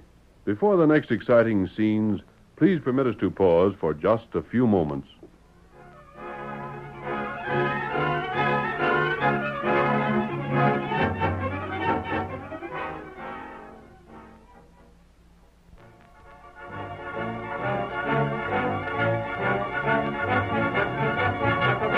Now to continue our story. The Lone Ranger, having overtaken Osage, who had tried to kill him from ambush, waited for the killer's explanation. You thought when you tried to shoot me that I was the Texas kid. Yeah. Gosh, I heard that he was heading for Pecos, and there was a big reward for him, dead or alive. I needed that money. Who told you the Texas kid was coming to Pecos? No one. Uh, that is, I can't tell who. Not Jasper Wellington? Of course not. Now, look at here, stranger. If you ain't the Texas kid, then I'm doggone glad I didn't get to drop you. Now, thank that youngster for jumping on my rifle barrel. I've already thanked him. Has he gone on to Pecos? No, he won't be in Pecos for some time. I'll sure thank him when I see him. You can bet money on that. Uh, are you taking me to the law? What do you think I ought to do with you? Well, if I was in your boots and a man tried to drill me like that, stranger, I'd sure as blazes take him to the law, but... And Dad ratted wearing a mask like that. What else could I think but that you was a Texas kid? You haven't heard of anyone else that might wear a mask? Well, uh... You know, let me see. Leaping Jehoshaphat, you ain't... You don't mean to say you're the Lone Ranger? Osage, it looks to me as if you've been double-crossed by the man who sent you gunning for me. If I thought that is the case, What would I'd... you do? I'd go back and give him a working over that he would never forget. Wellington deserves it. He sure as thunder does. Why, the scheming polecat sending me to fight his battles for... Say, I never said it was Wellington that sent me. No, but you admitted it just now. Anyhow, I'll settle with him. Just you give me the chance to get him. That's all I ask. Let me show you that I was took in complete. Well, well, suppose you go and show me. You letting me go? You'd better start traveling before I change my mind. I'll have to walk my horse. It'll take most of the afternoon to get to Pecos. Well, then, the sooner you start, the better. Come on, Silver. You're doggone. yeah, that ain't good. I took him incomplete. Just wait till Wellington hears how I fooled him. As if I thought he was a Texas kid. As if there ever was a Texas kid.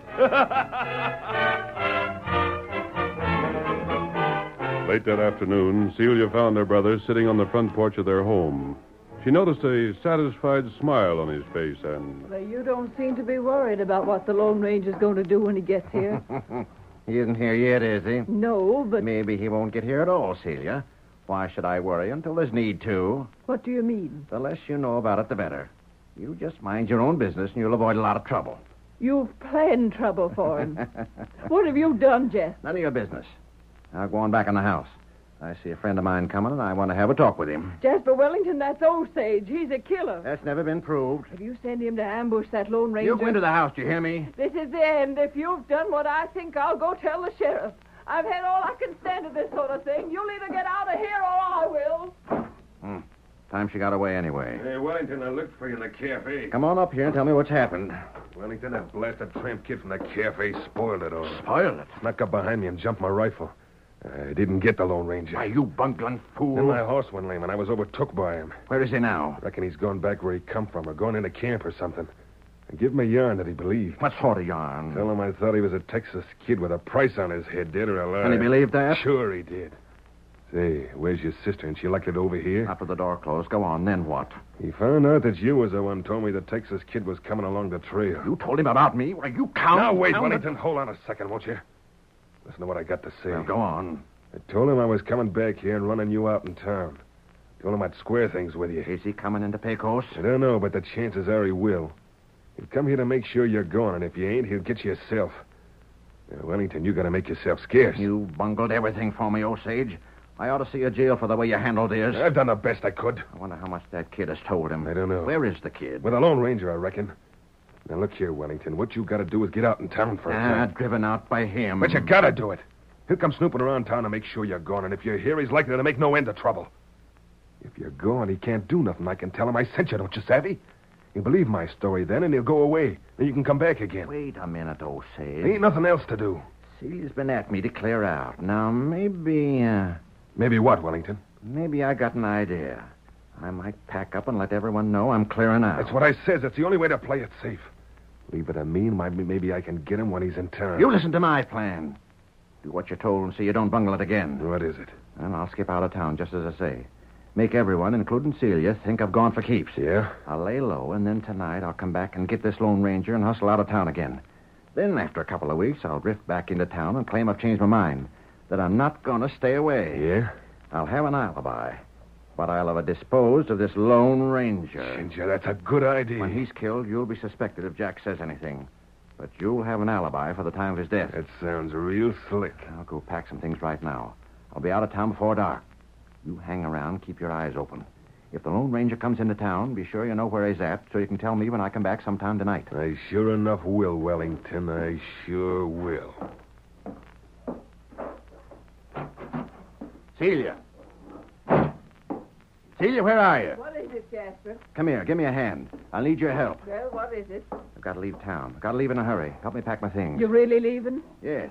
You don't need to ask where I'm going because it ain't none of your business. Oh, I don't care where you go as long as you go. It'll seem most too good to be true to have you out of the house. I'll help you pack all right. I'll be glad to do it.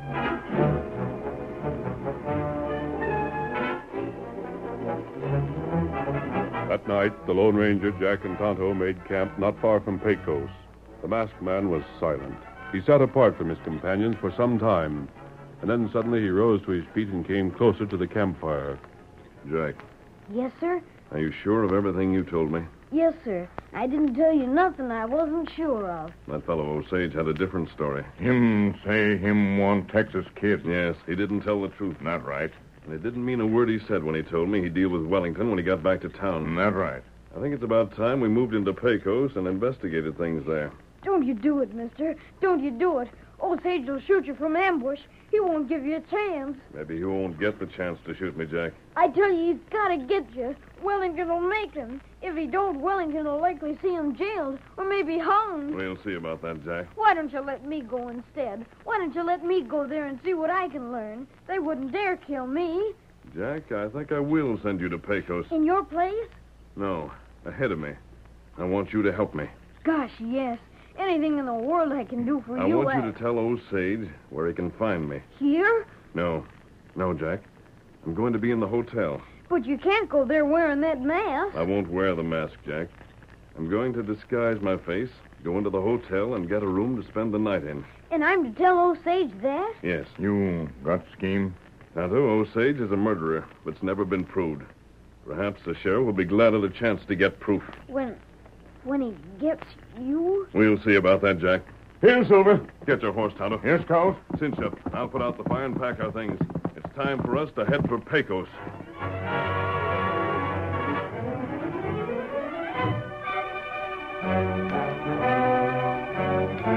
When he had disguised himself and ridden with Tonto into Pecos, the Lone Ranger had no difficulty in renting a room at the hotel. Later, he helped Tonto through the window. By that time, Jack had found the sheriff on the porch of the cafe. The lawman listened attentively to the boy's message, and I took it, Jack. That's sure enough news. I'm right glad to hear it. You help? Help? Sure, I'll help. Osage is right inside the cafe this very minute. Oh. He's seen you and me talking. Likely he'll come nosing around as soon as you leave.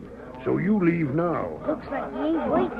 There he comes now. Evening, Sheriff. Here now. Reckon you already heard all the talk around the town. What is that? How I sent Wellington a kiting on his way. Mm, I heard something about it. I don't reckon he'll ever show himself around here again. He double crossed me. If it hadn't been for the kid, there I'd have shot a right upstanding man. Ain't that so, Jack? Yeah, that's right. Yes, sirree, Jack. Just stopped me in time. When I seen that Wellington had sent me to do his killing for him and lied about the man I was to shoot, making me think I was killing an outlaw, I swore to get Wellington. So he moved out in town to get away from you. Just so, and good riddance. I suppose that's why the Lone Ranger come into town, too. He did. Sure, he's rooming at the hotel. I never heard that. Why, he's disguised, but that's where he's spending the night. Well, if Wellington comes back, I reckon he'll sure enough get a red hot reception. If one of us don't get him, the other one will. I gotta be going now, Sheriff. I'll see you soon. Yeah, maybe sooner than you expect.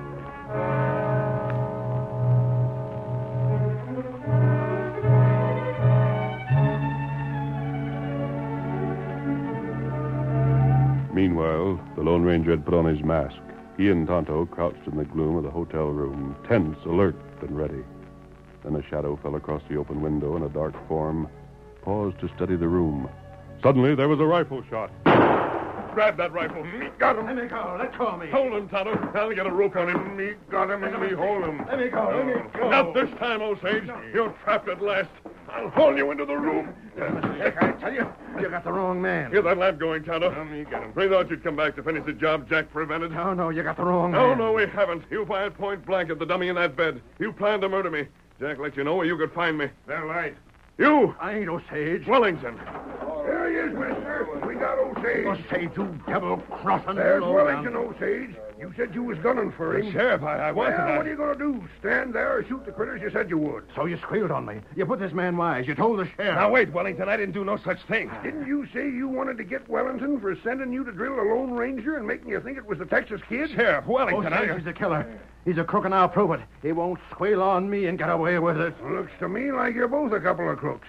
And it looks like we at last got evidence to jail you. How about it, mister? I thought Osage would come to the window and try to get me. That is what I thought had happened. But Osage met Wellington just outside the town. And Wellington himself come back to step in the trap. That's what you get for trying to do the thing yourself. So now we got 'em both where we wanted 'em for a long, long time. Where's Jack? Is he all right? Sure. When I got all I wanted, I sent him to see Miss Celia and tell her to get here and see her no-count brother Ketch if she had any doubts as to his guilt. I didn't want that poor girl to think he was misjudged. I wouldn't have thought that. Celia, you here? You've got to explain. All I can say, Jasper, is that I'm glad you're no more than a half brother. I'm satisfied to let the law take its course. All right, boys. Take these killers to the calaboose. Now, Jack, Yeah? I'm going to try and find a good place for you to live. Some family who want a great fellow like you. so you won't have to live in the cafe woodshed. Jack, how would you like to have a nice home of your own and the chance to learn reading and writing and the other things a man ought to know? Gosh, it'd be pretty swell. Then you shall have one. Huh? You heard what the Lone Ranger said, didn't you? Just like you are now, all alone in the world with a nice big home to live in. Wouldn't you like to live there, Jack? You mean just like you, like you was my mom? Yes. Oh, gosh. Come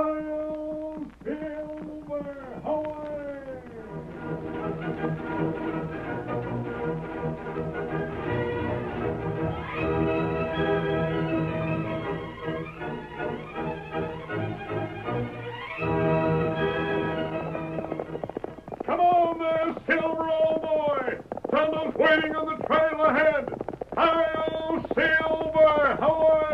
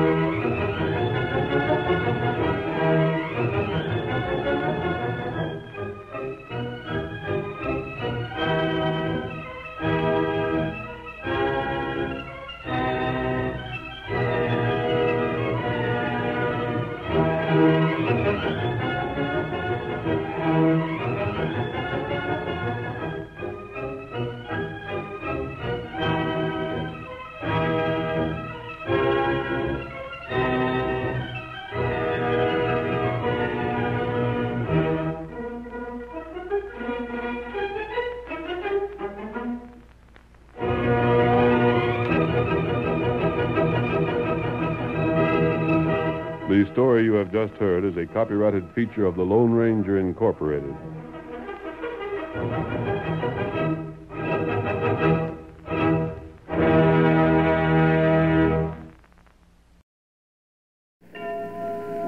Eight o'clock, the correct time.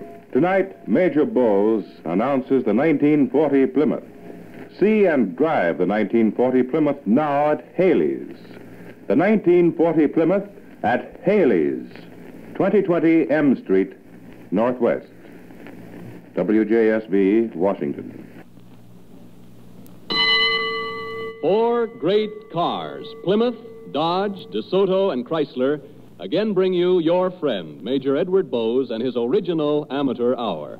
This is certainly a big night for all of us. Our four great cars are about to announce their new 1940 models.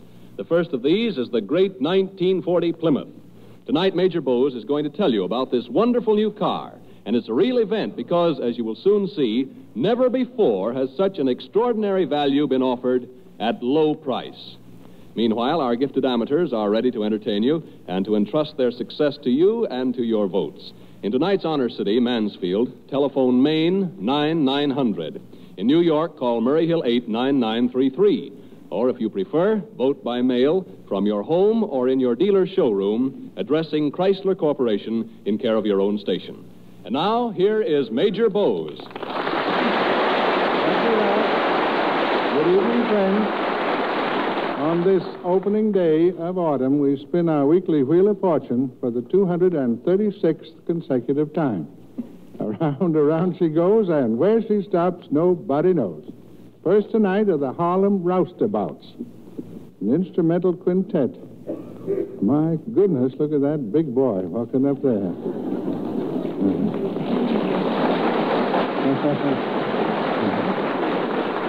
A big boy with a bass fiddle. Give him his fiddle. He won't be happy till he gets his fiddle. What do you boys do for a living? Well, I'm a butcher. No, no, into the microphone. That's it. I'm a butcher and Sam's the chef. I see. How big are you, big fella? I'm six feet three inches tall and weigh 298 pounds. Well, I declare. I figured an even 300. You see how wrong a man can be. In your hands, that bass fiddle will look like the viola. Are you married? I almost got married once, but the lady said she couldn't feed me the way I was accustomed to eating. well, what's your song? I found a new baby. See? Perhaps she won't object to your big appetite, huh? All right, I found a new baby. Let her go. the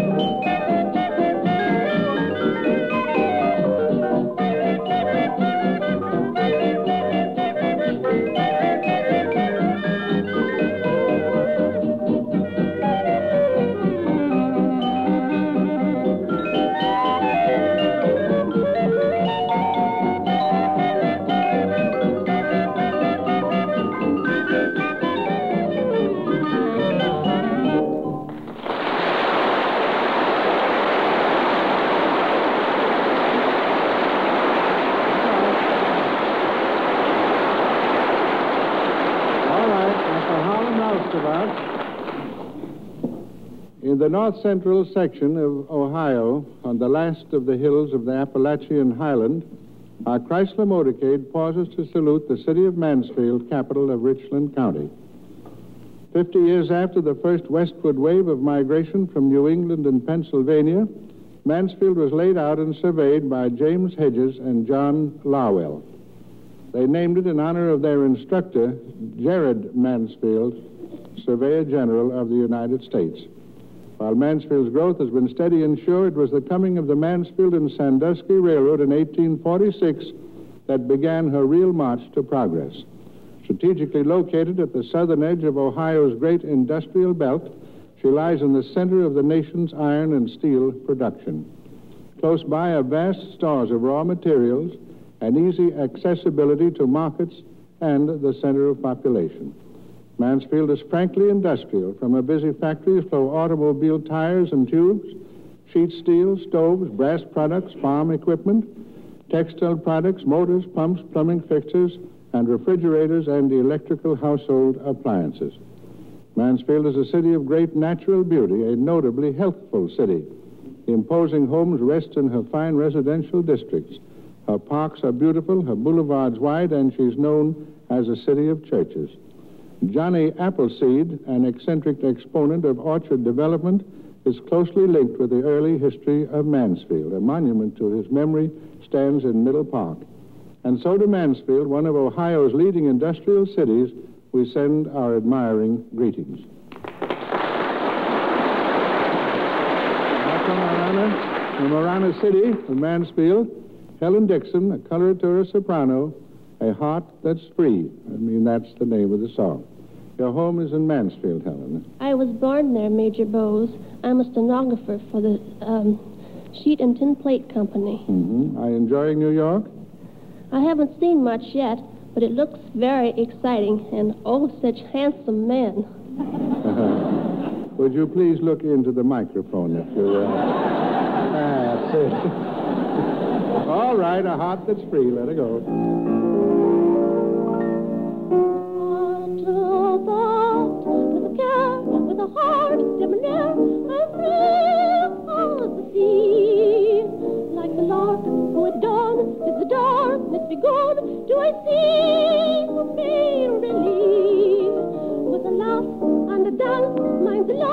To enchant, or I know not what gleam.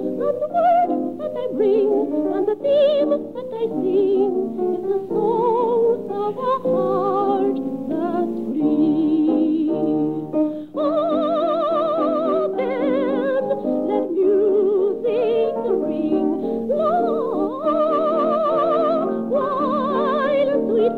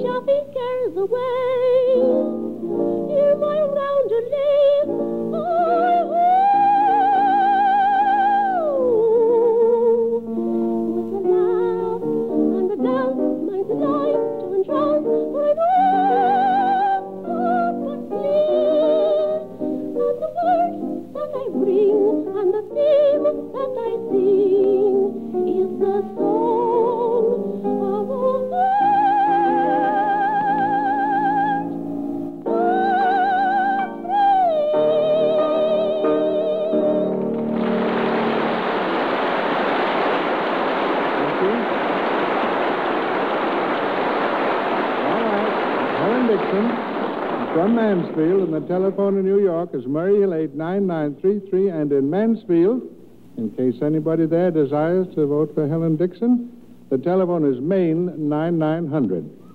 First caller from Mansfield, Carl Johnson, 485 Spring Mill Street, and from uh, this area, Mr. and Mrs. Uh, Julia, 2219 East 12th Street in Brooklyn. Red Bill Lane. Red Lane imitator.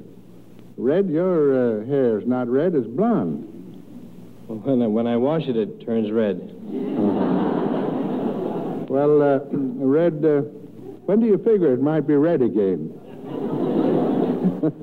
Well, my face always turns red easy, but I bet it's red now because you think I haven't washed my hair in a long time. No, Red, you're meticulously immaculate, I will say that. What do you do for a living, Red?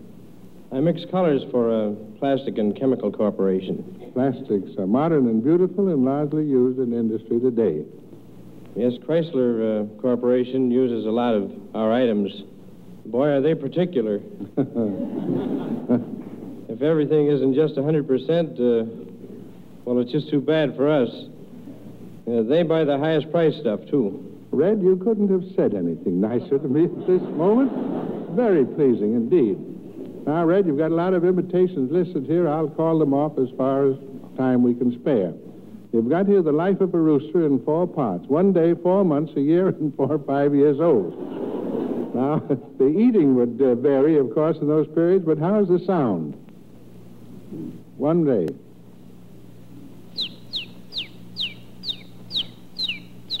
All right, now four months.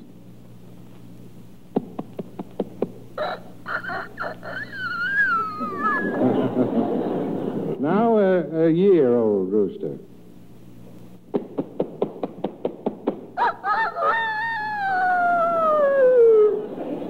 Now at the end of four or five years of amateur hours on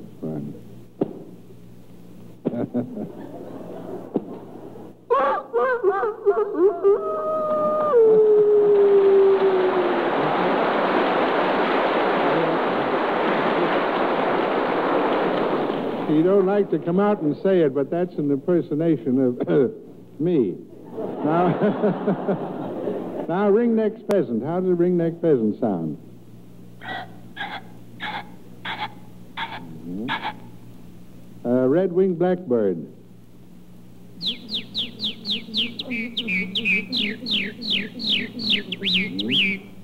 That's little Sir Echo.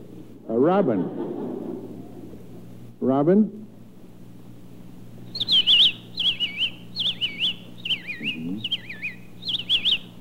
Now a monkey.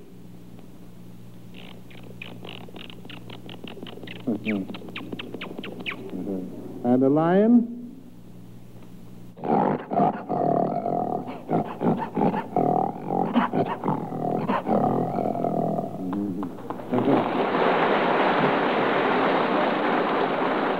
Lion. Of course, that lion doesn't mean a word of it. Uh, but uh, still, I'll uh, let you go in the cage. Give us an ape now.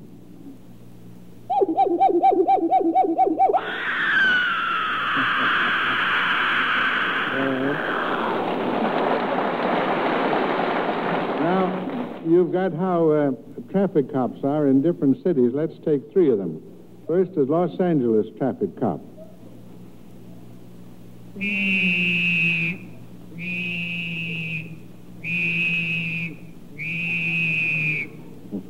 Now in Paris, Agent Pivot.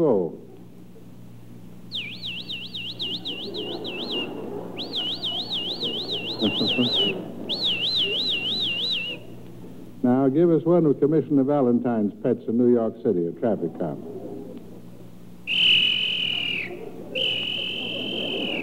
Come on, girls. Come on, get across.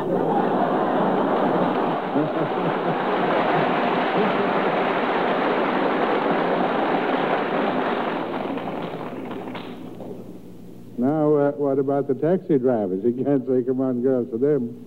Well, then he says, uh, Come on, you mugs. What are you waiting for?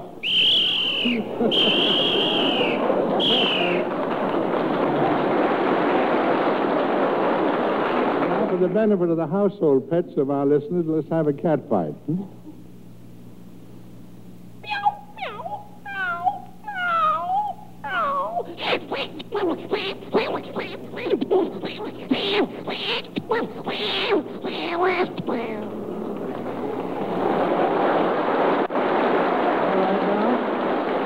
Now for the finish, let's all sing like the birdies sing.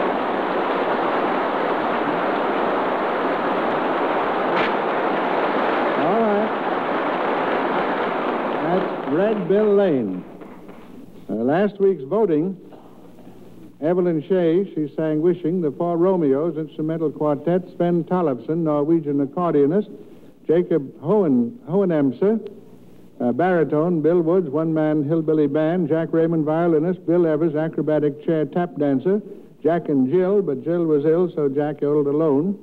Henry Matisiak, basso, Swanee River Boys, Negro Tramp Band. And next Thursday night, we salute Muskegon, Michigan. The Thursday following, October 5th, our honor city will be Elgin, Illinois. Have you talent? Would you like to be on this program? Try it. We'll make things pleasant for you. Just write a letter giving full particulars from New York or its vicinity. Robert Shawhan, tenor, Le Rêve.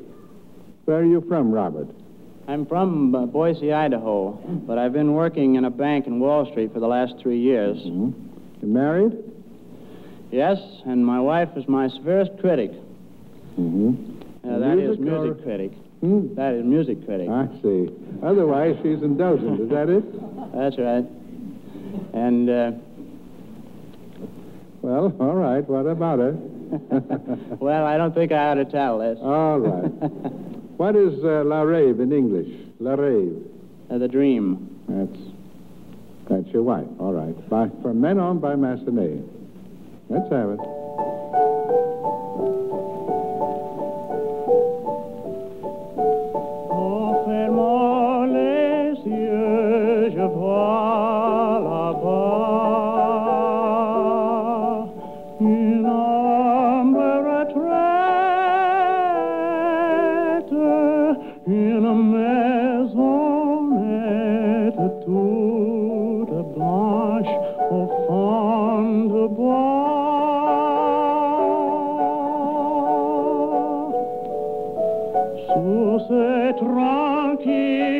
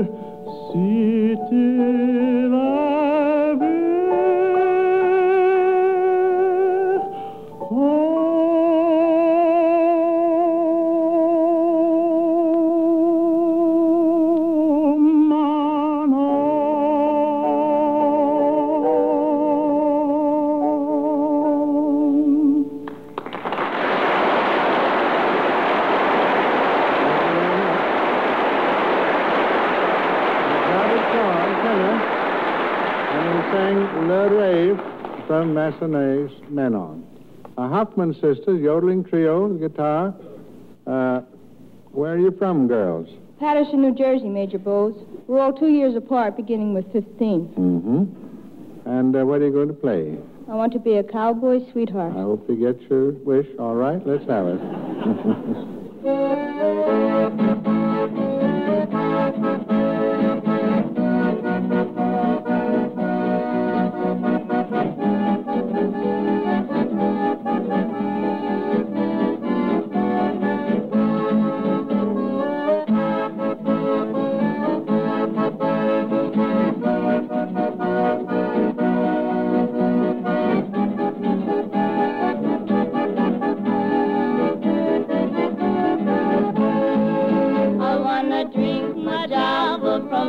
walking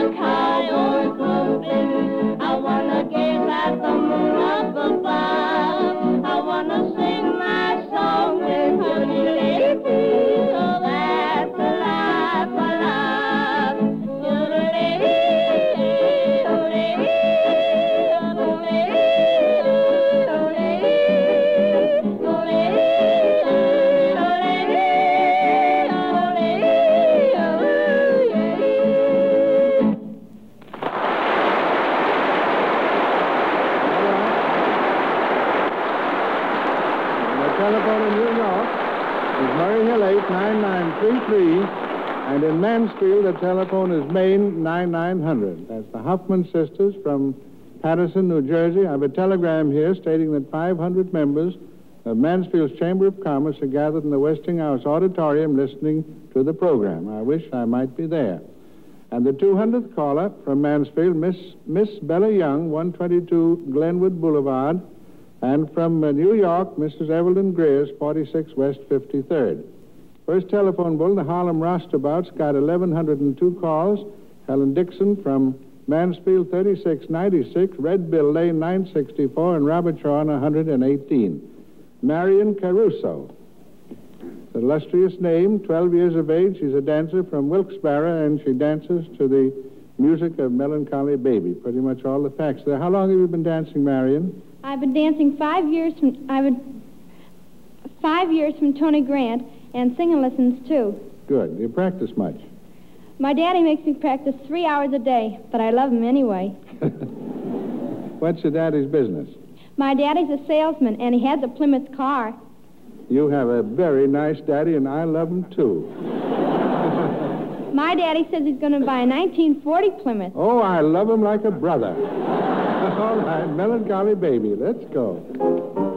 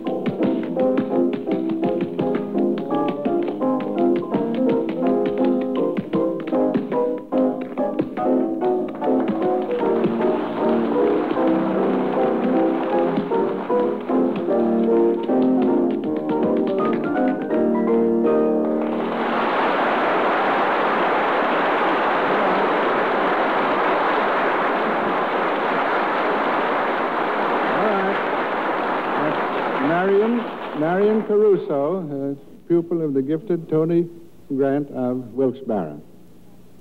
This is the time of year when Mrs. America dons her new postilion chapeau, arranges its snoot back over her lovely curls, and looks forward to a happy autumn. Mr. America acquires the annual snap brim felt and an extra spring in his step, and this particularly is the time our 1940 models make their debut. The low priced automobile is one of the greatest contributions ever made to American civilization. The entire continent is your playground with health, education, and relaxation for all the family. Seven out of every ten cars sold are in the no priced class. The Plymouth advance in popularity by leaps and bounds is one of the miracles of American industry. And that rise of Plymouth to the peak of popularity can only mean one thing that it is the utmost in automobile value for your dollar.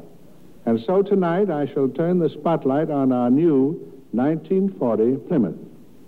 In Detroit two weeks ago, I saw it for the first time. I was enthralled. Our president, K.T. Keller, with a proverbial cat that swallowed the canary smile, said, Well, Major, there's our new baby. What do you think of her? One word stood out in my mind, and I answered, Superb. When you see that car, I know you too will say, Superb. And now for some details. The 1940 Plymouth is much bigger. Actually, the wheelbase has been increased from 114 to 117 inches. The body is completely new. Its interior is 10 cubic feet bigger than last year. You may choose your car with or without running boards. And the Road King, as well as the Deluxe Plymouth, has our marvelous steering wheel gear shift. Headlamps are the new sealed beam type, giving brighter illumination for a further distance along the road at night with lens, reflector, and filament fully protected from dust and moisture. The 1940 Plymouth is lower without cutting down the headroom. The windshield is wider for better vision. The rear window is curved and all in one piece for better visibility. The spare tire is mounted vertically in the trunk compartment. Your luggage or the tire may be moved without disturbing the other. As to the new luxury ride, that is, as the Debs say, something out of this world. And I say that after a stiff test ride in New York yesterday. The rear door is full width, and rear windows may be rolled all the way down. You get full front seat comfort on the rear seat. The extreme of riding comfort is a combination of new roominess, new greater vision, wonderful upholstery, and the combined results of chassis engineering, which give you floating power, new weight distribution, rubber body mountings, and Amola steel coil springs. Our 1940 Plymouth has a new transmission. Gear shifting is now a pleasure, clashing practically impossible. Its horsepower rating has been increased. Oil filters are now standard equipment. Pistons have a new type of surface coating for reducing friction, and vital engine parts are super finished with our new process, giving finer performance and longer life. If I have been able to convey to you even a part of my prideful enthusiasm, you will wish to go to your Plymouth dealer and see this superb example. Why not be the first in town to take a welcome ride in our 1940 Plymouth, the new low price beauty with a luxury ride? I thank you.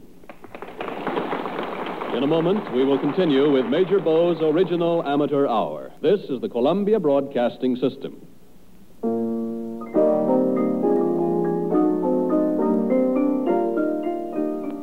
WJSV, Washington.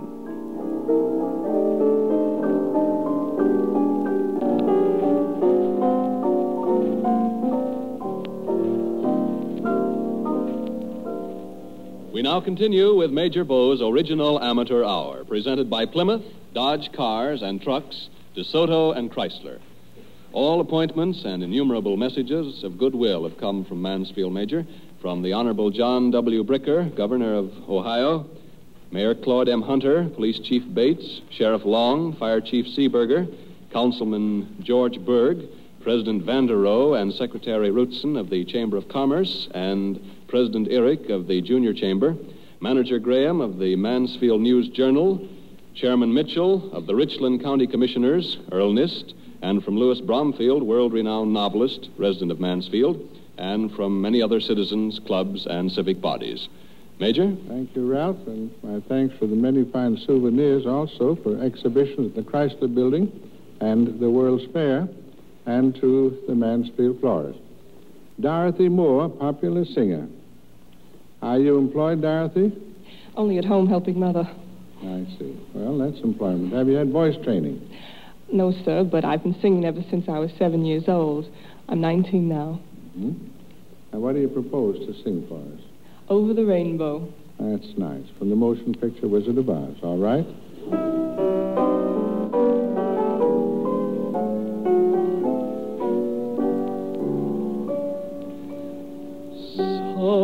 Somewhere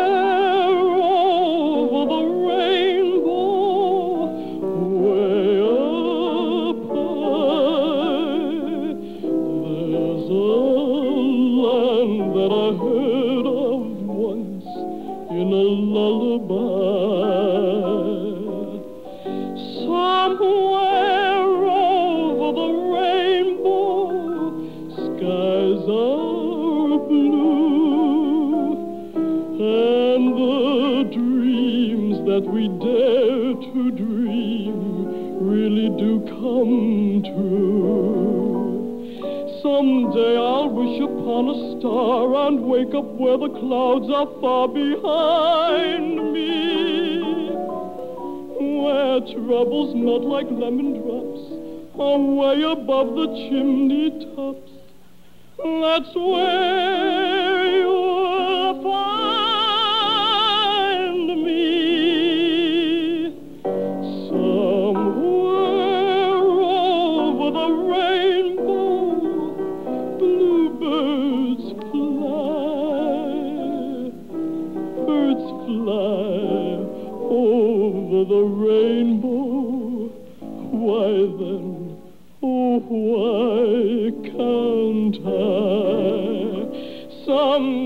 I'll wish upon a star and wake up where the clouds are far behind me.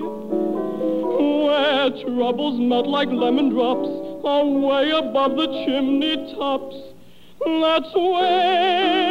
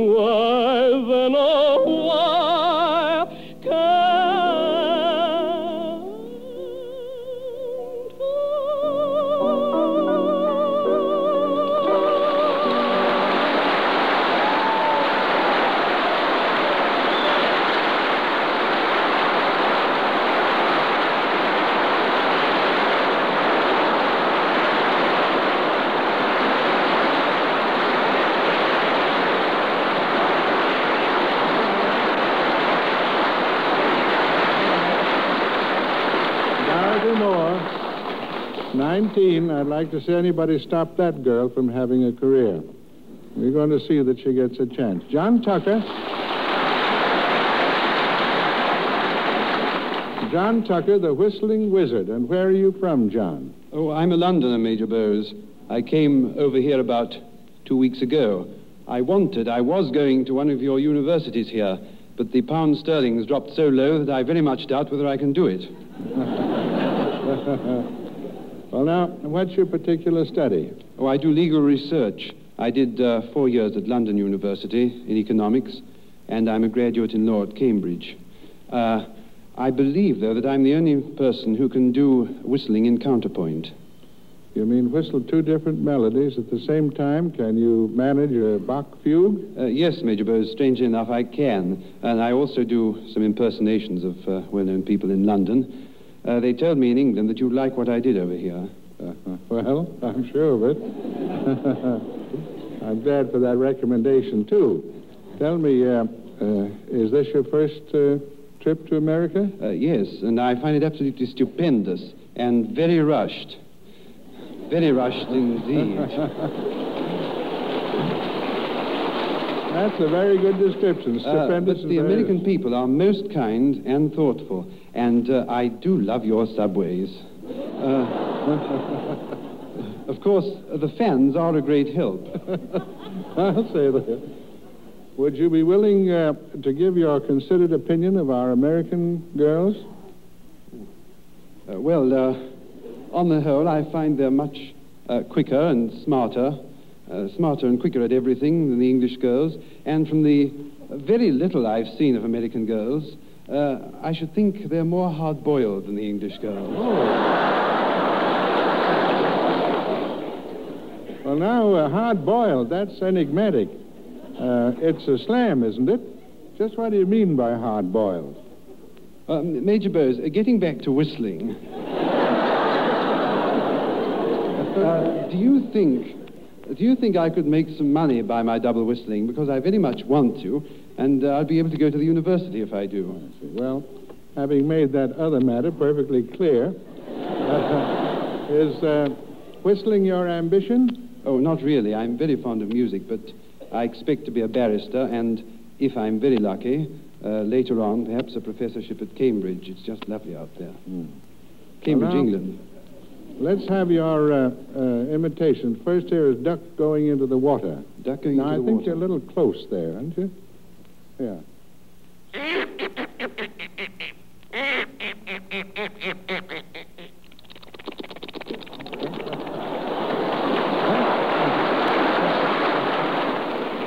Oh, uh, Major Bowes, before I do my double whistle, I wonder if I could uh, tell you a little incident uh, that happened uh, in an omnibus in London where a man was uh, accused of or convicted uh, of ho- homicide. the, he got into court, and the judge asked him, he said... Uh, you were going to ask me if you might tell that. Oh, I Yes. beg your pardon. Oh, no. Would you mind if I do tell it I'd be you? delighted to have you. Go Thank you very much. I, I think it will interest For people Judge Barrett, I want to keep the record clear. All right, let's have it. Thank you, Major Bowes. Well, the man, the man got into court, and and the judge, the judge said to him, "Tell me, my man, why did you do this? Have you anything to say?" Well, my lord, it was like this. I got into a bus, and a lady got into the bus after me and sat down beside me, and she wanted to get out her fare. So she opened her bag and took out a purse and closed the bag and opened the purse and took out a penny and closed the purse and opened the bag and put in the purse and closed the bag. Well, then the conductor went past her, so she put her penny away again. She opened her bag and took out the purse and closed the bag and opened the purse and put back the penny and closed the purse and opened the bag and put in the purse and closed the bag. Well, then the conductor came round and said, Fares, please. So she opened her bag and took out the purse and closed the bag and opened the purse and took out a penny and closed the purse and opened the bag and put in the purse and closed the bag. Well, then the conductor clipped her a ticket. So she had to put her ticket away again. So she opened the bag and took out the purse and closed the bag and opened the purse and put in the ticket and closed the purse and opened the bag and put in the purse and closed the bag. Well, then the inspector came along and said, Madam, I want to see your ticket. So she opened the bag and took out the person, closed the bag and opened the person, took out a ticket and closed the person, opened the bag and put in the person, closed the bag. Then the inspector said, Thank you, madam, that ticket's in order. So she had to put it away again. So she opened the bag, took out the person, closed the bag and opened the person, put in the ticket and closed the person, opened the bag and put in the person, closed the bag. Then the conductor came along and said, Madam, your fare ends here. You must pay another penny. So she opened the bag and took out the person, closed the bag opened the person, took out a penny closed the person, opened the bag and put in the person, closed the bag. Then the conductor clipped her another ticket. So she had to put it away. So she opened the bag and took out the purse and closed the bag and opened the purse and put in the ticket and closed the purse and opened the bag and put in the purse and closed the bag. Then the, another inspector came along and said, Madam, I want to see your ticket, please. So she had to get it out. So she opened the bag and took out the purse and closed the bag and opened the purse and took out the ticket and closed the purse and opened the bag and put in the purse and closed the bag. Then the inspector said, Thank you, madam, your ticket's in order. So she opened the bag took out the purse and closed the bag and opened the purse and put in the ticket and closed the purse and opened the bag and put in the purse and closed the bag. Then the conductor came along and said, Madam, you must pay another penny. So she opened the bag, took, and the judge said to him, My God, if you go on like that, I'll strangle you. My lord, said the man, that is exactly what I did to the woman.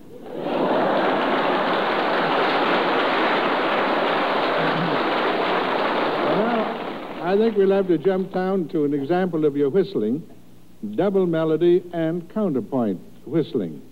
The double tone whistlers we've had, that is, whistling in thirds, isn't uncommon.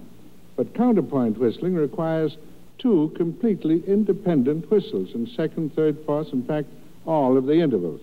Now, let's first have just the double melody.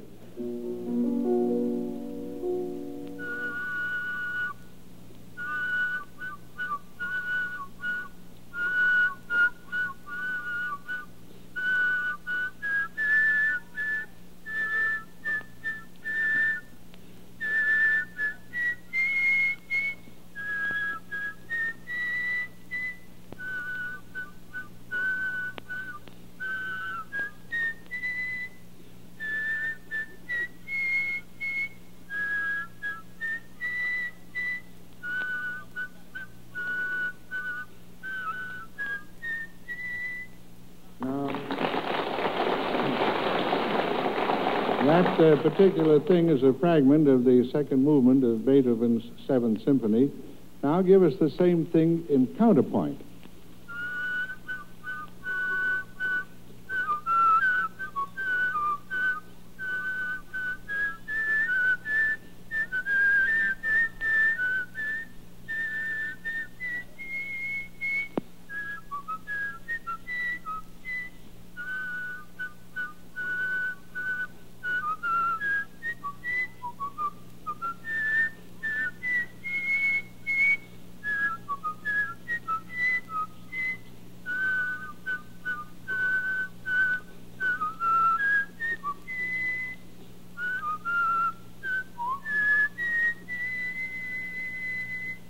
I don't. All right, all right. I don't know if anybody else can do it. I never heard of it. Now we'll finish up with the Indian love call in double tone.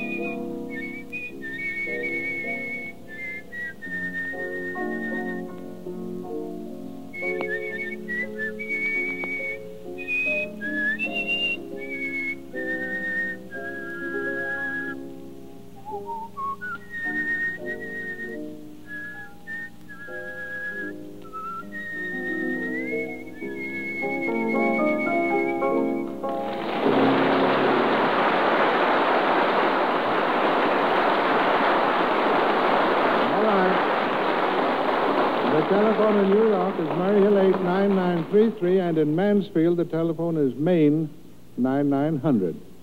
And that's John Tucker of London. This is William Hetherington from McKeesport, Pennsylvania.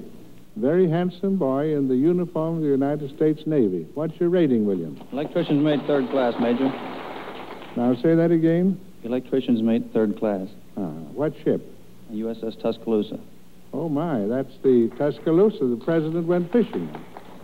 Uh, yes, sir, Major. That's that's the ship, and he's quite a fisherman too. He caught more fish than the rest of the men on the ship put together. Good for him. Do you recommend the Navy as a career for boys? Well, yes, but it's uh, not so easy to get into. You sort of have to be physically perfect and be of good character. Mm-hmm. What did you say is the percentage of rejections? Oh, about well, most of the fellows are well behaved and. Uh, I like uh, like nice girls who who can dance. I see. What's your favorite ballad? Uh, White Sails is what I like to sing. All right, let's have it. Nick Kenny. White sails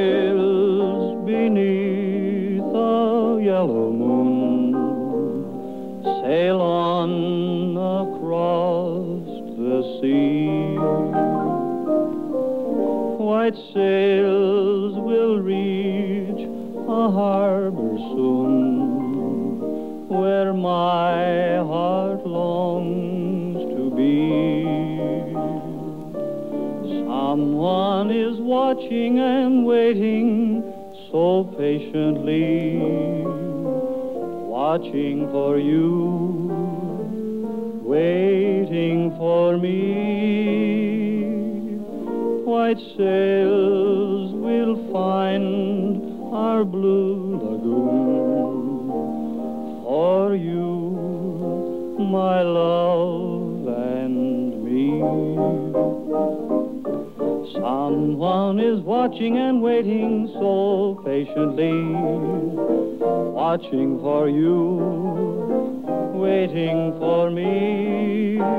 White sails will find our blue lagoon for you, my love and me.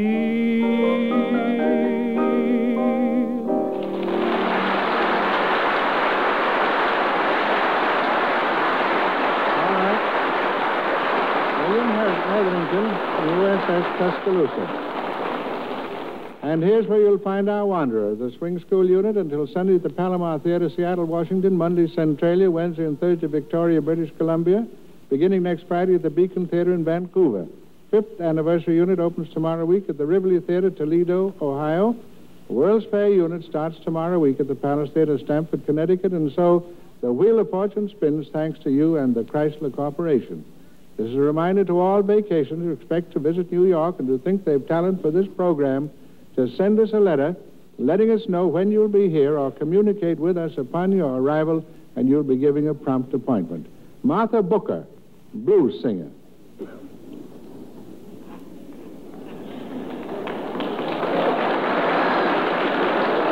Uh, Martha, will you tell us a little bit of yourself? I'll tell you everything about myself, Major Bowes, because I am not looking for a husband. All right, a true confession.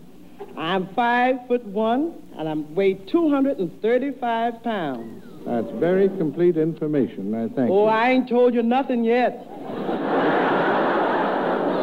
I have eight children, and I'm a grandmother, too. I've been singing all my life. So I thought I'd come over and let you hear me.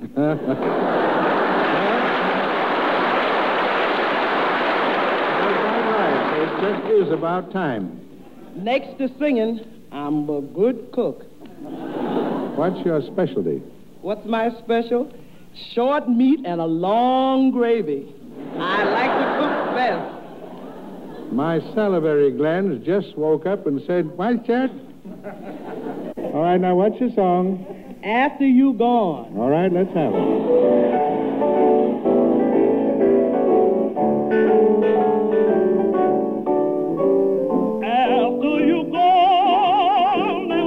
crying after you're gone. There's no denying you feel blue, you feel sad, you miss the best past you ever had.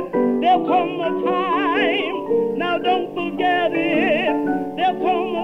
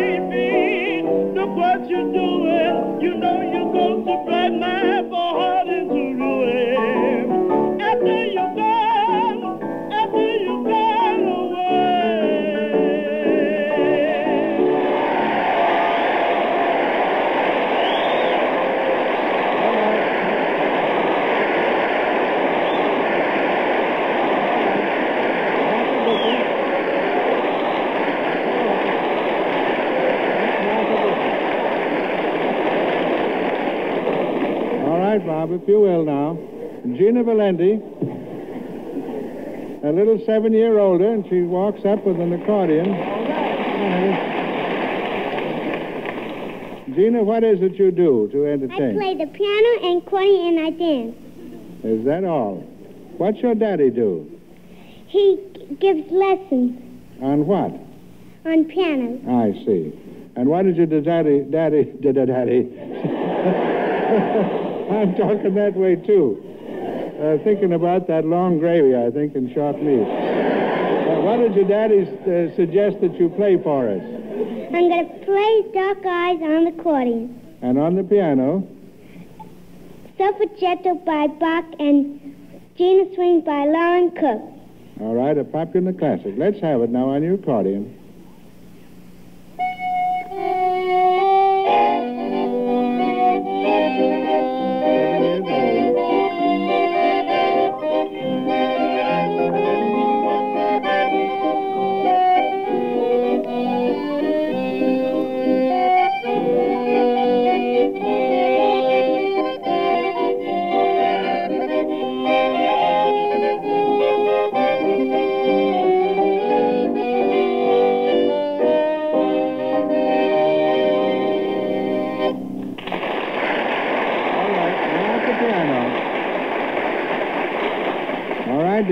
at the piano.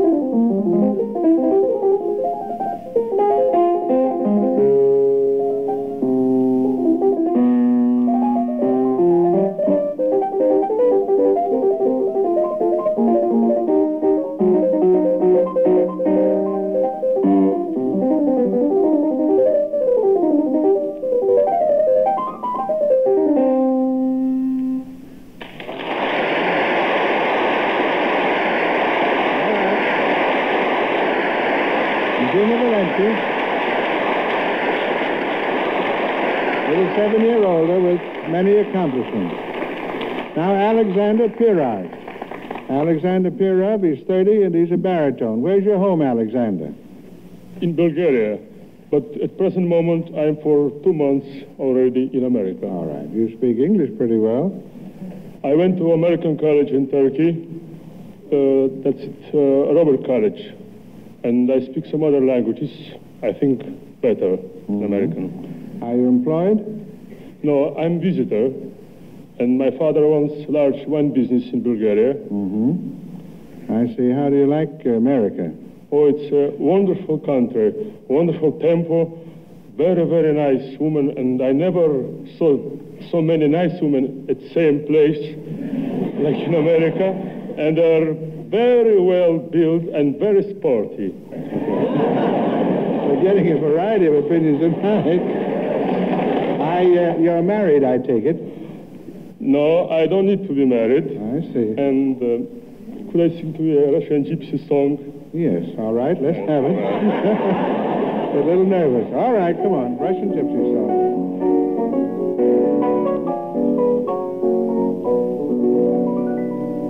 Что так грустно, эх, дай гитару, да петь песню про любовь. Или поехать лучше к яру, разогреть шампанским кровь.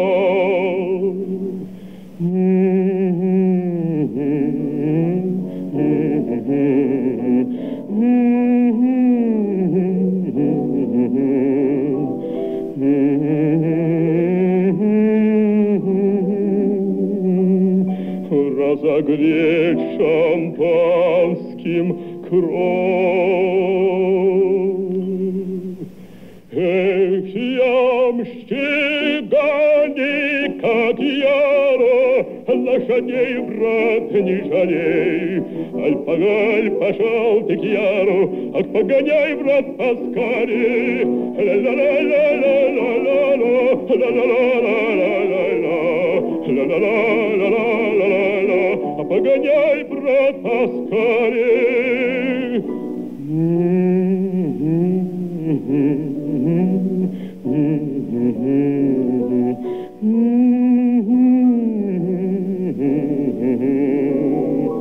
Иль поехать лучше к яру, разогнать шампанским кровь.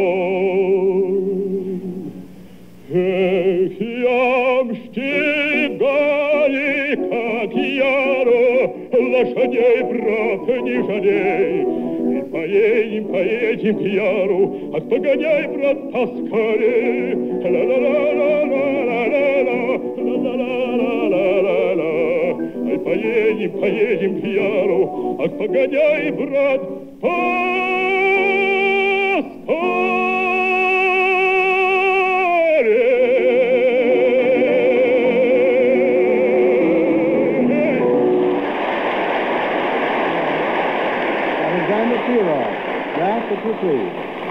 telephone lines will be open for another half hour to receive your votes. In New York, telephone Murray Hill 89933. In Mansfield, call Main 9900. On subsequent broadcast nights, Major Bowes will bring you the official news about the 1940 models of the other three of our great cars. Next Thursday will be devoted to the beautiful Chrysler for 1940.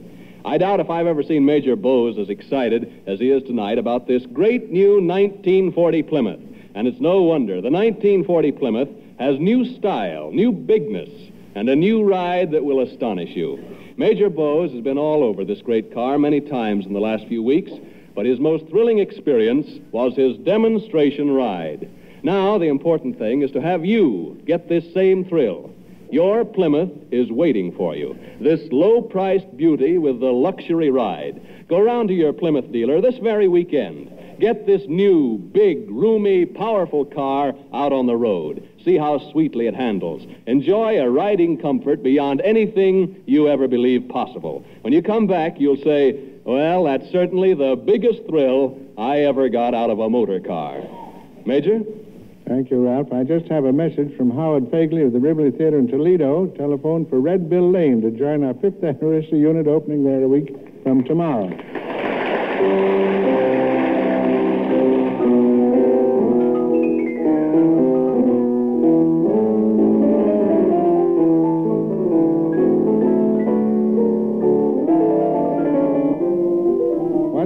Do with the days and the hours that must be counted ere I resume this place? How shall I charm the interval that lowers between this time and that sweet time of grace? Until Thursday next, then, I thank you for Chrysler Corporation, its dealers, the amateurs, and myself. Good evening, friends.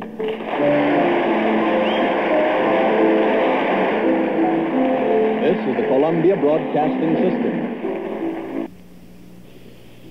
WJSV, Washington.